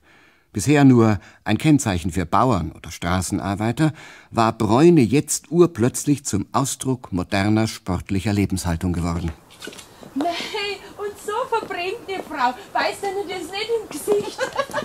Geresi, ob das nicht beißt, Franz, unsere Sonnenbräune? Uns nicht, Resi, aber die anderen vielleicht. Die beißt dann der Neid. Ach so war das. Ja, wir wohl nicht. Ich frage nur, wenn es einer gut geht. Aber das nächste Mal, Resi, wenn wieder so ein Versicherungsmensch kommt, möchte ich nicht, dass er in meiner Abwesenheit ins Haus geht. Ist recht, die Frau. Ja, haben Sie sich wenigstens seinen Ausweis zeigen lassen? Hat er mir gesagt und er hat ja zuvor angerufen gehabt von dem Amt. Und der andere Herr, der angerufen hat? Zweimal, gestern Abend und heute Vormittag. Bekannt von Ihnen, sagt er, aus Hamburg. Wie soll der heißen? Lippmann, das habe ich mir gemerkt, weil die Frau von meinem Ziehvater, das war im Jahr geborene Lippmann. Lippmann? Aus Hamburg? Ich habe zu ihm gesagt, er soll morgen noch mal anrufen, weil ich nicht genau weiß, wann die Herrschaften heimkommen. Du gehst also lieb und stell dich sie doch gleich in die Garage. Benno Grandauer war noch nicht sehr weit vom Haus der Witwe Lüthers entfernt, als er von einem Herrn angesprochen wurde, der ihm von dort aus gefolgt war. Entschuldigen Sie bitte. Ja? Äh, kennen Sie sich hier aus? Ja, einigermaßen. Ich suche die zuständige Polizeiinspektion. Für hier ist Straße. Also, passen Sie auf. Da vorne bei der Tivoli-Brücke links, dann die Moschelerstraße auf und dann rechts in die Müllstraße. Ja, Dankeschön. Ja. Der Herr folgte der Beschreibung, bis er von Grandauer nicht mehr gesehen werden konnte, ging dann wieder zurück und stieg in einen Opel Laubfrosch ein, der gegenüber der Lüderschen Villa parkte. Ich habe nach der Polizeiinspektion gefragt. Das kam wie aus der Pistole geschossen. Kripo. Vermutlich. Aber woher sollen die den Tipp haben? Vielleicht hat der Blödmann doch gequatscht in Hamburg. Oder die Versicherung. Die müssen sich ja nicht an das Abkommen halten. Wenn die Kripo den Knaben fasst, sparen sie eine Menge Geld.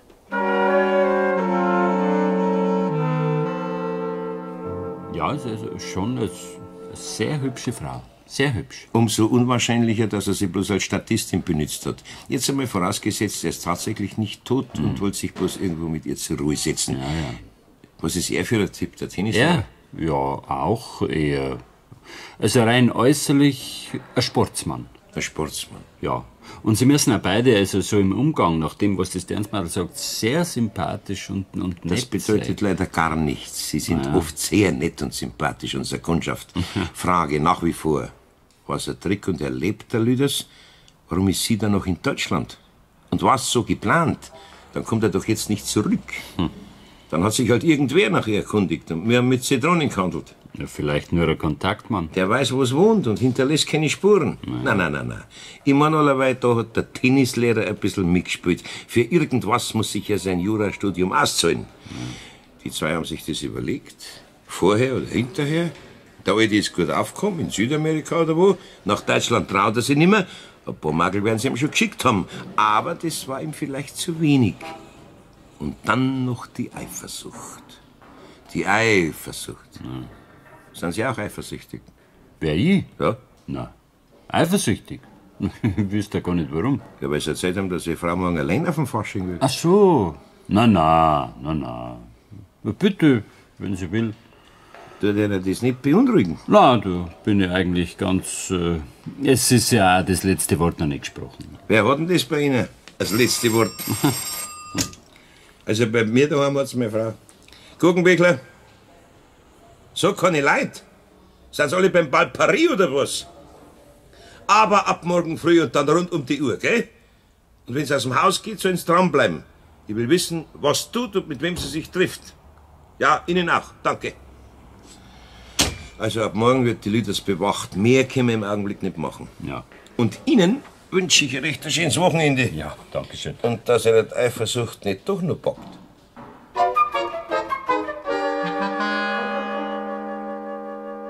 Schlupf halt wenigstens einmal rein, Benno. Geht's. Warum denn nicht? Doch was, was soll denn das überhaupt sein? Na so, so eine Fantasie ist das. Das vom Vater als Nachthemd. Und da habe ich die Pompel drauf genäht. Und um einen Kragen habe ich gedacht, da mache ich eine Halskrause rum. Ein Nachthemd von ihrem Vater. Mit Pumperl. Ist doch schön. Sehr schön, wunderschön. Da wird eine Zeit investiert. Wenn wir schon eingeladen sind, Ja, und du? Gehst du in dem Trikot? und drüber den Domino von der Sarah. Das geniert dich nicht, dass man da. Äh, der geht ja nicht einmal bis runter, oder? Da dafür habe ich ja das Trikot an. das ist komisch. Sonst tust du immer so geschamig. Also weißt. Hast vielleicht Angst, dass mir einer was wegschaut, hä? Bitte. Wenn es dich nicht stört, das musst du selber wissen. Aber ich habe jedenfalls keine Lust, dass ich äh, wie ein Depperl neben dir herlaufe, im Nachthemd von ihrem Vater. Ich hab halt gedacht, das ist lustig. Aber wenn's du lieber schön sein willst. Wieso? Habe ich vielleicht schon mal gesagt, dass ich schön Ja, sein sag will? nicht. Du wirst dich kaum erinnern, dass ich sowas Blödes äh, schon mal gesagt habe. Ja, dann gehst halt von mir aus als Widerwort. Da brauchst du gar nicht maskieren. Oder du gehst eben allein. Mhm. Wie du das vorhast. Ja. Und ich bleib daheim und kümmere mich um unser Kind. Ja. Der Bulli kann ja schließlich nichts dafür, dass er krank ist, nicht? Und du bist dann frei und kannst dich amüsieren. Sehr großzügig. Ich danke dir.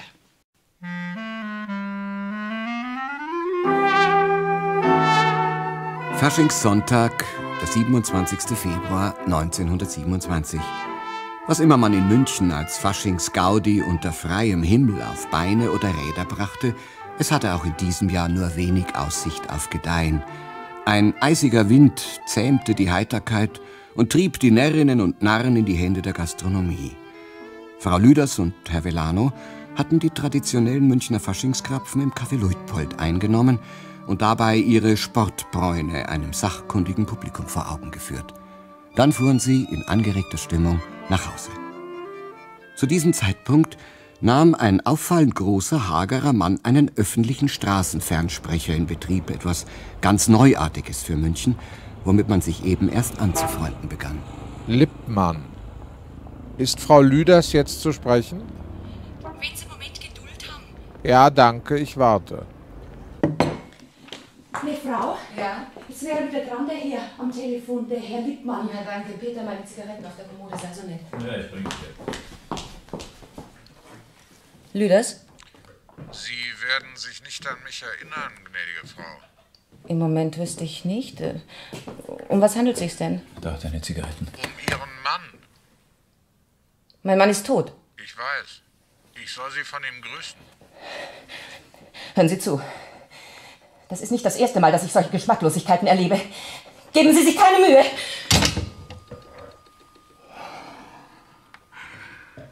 Jetzt fängt es wieder an. Damit müssen wir leben, Biggie. Ja, wie hat er denn geklungen? Erpresser? Oder Versicherung? Ich gehe nicht mehr dran.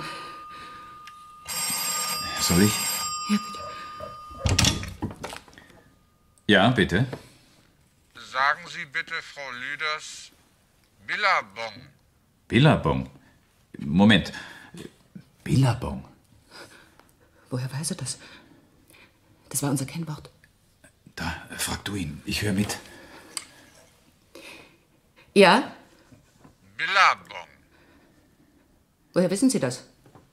Das erkläre ich Ihnen, wenn wir uns treffen. Heute Abend 11.20 Uhr vor dem Nationaltheater. 11.20 Uhr. Sie stehen auf der obersten Treppe neben dem rechten Kandelaber, rechts, mit Blick auf das Theater. Ich werde Sie ansprechen. Und Sie kommen alleine in Ihrem eigenen Interesse. Bis später, Frau Lüders.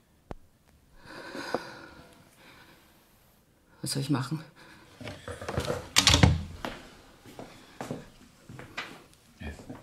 Du musst hin.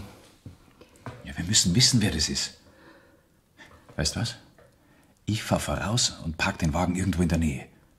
11.20 Uhr, da ist wahrscheinlich die Oper aus. Ich misch mich einfach unter die Leute. Aber du hältst dich raus, Peter. Ich will erst allein mit ihm reden.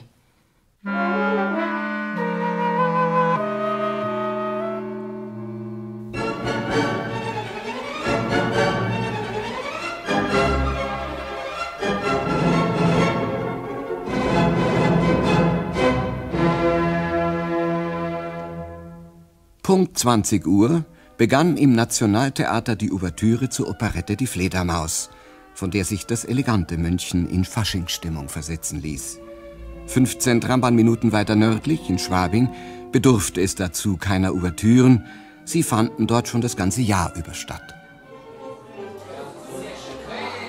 Man war sofort mittendrin, wenn man wollte. Ja, okay, was, was, was, heißt hier wollen, wollen? Wo, Das ist- tut mir wahnsinnig leid, Kurt, aber ich, ich, ich, bin, ich bin halt kein Künstler. Komm, mit Benno, das sind doch nicht bloß Künstler da. Lebenskünstler. Ja, ja mei, das, das kann halt auch nicht jeder, nicht? Das bringt vielleicht der Beruf mit sich. Junge, Junge. Der ist mir vielleicht auf die Hühnerohren gestiegen. Ich hab gesagt, entschuldige, Dicker, wenn ich dir dauernd unter die Stiefel laufe, sagt er. Das macht nix, Dirndl. Agurda, heiz auf. Jetzt tanzt aber einmal mit dem Benno, damit der auch in Schwung kommt. Nein, nein, nein, Doch. da- Dankeschön, Na da- danach, danach. Da hastet, Ich hastet. bin jetzt noch nicht. Ich bin doch gerade so schön immun. Nein, wirklich, sind wir nicht besser, aber ich bleibe jetzt äh, ganz gern da sitzen und schau mal zu. Na, Kick mal, was deine Frau für eine Kesselsohle hinlegt. Ja, siehst schon. Na, sie ist ja da leicht zum Begeistern. Aber wenn ich sag, machen wir mal eine Wanderung, nicht nur ist sie mir. Nicht? Da ist Übrigens, sie mir. äh, wisst ihr, wer das ist, mit dem es tanzt? Nein, nein, muss man das wissen. Der Star-Ansager bei der Deutschen Stunde, der Ja. Firnholzer. Das ist der. Den haben wir aber ganz anders vorgestellt. Hübscher Junge, den wir ich mir nachher Oma angeln. Ja, da war er neulich einmal ein bisschen heiser vom Mikrofon. Und dann haben ihm die Hörer gleich Waschköpfe als Hurstengürtel geschickt. Das, Sehr das schön. nenne ich Popularität. Kommt da eigentlich keine Bedienung her? Herrschaft, Sie fix, ich möchte noch ein Bier. Auch wenn Kriminaloberassistent Grandauer in diesem Augenblick anstatt seiner eigenen die Angelegenheit des Münchner Betrugsdezernats im Kopf gehabt hätte, wäre die Panne nicht zu verhindern gewesen, durch die es zuerst Herrn Velano und kurz darauf Frau Lüders ermöglicht worden war, unbeschattet in das Stadtzentrum zu gelangen. Blöder Hund, hau ab! Verdammter Mist. Sauber. Voll hinten drauf. Sagen Sie mal, müssen Sie so dicht hinter uns herfahren? Das heißt nicht hinter Ihnen herfahren, wenn Sie nicht so plötzlich gebremst Wir hätten. sollen wir vielleicht den Hund überfahren. Welchen Hund? Welchen Hund? Sind Sie blind? Warum fahren Sie denn überhaupt hinter uns her? Na, warum nicht? Ist das verboten? Darf ich mal Ihre Papiere sehen? Kriminalpolizei. Die Situation war keineswegs erfreulicher, nachdem sich herausgestellt hatte, dass sich die beiden Fahrzeuge in Verfolgung der gleichen Absicht zu nahe gekommen waren. Man hätte sich wahrhaftig eine sachdienlichere Kontaktnahme zwischen Polizei und Versicherungsdetektiven denken können. Als Frau Lüders in einem Taxi am Unfallort vorbeikam, hatte sie nur einen flüchtigen Blick für die vier Männer, die nach Kräften bemüht waren, einen Opel Laubfrosch vom Kofferkasten eines anderen Wagens herunterzuhieven. Um 11.20 Uhr war Brigitte Lüders dann am vereinbarten Treffpunkt, umringt von heiteren Menschen, die soeben das Nationaltheater verließen. Sie hatte ihr Gesicht, so gut es ging, hinter einem Pelzkragen versteckt und richtete es scheinbar gelassen geradeaus auf das Denkmal Max Josefs, versuchte aber zugleich mit schrägen Blicken nach rechts und links ihren Freund unter den Theatergästen zu entdecken. Plötzlich spürte sie, dass jemand hinter ihr stand und drehte sich um. Guten Abend, Brigitte. Horst? Also doch, Überrascht? du bist leichtsinnig. Nicht mehr als du. Erwartest du noch jemanden? Nein, wieso? Dann können wir ja gehen. Wohin? Bisschen spazieren. Komm. Oder hast du Angst, ich könnte mich revanchieren? Nein. Also?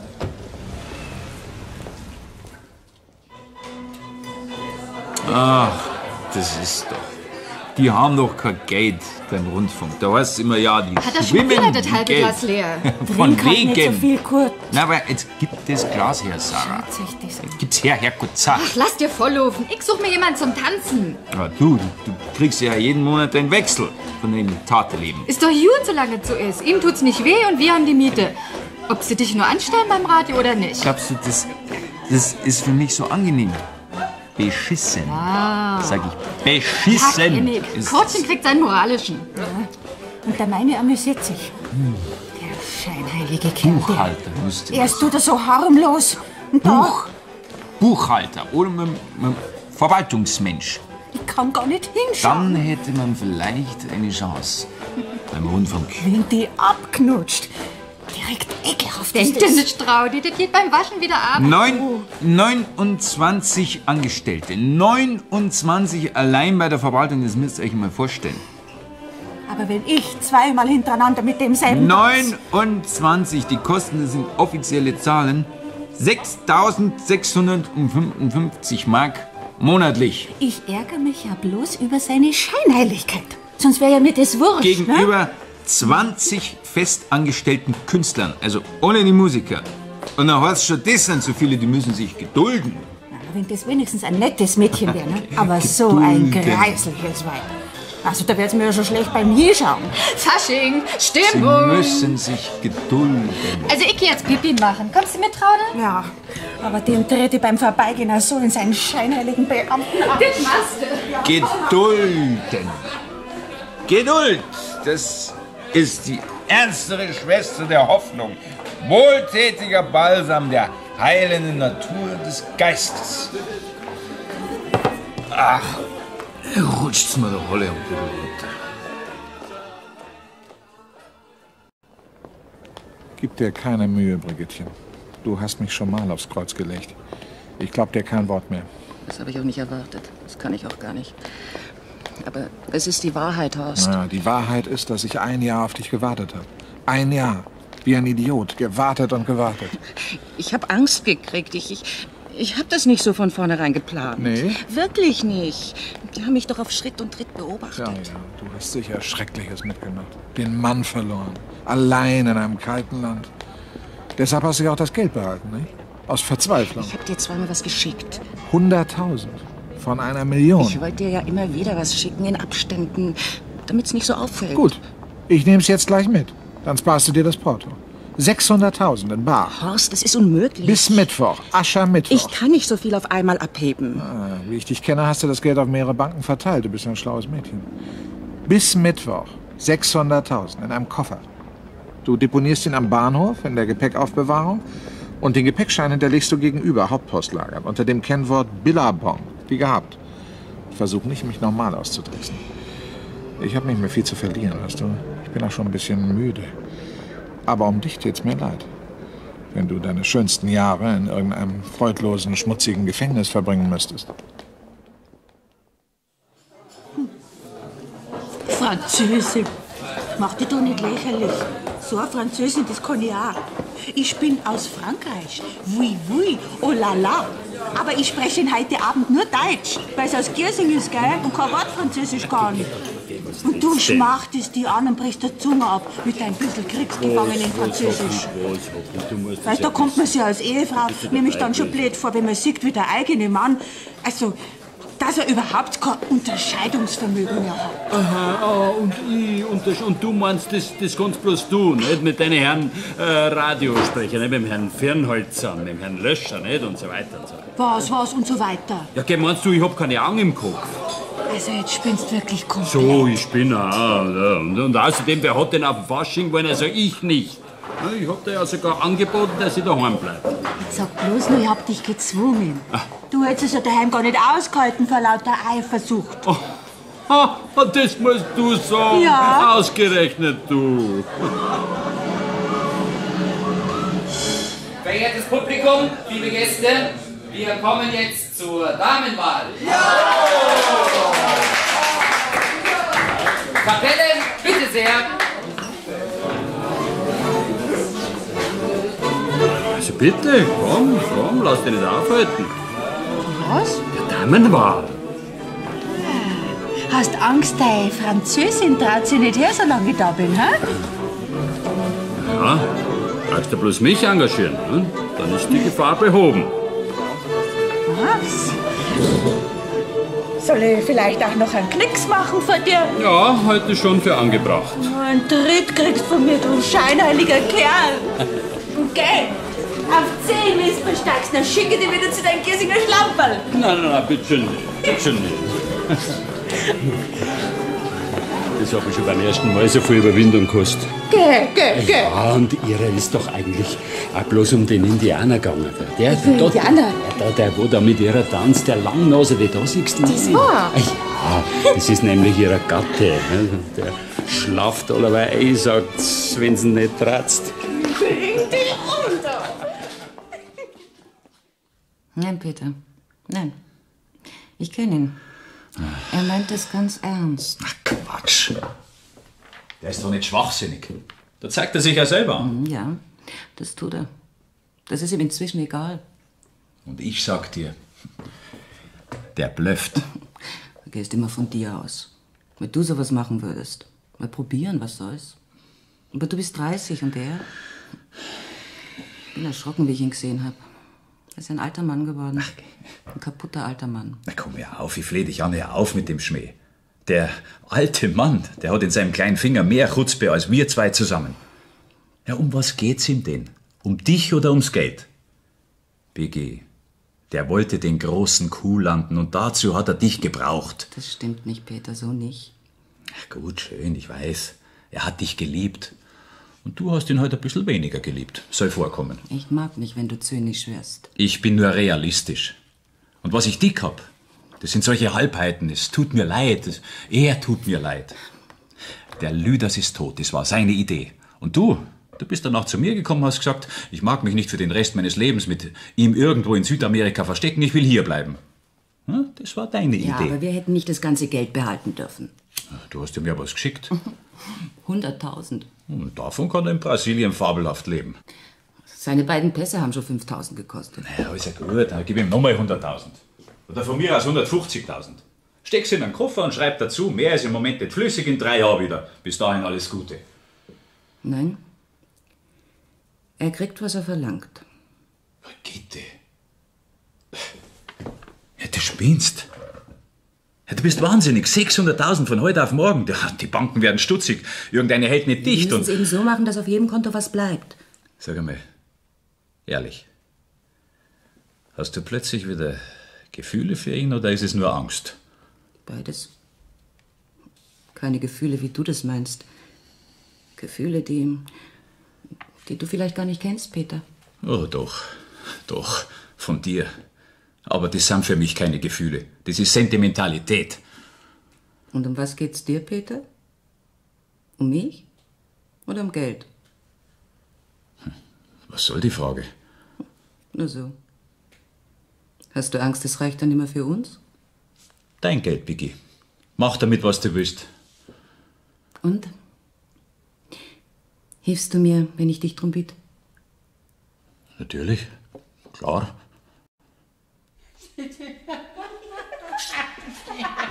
Sie sind ein Nasenbohrer, hat er gesagt.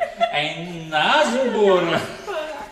Aber Sie, gell, die Sarah, wie sie dann zu ihr meint, das ist Pfui. Was, was war er denn überhaupt, der, der Nasenbohrer, zu dem er das gesagt hat? Trifft nicht nein. Da, denn das da ist ein Schlüsselloch, Herr Zitat. Irgend so ein hoher Regierungsmensch soll das gewesen sein. Ich habe ihn auch nicht gekannt. Komm herein, Danke sehr. meine Liebe, in unsere Behausung. So.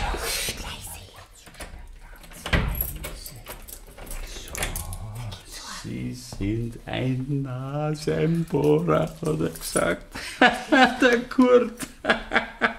er ist ein Pfundskerl, der Kurt. Da freut dich nicht, Herzi. Hat sie schon wieder. Hat sie schon wieder davon. Mein Mausimedi nicht hat sich schon wieder. Sie sind ein Nasenbohrer. Was ist denn los? Was soll denn das um 5 Uhr in der Früh? Ja, was? Ja, was denn schon so, so spät, respektive guten Morgen, liebe Schwiegermutter. Wir sind wieder da, Wir sind Mutti. wieder da.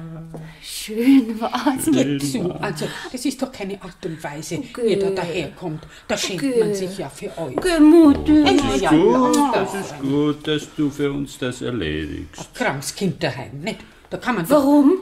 Was ist denn mit ihm? Die ganze Nacht bin ich an sein Bettel gesessen, nicht? Weil er sich gefürchtet hat. Gefürchtet. Vor, seiner Vor was denn, bitteschön? Vor seiner Wenn er Fieber hat, nicht? Sich gefürchtet. Wir haben halt gedacht, ihr seid zu einer normalen Zeit wieder Du da. lieber Himmel, einmal, wenn wir fortgehen. Aber er ist ein Nasenbohrer, Benno. hat er gesagt. Dein Sohn, gell? Hat er gesagt. Komm, Dein hör auf, Sohn. Benno. Du siehst doch, die Mutti hat sich wieder mal für uns aufgeopfert.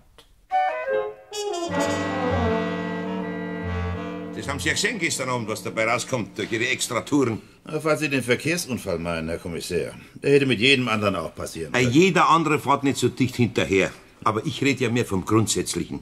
Wenn Sie schon so eine Information kriegen, dass jemand den Lüders angeblich gesehen hat in Hamburg, dann wäre es Ihre Pflicht gewesen, die Polizei davon in Kenntnis zu setzen. Also darüber kann man verschiedener Meinung sein. So. Die Polizei hat den Fall ja bereits ad acta gelegt. Interessant. Ja, wir haben ihn weiterverfolgt. Im Auftrag der Versicherung. Ja, ja, ja, ja, da geht's ums Geld. Und wenn Sie das haben, sind Sie zufrieden, nicht wahr? Mhm. Aber mir nicht. Uns geht's um den Rechtsbruch. Und die Polizei hat den Fall auch nicht ad acta gelegt, sonst säßen Sie jetzt nicht da.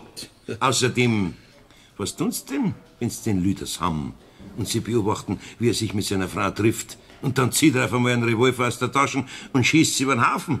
Oder Sie ihn? Guck, Wickler. Wo? Sehr gut. Mit dem Koffer? Nix, nein, nein, nein, nein, bloß im Auge behalten. Ja, dann, aber nur dann.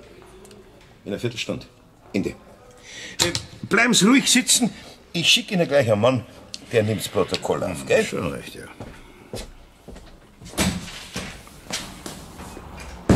Gerade da. Äh, jawohl, Herr. Ja, hab ich ihn aufgekriegt. Nein, nein, nein, nein, ich war bloß jetzt. Ein Wagen, sofort. Und Bader? Ja, woher komme ich? Bei mir drin hockt der Versicherungsagent. Sie wissen ja Bescheid. Ja, woher komme ich? Wenn wir weg sind, ging es rein und nehmen Sie ein Protokoll auf. Aber lassen Sie ihn Zeit, der soll schmoren. Dann geht er uns nicht im Weg rum. Ist recht, Herr Kommissar.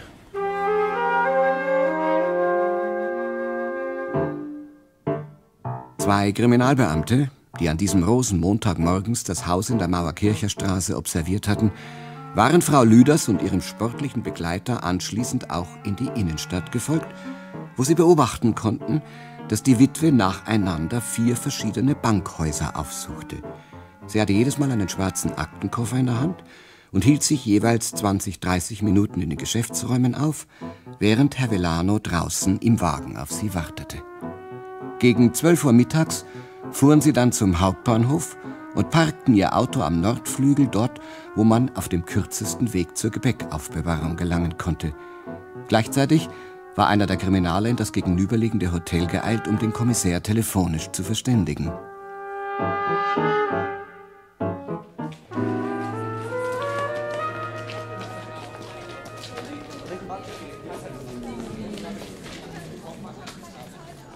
Also, ab mit Schaden. Ich warte im Auto auf dich. Ja, gib mir das Kuvert. Ich gehe dann gleich rüber zu der Hauptpost und mach das mit dem Gepäckschein. Glaub mir, Peter. Es ist besser so. Ja, ja. Alles klar. Du, der, der Koffer. Ah, ach so. Die Hauptsache. Ja, den hätte ich jetzt glatt vergessen. Bis gleich.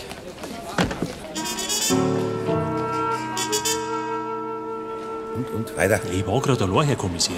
Der Fischer hat gerade mit Ihnen telefoniert. Wie groß ist denn sein Vorsprung gewesen? Er ist in Gepäckaufbewahrung rein. Ich bin über die Straßen über.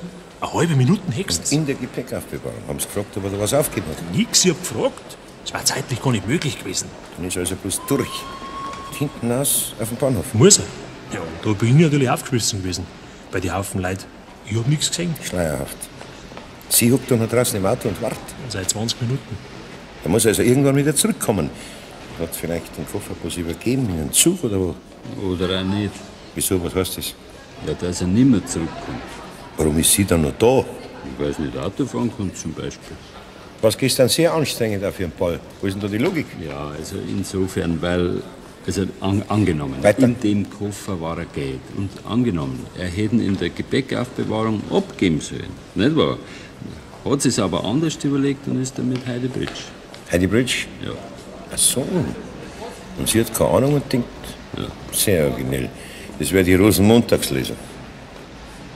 Eine halbe Stunde später konnten die Kriminalbeamten beobachten, wie Frau Lüders aus dem Auto stieg, offensichtlich irritiert erst ein paar Schritte in Richtung Gepäckaufbewahrung lief und wieder zurück zum Auto und von dort dann mit immer hektischeren Schritten vor zum Bahnhofsplatz und hinüber zur Hauptpost, wo sie eine Weile unentschlossen stehen blieb.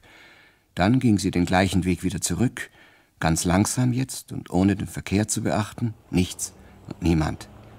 Beim Auto angekommen, stieg sie noch einmal ein, ließ den Kopf nach hinten auf die Rückenlehne sinken und verharrte in diesem Zustand eine weitere halbe Stunde. Ich glaube, der Grandau hat doch recht.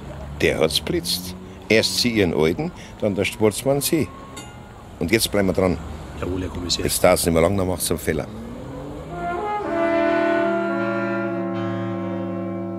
Aschermittwoch. Der große amerikanische Wagen stand seit Montag, so wie Herr Velano ihn geparkt hatte, vor dem nördlichen Seiteneingang des Hauptbahnhofes. Frau Lüders war danach zu Fuß in die Mauerkircher Straße gelaufen, ohne die beiden Männer wahrzunehmen, die ihr ständig folgten. Von da an hatte sie das Haus nicht mehr verlassen, den ganzen Faschingsdienstag über nicht, bis zum nächsten Abend, empfing auch keine Besuche, nur das Dienstmädchen ging ein paar Mal ein und aus.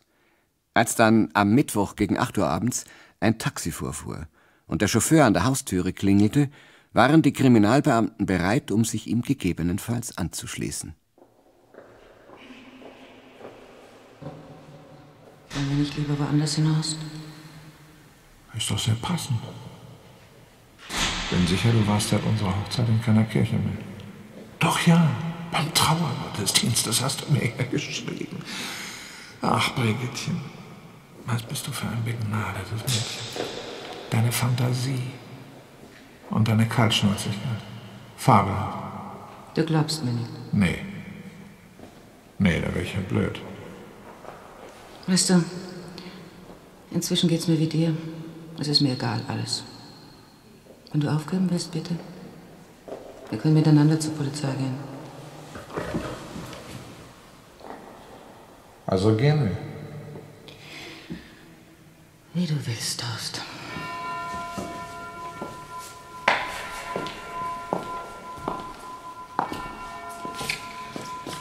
Wie viel hat er dir denn noch gelassen, dein cleverer Liebhaber? Genug, um vielleicht nochmal von vorn anzufangen. 250.000? Wenn ich alles zusammenkratze? Willst du sie haben? Es geht aber nicht von heute auf morgen. Was heißt von vorne anfangen? Nochmal heiraten? Nochmal sterben? Was? Fahr wieder rüber.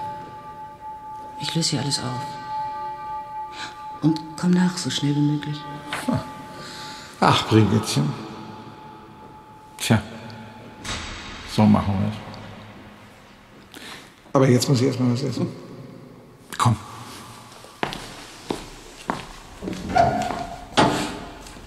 Weißt du, du hast das ja noch nicht so erlebt. Allein die Esserei. Was habe ich mich auf eine Aalsuppe gesetzt? Oder nur nach Eisbein mit Sauerkraut? Herr Lüders, Kriminalpolizei, mach es bitte keine Schwierigkeiten. Sie sind doch der Herr Lüders. Tja, Brigittchen, zu spät. Nicht mal mehr Eisbein mit Sauerkraut. Ich bin Herr Lüders, ja. Und ich mache auch keine Schwierigkeiten.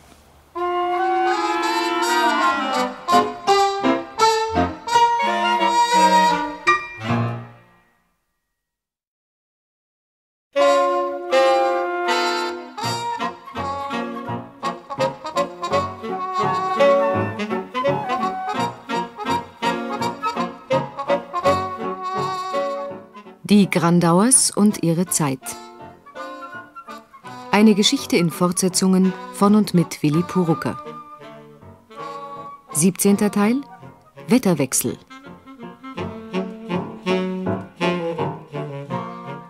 Vielleicht war es auch mehr die Angst davor, dass es nicht ständig aufwärts gehen könnte, mehr Gerede, Schwarzmalerei ewiger Pessimisten, die auf dieser Angst ihre politische Suppe kochen wollten. Denn bislang war doch in der Öffentlichkeit noch nicht allzu viel erkennbar von den angeblichen Krisen und Schwierigkeiten in der deutschen Wirtschaft. Es war zwar erst Oktober 1929, aber gerade in der Zeit gab es ja hierzulande ein zuverlässiges Stimmungsbarometer und das stand beharrlich auf hoch. Die Wiesenwirte, die Schausteller, die Besitzer von Fahrgeschäften, sie alle waren sehr zufrieden mit ihren Umsätzen. Karl Gabriel hatte sogar genügend Zuversicht besessen, um mit einem völlig neuen und ungeheuer aufwendigen Unternehmen hervorzutreten, dem größten seit Bestehen des Münchner Oktoberfestes, mit seinen Motorseebootfahrten. Sehr gut. Und geradeaus, jawohl. Sag's ja, Bur, du bist der geborene Schiffskapitän. Und jetzt pass auf, jetzt fahren wir in den Tunnel da rein. Ist da finster drinnen, Onkel? Na, na, schau nur, der ist ja magisch beleuchtet. Mein Lieber, was sagst du jetzt? Das ist ja direkt beim Richard Wagner. Das Wasserbecken aus Zeltleinwand war so riesengroß, dass darin ein Dutzend echte Motorboote ihre Runden drehen konnten. Und einmal in der letzten Wiesenwoche, am Nachmittag des 3. Oktober 1929, war auch der Kriminaloberkommissär außer Dienst Rudolf Grüner unter den Motorseebootfahrern, gemeinsam mit seinem vierjährigen Patenjungen. Grüner hatte den Dienst ja schon vor Jahren quittiert, damals 1923, als die Münchner Polizei vorübergehend unter politischen Druck geraten war. Vielleicht erinnert sich noch jemand an den Anlass, an jenen brutalen Fememord, dem eine junge Hausgehilfin zum Opfer gefallen war. Die Tragödie lag seither unter dem Aktenvermerk ungelöst in der Mordkommission, angewachsen auf hunderte von Protokollseiten zu einem unentwirrbaren Dickicht, hinter dem sich der oder die Täter mühelos verbergen konnten. Für den alten pensionierten Kriminaler war auch dieser Fall längst abgeschlossen. Der Abstand erlaubte es ihm jetzt, über die Täter hinwegzusehen auf die eigentlichen Schuldigen. Und diese liefen zumeist im Glanze menschheitsbeglückender Absichten unantastbar und frei herum.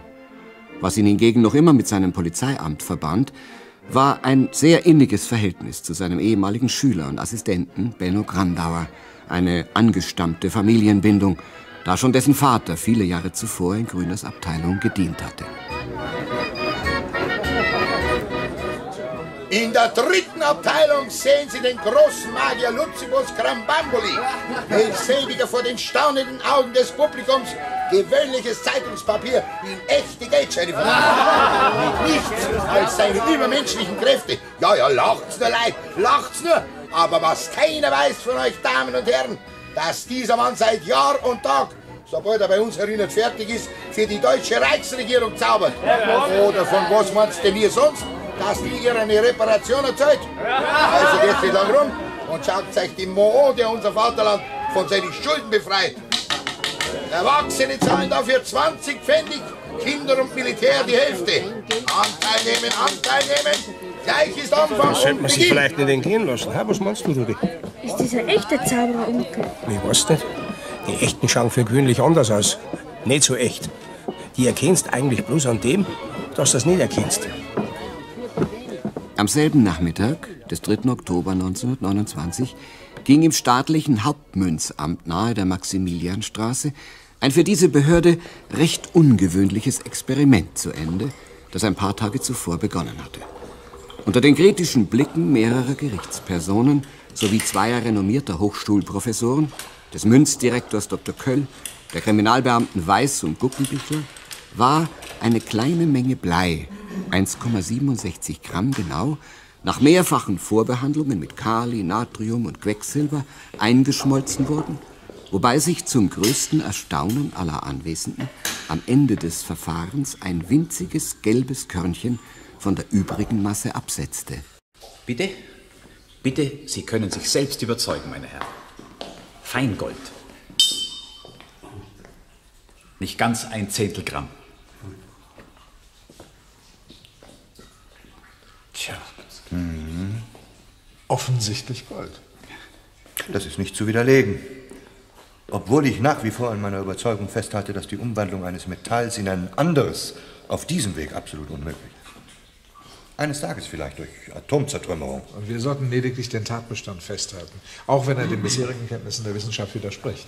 Ich habe den Beweis in den vergangenen vier Jahren mindestens hundertmal erbracht. Vor Zeugen. Was verlangen Sie eigentlich noch von mir? Die Kriminalbeamte, die haben mich nach Strich und Faden durchsucht. Kleider, Leibesvisitation. Alles, was ich hier seit drei Tagen tue, jeder Handgriff, meine ganzen Utensilien, alles ist genauestens kontrolliert worden. Auch das Ausgangsmaterial. Reines Blei. Und hier, hier, hier haben Sie das Ergebnis. Reines Gold. Bis zu diesem Augenblick bescheiden, zurückhaltend, ja unscheinbar, im weißen Labormantel wie ein Drogist oder vielleicht eher noch seinen Zügen von verhärmter Romantik nach wie ein Volksschullehrer, der ungeliebte Gedichte schreibt, war dennoch er derjenige, auf den sich alle Blicke richteten, der dieses unglaubliche Experiment vorgeführt hatte und der nun mit einem Male trotzig die angegrauten Haare in die Stirne schüttelnd und mit genialischem Augenleuchten hervortrat, als einer, der den Stein der Weisen am Ende tatsächlich gefunden hatte. Sein Name Franz Tausend, seit Sommer dieses Jahres zur Untersuchung im Gerichtsgefängnis Corneliusstraße, wo ihn die beiden Kriminalbeamten auch anschließend wieder abliefern mussten. Jetzt ist er aufgewacht, unser Bubi. Mit seinen blauen Guckelen. Ja, gell, schau mal. Tut er mit der Omi spazieren fahren? Das ist fein im Wageli drin, gell? Und so schön ist er draußen, wie im Frühling. Oder mag er jetzt ein bisschen laufen? Sollen die Oma herausnehmen? Komm, Mageli, komm. komm. Draußen in Steinhausen war von der Stadt mit ihrem Gehetze und Getöse kaum noch etwas bemerkbar. Ein paar Wohnblöcke, breit und behäbig in Wiesen gestellt, waren ihre letzte Bastion.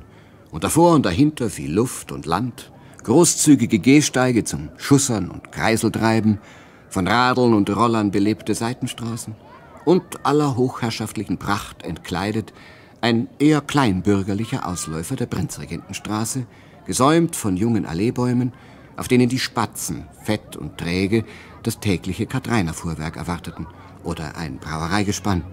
Autos kamen seltener hier heraus, höchstens am Wochenende auf der Fahrt nach Dagelfing zum Pferderennen. Ja, und so groß ist er schon. Gell? Mein Gott, und so ein fester Bub. Wie alt ist er? Silvester wird er zwei. Silvester wird er zwei. Ja, ging es zu. Und schon so groß. Oh, und die dicken Backen. da möchte man ja direkt Da reinbeißen. tut aber auch die Oma dafür sorgen, Ja. gell? Dass der Maxi immer schön fleißig ist. Tut er recht fleißig essen. Fleißig ist er, sehr fleißig und alles. Sieh, das ist ein Glück. Ich sag Ihnen, ich kenne junge Leute, die wollen das gar nicht mehr, ne? Ja, ja. Da brauchen Sie mir nichts erzählen. Ein Kind, das muss doch essen. Was werden denn das später einmal für Leute? Ich sag's für oft, ich bin froh, dass ich schon so alt bin. Ja, da haben Sie recht, Frau Solida. Schöner wird's nicht. Ich noch ein Da meine, da kommt noch einiges ja, auf uns freilich. Das ist ja hier, Maxi, die Omi, die hat schon noch eine. ja, da, die Hand. Danke, Gott, ich hab's ja gerade notwendig Ja, ja, ja, ja. Hast so was Schönes, wenn ein Kind so einen gesegneten Ja. Appetit hat. Ja, und das Brüderl, wo ist denn das heute? Das ist mit seinem Patenonkel auf dem Oktoberfest. Ja, was? Mit seinem Patenonkel. Ah, Das ist wohl einer Herr Sohn, den wo man immer im Radio hört mit den Schallplattenkonzerte. Nein, leider nicht. Nicht? Nein, Sie haben lieber einen Kollegen genommen. Von meinem Herrn Schwiegersohn. Ein Kriminaler. Er war schon was Höheres. Aber man sagt ja nur, früher war der Patenonkel halt prinzipiell aus der Verwandtschaft. Ja, ich kenn's auch nicht anders. Das hat's ja gar nicht anders gegeben. Aber heute ist das alles anders. Mhm, halt. mhm. Da muss man froh sein, wenn einem die Jungen noch mitkommen lassen. Eine schlimme Zeit, wo man hinschaut. Frau Solide, nicht jetzt nicht wundern, wenn's eines Tages einen Schlag macht und alles ist aus und vorbei. Oha. Ich hab mir gedacht, du bist schon weg, Grandau. Ah, von wegen. Der alte noch nicht da. Nein, der ist noch im Münzamt. Gerade hat er angegriffen. Seit vier wartet meine Frau in der Stadt. Und jetzt kommt er daher, der Herr Obermops. Zeig deinen Mantel um, wir müssen nach Maria einsiedeln aus. Warum, was ist denn? Einladung vom Finanzamt. Für die Zollfahnder haben wir Fälscherwerkstatt ausgekommen da draußen. Also, was brauchst du denn da uns? Das kennen sie doch auch mit der Bezirksinspektion. Konkurrenz, Konkurrenz. Wir haben Arbeit nur. Wieso wissen wir da nichts? Wir haben doch auch unsere Informanten. Ja, ja hätten wir schon, Herr Regierungsrat, habe ich gesagt, aber die tun es leider nicht umsonst. Weil er nämlich auf die Bewegungsgelder hockt und jetzt mal meint, das klang schon, wenn man denen bloß einen Hunderter zeigt. Da werden sie natürlich die Finanzen leichter. Also komm, geh weiter, schick wir müssen mit der Trambahn raus. Auto ja keins. Ja, mei, dann ist halt überhaupt nicht mehr im Büro. Ne? Die anderen sind bei der Personenüberprüfung, der Neue auf dem Schulungskurs. Jeder hat fünf Sachen gleichzeitig am Hals. Ist kalt draußen. Bachel warm. Kommissionstausch? Hab ich, eine gelangt. Als wir draußen sind, ist es so alles vorbei. Ich weiß gar nicht, was das auf einmal ist. Heuer alle Nasen lang was anderes. Vorig schon sind wir noch gemeinsam auf die Wiesen gegangen. Weißt du das noch? Ja, das war einmal. Nein, vielleicht hat er nicht weg können. Ich hab bis halb fünf gewartet. Dann bin ich halt gegangen. Es muss ja auch wirklich nicht sein, nicht? Jetzt kommen sie am Abend auch schon. So viel bettelt, wie jetzt wird. In der Stadt, überall wirst anbettelt. Haben wir noch irgendwo einen Film? Dass man da so knall auf Fall in ein Geschäft reingeht nicht? und kauft ein Schlafzimmer. Knall auf Fall, Mutti. Seit einem halben Jahr reden wir drüber. Es wäre was anderes, wenn keins vorhanden wäre. Aber ihr habt ja ein wunderschönes Schlafzimmer. Da täten sich andere alle zehn Finger abschlecken danach. Aber wir wollen jetzt halt auch einmal was Modernes. Und was Eigenes. Dass du das nicht einsiehst. Aha. Wen ich frag, wen ich auch frag, kein vernünftiger Mensch. Dieses wunderschöne Schlafzimmer. Wir sind so stolz gewesen seinerzeit, der Vati und ich, wie wir es uns gekauft haben. Ja, Mutti. Diese herrlichen Schnitzereien, die Engele. Das sind doch Werte, Kind. Das, sowas wird doch heute gar nicht mehr gemacht. Ja, sag einmal, Bub. Wie schaust denn du aus? Das ganze Gesicht voller Schokolade. Jetzt komm her, lass dich abputzen. Da geh her. Wer hat ihm denn schon wieder einen Schokolade gegeben? Die Frau Spiesel hat ihm einen Schokolade gegeben. Die Frau, nicht? Das kann man ja die Leute nicht verbieten, wenn sie das Kind gern haben. Ja, ja, und danach hockt er wieder eine Stunde lang auf dem Topf und quält sich. Ja, ja. Komm her, mein Kinderle, komm. Die Mama hat gleich Geduld. Jetzt haben wir so oft gesagt, er soll nicht so viel Zwischenlei essen. Da muss sich halt die Mama selber um dich kümmern, gell, Maxele? Und darf nicht unter der Woche in die Stadt schwanzeln, wenn sie meint, dass wir alles falsch machen. Na, na, du bist unschuldig, Mutti. Der Bub müsste der Gescheitere sein. Ja, ja. Wenn man mit nichts mehr zufrieden ist, dann wird man ungeduldig und nervös. Und an wen geht's hinaus? An die Kinder. Die Frau Stiesel, die hättest hören sollen. Die hat sich an den Kopf gelangt, wie ich ihr das gesagt habe. So ein wunderschönes Schlafzimmer. Mit Handkuss hätte es nehmen. Mit Handkuss. Zehn Minuten vom Thalkirchner Bahnhof entfernt, im Waldstück zwischen Isar und Mühlbach, befand sich abseits der Straße auf verwildertem Grund ein Blockhaus, dessen Eigentümer zurzeit im Ausland lebte. Diesen Mann, einen angesehenen Fotografen, traf nicht der geringste Verdacht, dass er etwas von der kriminellen Verwendung seines Wochenendhauses gewusst haben könnte. Die Täter, von denen man bislang nur die Spitznamen kannte, schienen dort einfach eingedrungen zu sein, in der Gewissheit, dass sie der Eigentümer so bald nicht stören würde. Dann hatten sie sich offensichtlich mit allem versehen, was zur Herstellung von gefälschten Steuerbanderolen nötig war. Insbesondere mit einer Druckmaschine älterer Bauart, die sich für den inkriminierten Verwendungszweck umrüsten ließ. Klischees und Spezialpapiere waren ebenfalls vorhanden, sowie der erforderliche Strom. Er musste nur zum Zwecke der Geheimhaltung um den Zähler herum geleitet werden. Ein junger, schneidiger Inspektor des Zollkommissariats mit Namen Schiller war der Sache aber dennoch auf die Spur gekommen. Nun wurde er nicht müde, seinen Erfolg den nacheinander anrückenden Zeitungsreportern und zuletzt auch noch den beiden Vertretern des Polizeipräsidiums vor Augen zu führen. Letztere nahmen alles auftragsgemäß zu Protokoll, sammelten selber noch etliche Fingerabdrücke ein, ohne viel Hoffnung auf neue Erkenntnisse, nachdem ja vor ihnen bereits ein Dutzend Personen die Fälscherwerkstatt besichtigt hatten. Ja, ich hab's ja selber erst kurz vor vier erfahren. Sind's da? So, ja, ich hör's schon, ja. Hat er ihm wieder recht viel geschenkt. Bleibt er nicht zu missen? Ah, ah geh wegen seine Katzel. Der hat ja, die werden ihm schon nicht verhungern. S s- nein, sag ihm, sag ihm, ich bin beleidigt, wenn er nicht da bleibt. Um 8 Uhr rum. Ja, ich muss noch auf den Chef warten. Ja, ja, ich sag's ihm gleich. Sie kennen doch Ihr Schlafzimmer. Na, Also natürlich nur vom Segen, Frau Soleder. Gegen acht kommt er und er ist sehr beleidigt, wenn du nicht zum Essen bleibst, sagt er. Gell? Das kann ich natürlich nicht riskieren. Was sagst du? Du, Moment, ich verstehe mein eigenes Wort nicht mehr. Also, Mutti, bitte mach wenigstens das Radio aus. Ja, die ist Bitte. so nervös, das Mädel. Ich sag's Ihnen, der Oberkommissar. Weißt du was, Rudi? Gehst du mal auf den Balkon hinaus mit deiner Trompeten, da kannst du blasen. Da freuen sich die Nachbarn auch. Jetzt tun Sie mir den Gefallen und schauen. Sie Ihnen das Schlafzimmer noch einmal an, Der Verkäufer hat bloß gesagt, wir müssten uns bald entscheiden, weil noch jemand interessiert ist. Verstehst So. Und jetzt schauen Sie mal, Herr Oberkommissar, wie liebevoll das knitzt ist. Ja, schön, Die. Hingerle Ja, und so weiter. Ja, also das ist alles Handarbeit. Sind doch Werte. Ne? Freilich, freilich, aber mei, die Jugend hat halt ihren eigenen Geschmack. Hast wieder ein neues Opfer gefunden, Mutti, hä? Na, na, gell? Der Herr Oberkommissar, der versteht mich schon. Ja. Der ist nur zu vornehm, dass er sagt, was er denkt. Ja, das ist wahr. Und Sie doch auch, Frau Soleder. Ich kenne ihn doch. Sie mischen sich ja auch nicht in alles rein, oder? Na wirklich, das wirklich nicht. Bei denen zwei, da tät ich mich ja innerlich aufreiben. Diesmal ja. Sollen Sie doch machen, was wollen. Und wir denken uns unseren Teil. Ja, Ne? ich sag halt ja auch nichts. Wenn sie in Geld schwimmen täten. Jetzt komm mit rüber, ich komm Rudi, sonst geht es noch ewig weiter so. Jetzt Ein komm. Schwiegersohn, Frau Soleder, der bei der Polizei ist und noch dazu ein Betrugsdezernat, dem kann doch praktisch nichts mehr passieren. Die lernen ja sämtliche Tricks.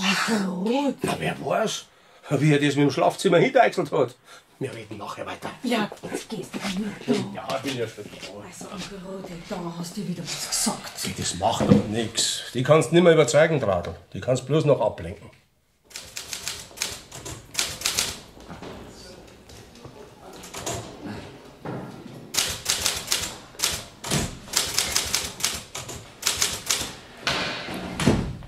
Stresemann ist gestorben, haben Sie das schon gehört? Ja, Namte später. Na, Grandauer. Mit 51 Jahren.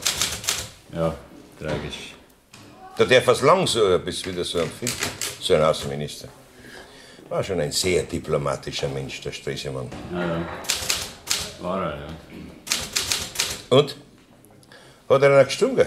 Ich hab schon erfahren vom Herrn Regierungsrat, dass er sich wieder zurückgepfiffen hat heute Nachmittag. Hat sie es wenigstens gelohnt? Ach so, ja, für den Zoll vielleicht. Ne? Der Herr Inspektor Schiller hat sich ja großmächtig in Szene gesetzt. Ne? Und wir haben ihm halt auch unsere Referenz erwiesen. Steuerbanderolen. Für Zigaretten oder was? Zigaretten, ja. Äh, ich, ich hab's gleich, dann können Sie das Protokoll lesen. Was jetzt? Äh, ja, vielleicht am Herrn Regierungsrat, weil er gemeint hat, wir haben geschlafen. So, hat er gemeint. Ja, es ist ja alles eine Frage von Geld, nicht? Ich möchte nicht wissen, was die für ihre Informationen ausspuckt haben, die Finanzen. Kein Problem mehr in Zukunft, Brandau. Nach dem, was ich heute Nachmittag erlebt habe. Wenn Sie Blei daheim haben, vielleicht die Bleisoldaten von Ihrem Buben. Her damit! Der Tausendsatz schmelzt ein, mischt ein bisschen was drunter rein, das dampft und zischt und noch einmal und noch einmal. Man braucht halt Geduld, aber am Schluss, Hokus Pokus Fidibus, was glauben Sie heute raus? Ah, okay. Sagen Sie bloß, es ist ihm diesmal gelungen. Gold. Na, im Ernst? Gold! Okay, das gibt's doch nicht. Die Herren sind alle da gestanden, der Kiefer ist einer runtergehängt. Ein Dr. Köll vom Münzamt hat's regelrecht einen Schweiß rausgetrieben.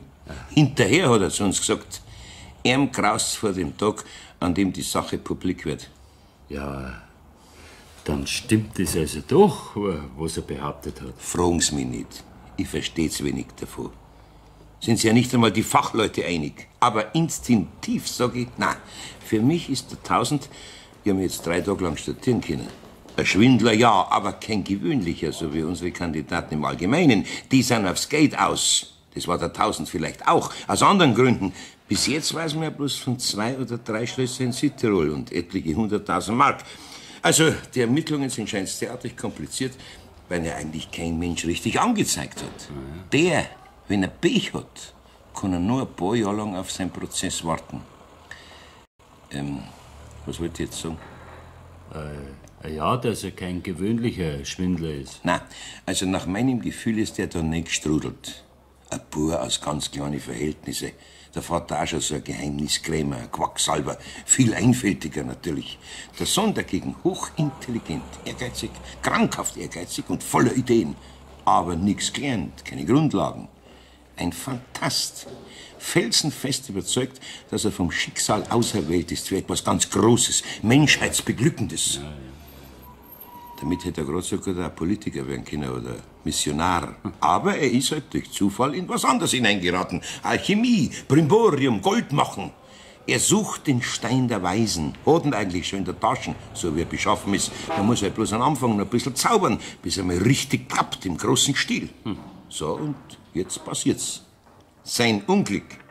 Jetzt kommen nämlich die anderen daher, die an ihn glauben, weil sie mit ihm verwandt sind. Auch Goldmacher mit anderen Mitteln. Die Herren von der Großindustrie. Keine Wurstel. Der Herr Mannesmann, solche Ja, Leute. Und alle haben's mit ihm spekuliert. Zu schön, um nicht wahr zu sein. Sogar die Exzellenz Ludendorff. Was, der Ludendorff? Auch, jawohl. Am Golde hängt, zum Golde drängt und alle haben sie ihm Geld gegeben. Geld noch und noch. Für vaterländische Ziele was. Für Deutschland. Co sei oder nicht. Am Ludendorff nimmt man's ab. Aber jetzt stellen Sie sich das einmal vor, Grandau, ein kleiner Grumbacher Spangler gesehen und wird über Nacht zum Retter des Vaterlandes, schwimmt im Geld, wird angebetet. Ja, wie soll denn der zur Besinnung kommen? Der glaubt doch, der muss doch immer mehr an sein eigenes Genie glauben. Ja, aber, aber ich verstehe noch allerweil nicht. Die geben ihm doch kein Geld, wenn er. Also, es ist ihm doch anscheinend heute auch gelungen. Ja, weiß der Teufel wie. Wir haben aufpasst wie die Haftelmacher. Die Professoren sind überzeugt, er muss das Gold irgendwie nein praktiziert haben in den Tiegel, aus einem hohlen Zahn oder. Ja, ich kann's ja noch nicht sagen. Vielleicht kommen wir ihm noch drauf. Aber freuen das mit mir wegen die anderen, die auf ihm reingefallen sind. Und dann, dann hat er seinen sein Zauberstab genommen. Ein Zauberstab genommen, jawohl. Und, und Und hat gesagt, Hokus Pokus, Fidibus. Fidibus. Und auf einmal ist aus dem Zeitungspapier Geld war. Ja, Was geht, ja, geh weiter. So einfach ist das, wenn man zaubern kann, gell, Rudi?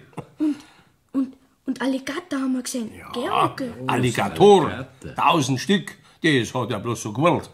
Und die, die kommen aus die Eier raus. Gell, Onkel? Geh, mach schon. Aus die Hühnerei. So, jetzt werden aber die Eisenbahn. Sag schnell gute Nacht und tu dich noch mal schön bedanken beim Onkel. Ja, ja, schon recht. Also gut Nacht, Bub. Schlaf gut. Nacht, Onkel Rudi.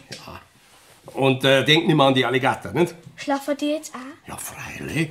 Und der Zauberer auch? Nein, der nicht. Der muss Tag und Nacht Weiter Geld jetzt, herzaubern, weiter damit wir jetzt. was zum Verputzen haben. Ja, ja. no, und was ist? Krieg ich kein Pussy? Nacht, Papa. Also, gute Nacht, schlaf schön. So. Oma, noch schön gute Nacht sagen. Der ist aber kein besser Zauberer. Ah, oh, ein ganz ein guter. Und so nützlich. Ja, ja. ja, ja, okay. Über die Kinder lacht man, gell? Ja. Aber die Erwachsenen sind auch oft nicht gescheiter. Ja, du hast recht. Interessant in dem Zusammenhang der Fall 1000. Aber man hat ja eigentlich wenig drüber gelesen bis jetzt. Im vergangenen Winter einmal, dass uns die Italiener uns ausgeliefert haben. Ja, ja, das war ja sein Pech, nicht? weil er drunten einen Faschisten überfahren hat mit dem Auto. Nicht? Ja, Auf ja. dessen auf hat dann unsere Ja. Justiz übernommen, Ja. in U-Haft. Nicht? Der Guggenbichler meint, das kann noch Jahre dauern, nicht? die Untersuchungen. Ja, arme Leute hat er keine eingeseift und die ja. Großkopferten wollen sie nicht blamieren, klar. Ein Flaschel trinken wir noch miteinander. Ja, aber dann muss ich wirklich gehen. Ja, ja, ja, ja. ja. Die werden schon nicht verhungern, Kerzen. Es geht ja mehr ums Gegenteil. Ich fürchte, ich hab die Schlafzimmer die offen lassen. Aber mengst das so gern. Ja, da sind sie ein bisschen wie der Schwiegermutter. So, Dela. Hat's dich auch schon vergattert? Mehrfach. Einen halben Block hat schon raufgezahlt. Leute, die wo ich noch nicht einmal nach dem Namen kennen. So, jetzt trinken wir mal. da. Prost. Prost. Ja, die führt sie alle in unser Schlafzimmer rein und dann müssen sie ihre Meinung abgeben. Ja, ich weiß schon, ich hab leicht lachen. Ja. Aber man darf sich nicht wundern, wenn anderswo die Fetzen fliegen. Jung und alt war noch nie so ein Problem. Weil sich auch alles derartig verändert hat in die paar Jahre seit dem Krieg. Dass die Alten einfach nicht mehr mitkommen. Ein Schlafzimmer zum Beispiel. Das war halt früher kein Fabrikmöbel, nicht? Was man nach 20 Jahren ausschmeißt, weil es unmodern ist. Das war ein Familienstück für zwei, drei, vier Generationen. Und alles andere gerade so. Erfahrungen, Geschäftspraktiken, Moral. Auch jeder Schreiner hat seinem Bub noch beibringen können, wie er einen Hobel in die Hand nehmen muss. Und auf einmal ist da eine Hobelmaschine. Und der Vater, der kann sich heimgehen lassen. Oder der Bub macht Schulden. Hochaktuell. Die Regierung, die Wirtschaft, alle machen Schulden, weil es ökonomisch vernünftig ist, heißt's. Und der Vater, der nie auch nur eine Mark Kredit aufgenommen hat, steht da und versteht die Welt nicht mehr. Naja, freilich, man muss halt auch mal so rum betrachten. Ja, ja. Wir merken es ja alle am ersten, nicht, wenn's kriselt. So Ja. viele Betrügereien, Einbrüche, auch Kapitalverbrechen wird zur Zeit des Ich trau Fabian dem Frieden schon lange nicht mehr. Ja. Er kommt mir vor wie ein Dampfnudelteig, den es auftrieben hat. Und beim kleinsten Luftzug fällt er zusammen. Fällt er zusammen, ja. Was hörst du übrigens von deinem Bruder, von Madi? Madi? Der hat doch bestimmt das Ohr am Puls der Zeit. Ne? So wegen seiner Hitlerpartei. Ja, die warten doch bloß drauf, dass in Chrom reingeht, damit sie uns wieder rausholen können. Ja, wir reden eigentlich kaum über solche Sachen. So? Für das bin ich ihm zu inkompetent. Aber er, er hat jetzt eine Freundin. Ach na, Ja, ja. der Herr Staatsanwalt gibt sich blößen. Eine Bürodame vom völkischen Beobachter. Na, dann passen sie ja zusammen. Ja, ja. Bin ich ihm einmal begegnet. So? Sie schaut ein bisschen aus wie eine Handarbeitslehrerin, aber nicht übel. nicht? Und auch obenrum, gut beieinander. Ja. Naja, vielleicht bringt ihn das auf andere Gedanken. Aus dem äh, Speiselokal sind sie rausgekommen, da in der Schellingstraße, aus der... Äh, Osteria Barbaria. Osteria. Ja, ja, da verkehrt die braune Elite. Ja, ja. So. Das Fußvolk, das hockt lieber im Café Neumeier am Viktualienmarkt. Okay. Ja, bis jetzt schaut es eben nur so aus, als ob sie auf zwei verschiedene Hochzeiten tanzen. Die einen bei den Proleten, da kommt aber keine richtige Stimmung nicht auf. Und die anderen in der Zylinderwelt, da sind sie auch nur geduldet. Vor der Hand. Unsere Großfinanz hängt halt zurzeit noch mehr am Dollar, als wir an Deutschland. Ja, ja. Ja, Kunststück. Bei 17 Milliarden Auslandsverschuldung. Aber da, wenn einmal was passiert, dann gute Nacht.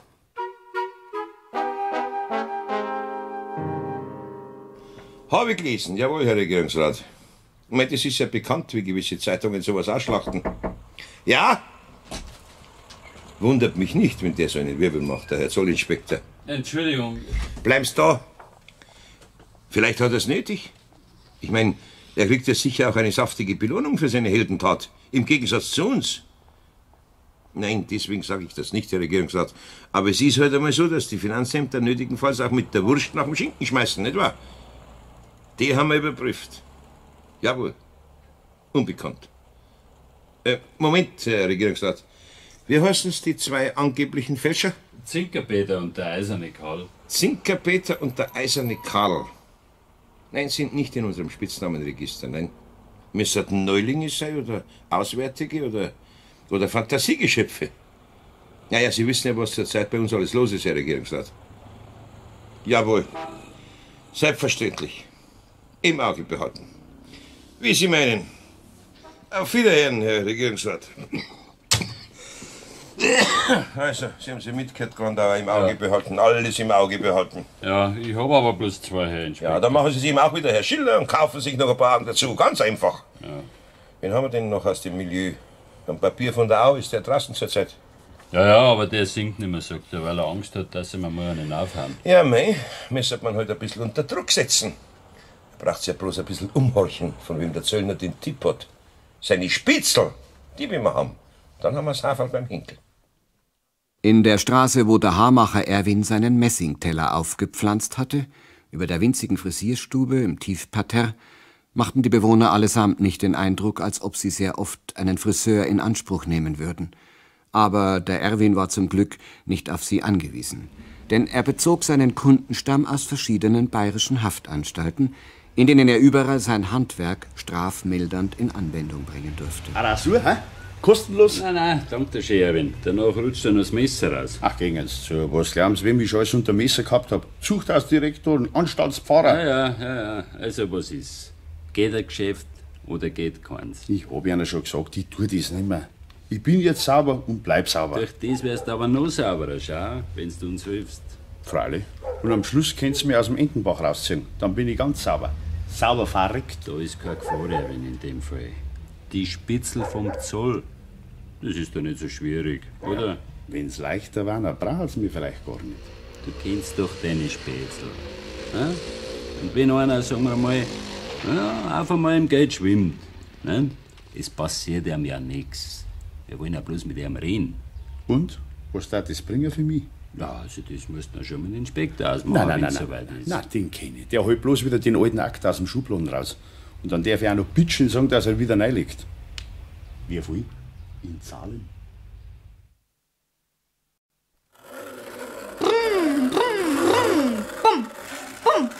Da kommt vorne der Feier raus bei dem Tank. Schau, Onkel Kurt. Ja, ja, ich seh's schon. Wunderbar. Bumm, bumm. Kanone, die schießen. Schau. Wer hat dir denn den geschenkt? Der Papa. Na, der Onkel Adi. Ach so. Na, dann. Der kann überall nachfahren, der Tank. Schau. Aber der Brummkreisel, der gefällt mir besser. Der Onkel Adi, der hat jetzt ein Freilein. Die hat einen dicken Busen, hat der Papa gesagt. Das ist fein. Da lasst jetzt dein Tank das nächste Mal auffahren. Ja? Na sagst, Tante, das ist ein Hochgebirgstank und ich brauche dein Gelände. Ja, Mama, komm schon. Ja, jetzt ist die Kirche nämlich aus und dann werden sie gleich da sein. Wunderschöne Schlafzimmer, Gell? Mama, wunderschön. Ja, und das wollen sie verkitschen. Also ich darf gar nicht dran denken. Furchtbar. Ja, furchtbar. Furchtbar. Dass vielleicht auch fremde Leute drin liegen. Unmöglich, also die darf was aufstellen, aber drin liegen, na. Jetzt red einmal gescheit, Kurt. Das kann man doch nicht machen. Wollt ihr's denn nicht nehmen? Ihr müsst doch auch einmal Tja, dran denken. Ich meine, wenn du schon unbedingt mit dem Mädel beieinander bleiben willst. Ich weiß ja nicht, ob sie die richtige ist, Gürtel. Ich weiß es nicht. Ja, äh, schau Mama, dann habe ich das wunderschöne Schlafzimmer und dann gefällt's der Sarah so gut, dass sie nicht mehr rausgeht.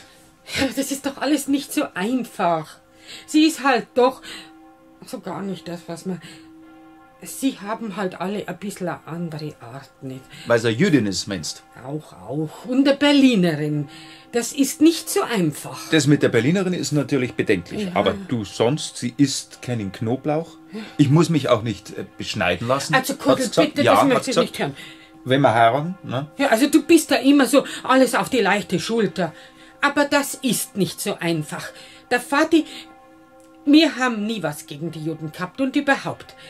Aber der Vati hat oft gesagt, Vorsicht, Vorsicht. Und dann ist er von einem Christen aufs Kreuz gelegt worden. Das hat doch mit dem Kurtel. Also es gibt nämlich auch noch andere Leute, die sehr viel Einblick haben.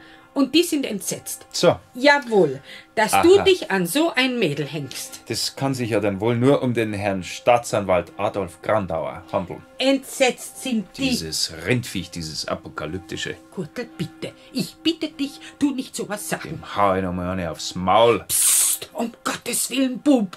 Mach dich nicht unglücklich. Du weißt nicht, wie du solche Leute eines Tages brauchst.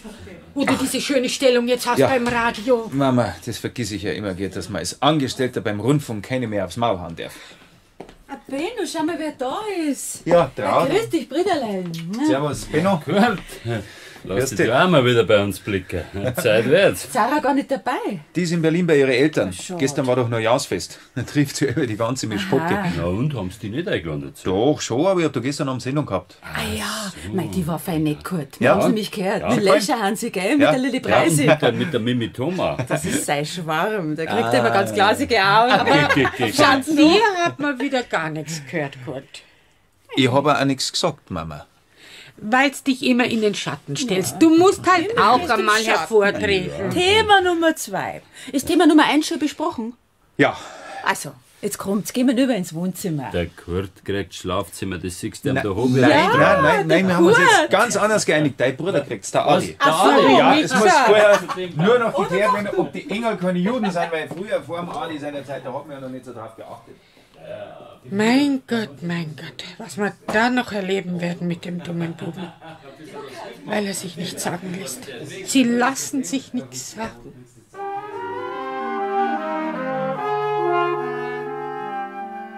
Mitte Oktober hat der Inspektor Guggenbichler auf Antrag 100 Reichsmark zugebilligt erhalten, um damit den Friseur Erwin für einen Tipp zu honorieren, der zwar nicht unmittelbar, aber vielleicht auf Umwegen an den Personenkreis heranführen könnte, welcher sich draußen in dem leerstehenden Wochenendhaus auf das Fälschen von Steuerbanderolen eingerichtet hatte. Und? Was ist das für ein Vogel? Ein Eisenwarntantler. Zurzeit steht er auf der Aadud. Vorbestraft. Mehrfach. Wegen Hehlerei. Ist erst seit August wieder heraus auf Bewährung. Und der soll die Druckmaschine geliefert haben. Hat der ja wen gesagt? Für wen hat er ihm nichts gesagt? Nein. Vielleicht sagt er es uns. Besuchen Sie ihn dann noch einmal an seinem Duldstand und packen Sie ihn gleich an seinem Nasenring. Wenn er sich zieht, sagen Sie ihm, es ist aus mit der Bewährung. Dann lass ihm die Bude zusperren und lachen ein. Mei, Dirndl, ich hab doch keine Sockenschuhe. 25 Pfennig der kosten. Da schauen auf, wie viel dass ich da schon stehen hab, so einen alten Kochtopf. 20 Pfennig. Bitte. Geh weiter, nimm dein Hafer und schleich die Kind. Ich hab auch keinen Geldscheißer. Sehen Sie, und so geht es den ganzen Tag. Alle wollen bloß was verkaufen, weil sie daheim nichts mehr zum Fressen haben. Was glauben Sie lieber her? Wie wir das spüren bei der Arbeitslosigkeit? Ja, ja, ja, das glaube ich schon, aber ich habe ja noch was anderes gefragt.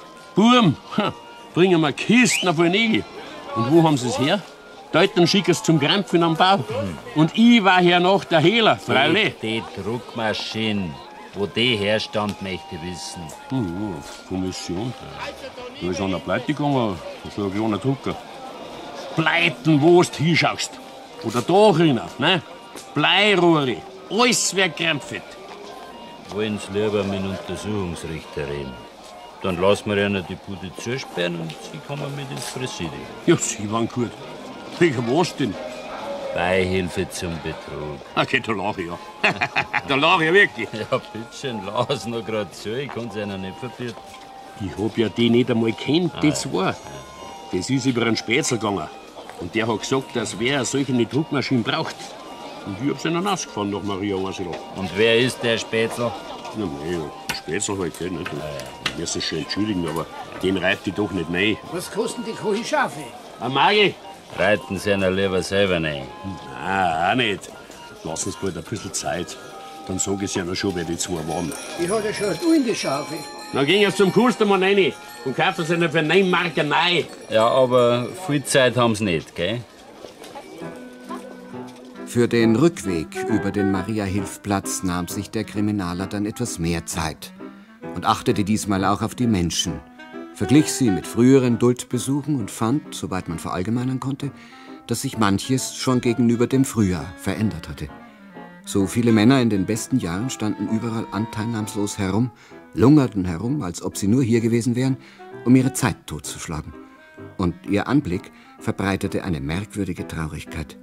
Das hatte man in München bislang noch gar nicht so deutlich gespürt, wenn man nicht selber davon betroffen war. Man sprach von über drei Millionen Arbeitslosen im ganzen Reich. Wieso eigentlich?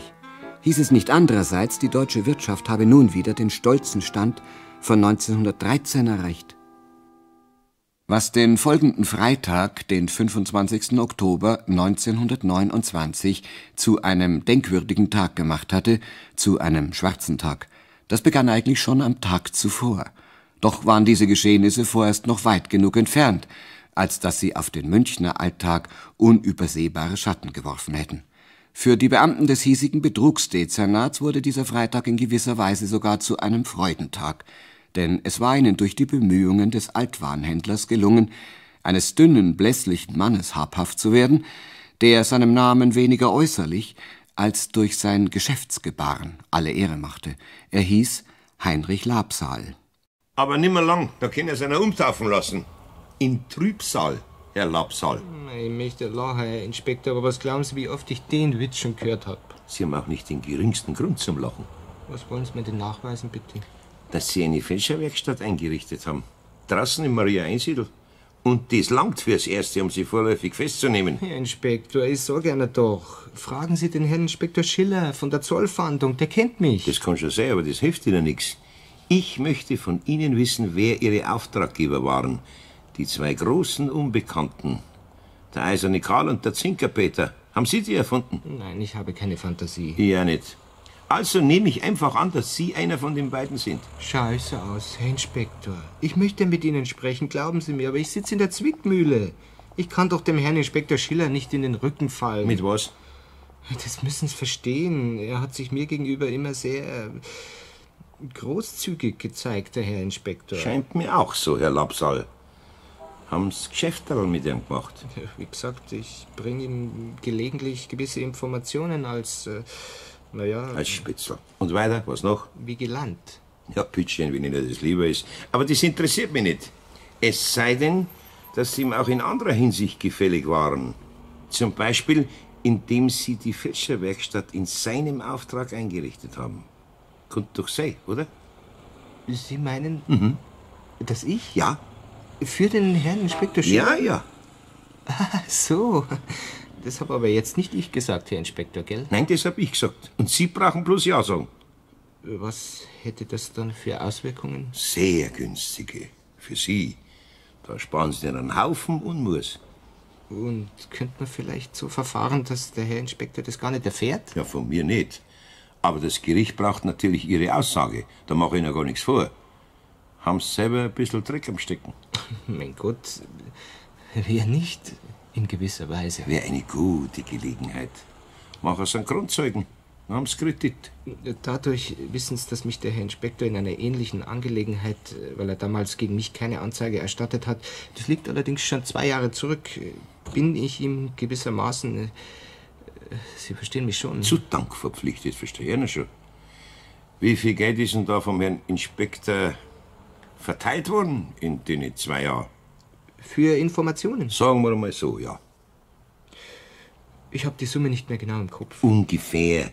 Es war ja sicher nicht alles für Sie, oder? Schön wäre es gewesen, es sind schon mehrere Leute bedient worden. Strohmänner. Informanten. Aber den Löwenanteil, den hat sich der Herr Inspektor selber einbehalten. Man hat sich über das Weitere kein Urteil gebildet, verstehen Sie mich schon? Mühelos. Solange er das Geld herbringt, soll er was davon haben. Sind ja bloß Steuergelder. Wie viel? 10.000? 20? Vielleicht schon etwas mehr. 30? 40.000? Man müsste ihn selber fragen. Gute Idee. Das machen wir. Sehen Sie, Grandauer, das nenne ich Bewegungsgelder im wahrsten Sinne des Wortes. Ja, und die haben sie ihm einfach so zur Verfügung gestellt, seine Behörde. Zielzahlweise natürlich. Ein Hunderter und wieder ein Hunderter, einmal ein Tausender oder mehr für einen besonders heißen Tipp. Dafür hat ihm dann der Labsal aus seinen Restbeständen etliche Meter gefälschte Banderolen geliefert, zum Vorzeigen. Bewegung, immer Bewegung, bis die Langmut seiner Vorgesetzten erschöpft war. So, und jetzt hat was passieren müssen. Der große Coup. Aber woher nehmen? Wir waren aufgeschmissen. Wir brauchen dazu die kriminelle Tat, sonst fällt uns nichts ein. Der ideale Polizist genügt sich selbst. Also, was tut er? Er gibt seinen Ganoven den Auftrag, eine Fälscherwerkstatt einzurichten und hebt sie anschließend vor den Augen der staunenden Öffentlichkeit aus. Auf Staatskosten. Und gegen Belohnung, Sie Anfänger. Das ist der Lerner Senior. Nein. Ich überlege mir schon, ob ich ein neues Schlafzimmer kaufe, weil wir noch 200 Mark fehlen und weil man sich ja sagt, ein Beamter stottert nichts ab. Das kehrt sich auch nicht. Ein Beamter ist flüssig. Ich kenne sogar welche, die sind überflüssig.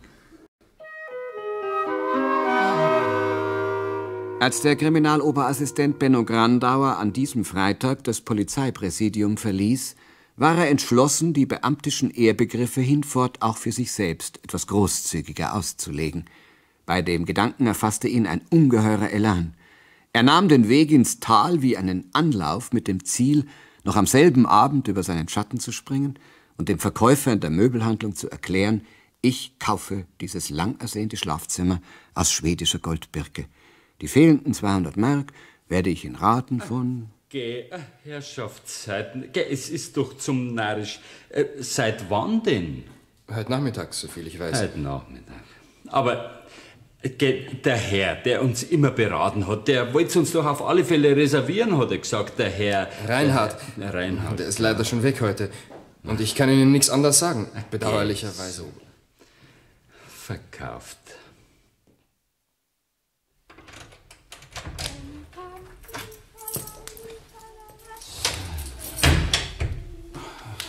Enno, Ja, ich habe eine Überraschung. Grüß dich, Herzchen. So, ja, ja. Komm, komm. Grüß dich.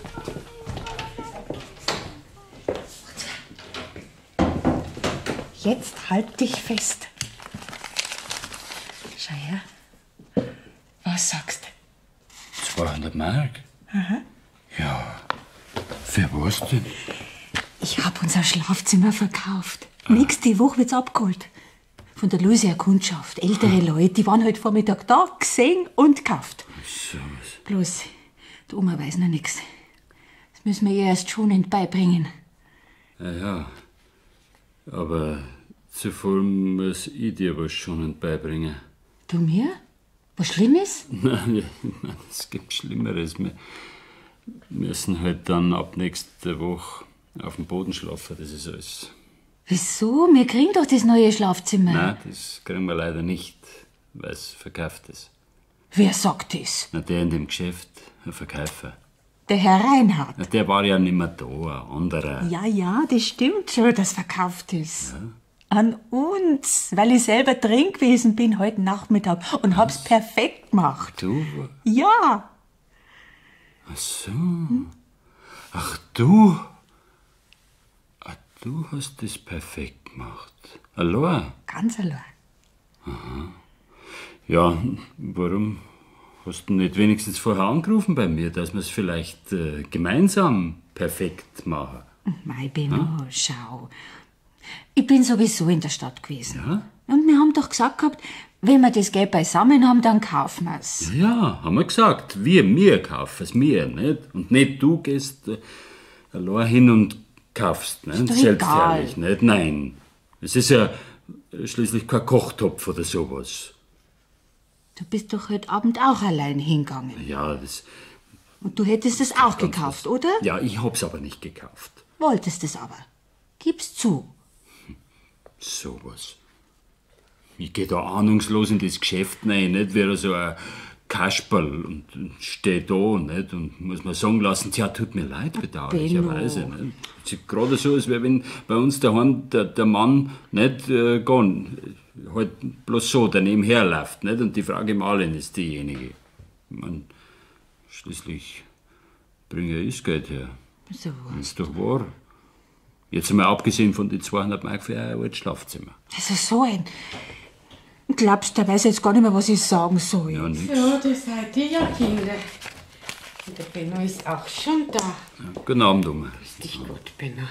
Lasst euch nur nicht stören. Du dich mit dir. Ich war nämlich gerade ein bisschen bei den Heinrichs drüben. Aber ist das nicht fürchterlich? Was da jetzt in Amerika los ist? Hm? Du wirst es ja auch schon gehört haben, Benno, gell? Ja, ja. Diese Zusammenbrüche auf der Börse, die bringen sich ja alle um. Also das muss ja unvorstellbar sein. Millionen und Abermillionen über Nacht. Ganze Bankhäuser. Was sagst denn du dazu, Benno? Ja, mei, Oma, was, was soll man dazu sagen? Der Herr Heinrich, der ist ja selber bei der Bank und der sieht ganz schwarz. Der sagt, es kommt auch zu uns. Das gibt ein Debakel. Schlimmer, wenn wir schon gehabt haben. Geh, Mutti, was weiß denn der Herr Heinrich? Der? Hast du eine Ahnung? Solche Bankleute, die, die haben doch ihre Verbindungen in die ganze Welt. Warum? Was ist denn da eigentlich los gewesen genau? Ein Börsenkrach hat's geheißen in den Nachrichten. Ja, die haben halt gemeint, das geht ewig so weiter, nicht? Dass wir aus einer Mark zwei machen konnten, aus zwei vier, nicht? Spekulationen. Aber was, das ist ja nicht unsere Welt. Aber der Herr Heinrich hat gesagt, das kommt auch zu uns. Mein Gott, Kinder, wir haben's ja schon mal erlebt. Kinder. Unser Vater, das ist ja erst sechs Jahre her. Ja, ja, ja. Und sowas, na, Kinder, wenn man dann wieder so dasteht und sie ziehen einem das letzte Hemd aus, na, da mache ich für nimmer mit. Also an dein letztes Hemd, Oma, an das lassen wir niemand hin. Da kannst du ganz beruhigt sein. Ach Gott, ach Gott, Kinder, kann's denn nicht einmal also bleiben, dass man ein bisschen zum Schnaufen kommt? Es wird schon nicht so schlimm werden, Mutti. Mir geht's ja nur um euch. Ich bin alt, mein Gott, da kriegt ja kein Hahn mehr danach nach die alten Leute. Kein Hahn. Was ist denn jetzt mit eurem Schlafzimmer? Mit un Wieso? Was soll sein? Na ja, jetzt tut halt einmal dazu, bevor es zu spät ist. Mutti. Also, sag mal. Ich geb euch ja die 200 Mark, in Gottes Namen. Zu was brauche ich denn noch 200 Mark? Hauptsache, ihr seid glücklich und genießt euer Leben.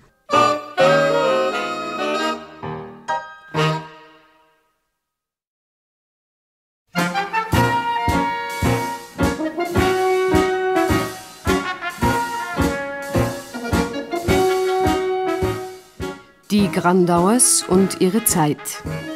Eine Familiengeschichte in Fortsetzungen von und mit Willi Purucker. 18. Teil Notverordnungen.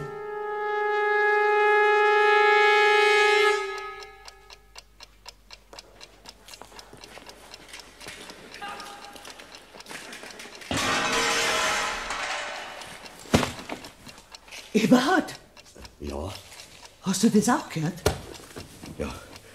Fensterscheiben. Das war doch unten im Laden. Ja, das. Lass das Licht aus. Und, und bleib du da. Nein, das, Ja, ich schau schon um nach. Gottes Willen, um Gottes Willen, sei vorsichtig, Eberhard. Ja, ja. Aber bleib du nur liegen, gell? Geh, ruf doch lieber die Polizei. Ich mach das schon. Hast du die Nummer? Ja, ich find die schon. Der Radiohändler Eberhard Stork war nicht von kräftiger Statur, ein eher unscheinbarer Mann. Und dafür zeigte er auffallend wenig Furcht, als er vom Schlafzimmer im ersten Stock hinunter in den Hausflur ging. Es war kurz vor vier Uhr früh. Die Straßenlampen hätten längst repariert werden sollen, aber es wurde ja überall gespart. So konnte man kaum etwas sehen. Hallo. Eberhard? Wir haben ihn, den Kerl. Der wollte einbrechen bei dir. Mensch, mein Aug. Zeig ihn mal her. Der hat mir derartig aufs Auge geschlagen, der rabiate Hund. Moment, ich mache ein Licht im Laden, gell? Das spielt vollkommen zu. Tu nur gleich was Kaltes drauf, Hannes. Jetzt waren im Schein der Ladenbeleuchtung zwei Zivilisten zu erkennen, die an ihren Mänteln die Abzeichen der Notpolizei trugen. Ein dritter Mann kauerte auf dem Bürgersteig vor der eingeschlagenen Schaufensterscheibe, versuchte aufzustehen, taumelte und sackte wieder aufs Pflaster. Sehen hat niemand was, hä? Alles planmäßig. Was ist denn da los? Da unten. Einbruch. Herr Stock, Ja, bei Ihnen? ja, zum zweiten Mal in einem Vierteljahr. Schaufenster eingeschlagen und dann Radio rausgenommen. Da. Saustall. Haben Sie ihn erwischt? Ja, gerade noch. Wir haben ihn ziemlich hart anpacken müssen. Mein Kamerad ist am auch verletzt. Sind Sie von der Polizei? Notpolizei. Freiwillige. Der Herr Lehrer Kienast und der Herr Schirmer. Respekt, meine Herren. Höchste Zeit, sage ich, dass der Bürger selber für Ordnung sorgt. Was wollen Sie denn von so einem Staat verlangen? Ja, richtig. Abtreten, Bankrott erklären. Jawohl. Dass endlich einmal andere Leute ans Ruder kommen. Das wär richtig. Die durchgreifen. Sonst wächst uns das Zingel noch über den Kopf. Schirmer, geht's wieder? Einigermaßen. Rufst du gleich im Revier an? Ja, mache ich. Ist das sein Fahrrad? Das müssen wir noch wegstellen. Deutschland, die Hauswand. der Waffe. Ja, da haben Sie recht. Kann ich irgendwas für Sie tun, meine Herren? Nein, nein, danke. Eberhard. Das geht jetzt alles seinen Gang. Eberhard, Ja, so bitteschön, bleib du drin. soll ich nicht den Doktor anrufen? Für wen? Wenn er vielleicht, dass er verletzt ist. Das ist nicht so schlimm. Der steht schon wieder auf. Sache der Polizei, Frau Stark, die wird gleich da sein. Also kümmere dich lieber um den Schirmer. Der kann immer aus dem Auge schauen, so hat er den zugekriegt. Der Saukerl, der Linke.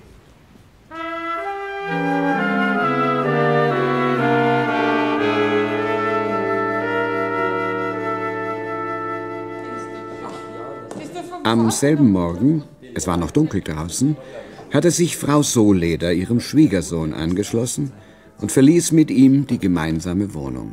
Also geht's so. Der Hut ist doch schon mindestens. Ja, der, der Vater noch gelebt, so alt ist der. Aber sehr damenhaft, Oma, sehr damenhaft. Der ist doch nicht irgendwie, ich meine, aufgedonnert, oder? Na, Nein, sag selber. Na, na, ich sag ja, Das sehr damenhaft. Wäre mir nämlich entsetzlich, Benno, wenn vielleicht irgendjemand denken könnte, dass ich mich in der Früh schon auftonne Tja. für die Kirche. Ja, wer kann denn sowas denken, Oma? Ja, ich meine nur. Der Herr Buberl vielleicht? Also, geh, jetzt hörst du aber auf, gell? Der Herr Bubel, dass ich nicht lach. Der ist ja protestantisch. Na ja, schau, dann ist da überhaupt keine Gefahr, Oma. Da, sei mir nicht böse, ich muss sausen, sonst fahrt mir Trambahn davon. Ich kann ja schließlich auch nicht mit einem Kopftuch daherkommen, so wie eine Arbeiterfrau, Na, oder? wirklich nicht. Also bis heute Abend so. Ja, oh Gott. Und während der Kriminalkommissär Benno Grandauer die äußere Prinzregentenstraße überquerte und anschließend auf gefrorenem Trampelpfad die vordere Wiese zur Haltestelle der Linie 19 hinüber, folgte seine Schwiegermutter der Einladung zur Frühmesse, die sich wie jeden Tag um diese Zeit vom Turm der neuen Gabrielskirche weithin kundtat.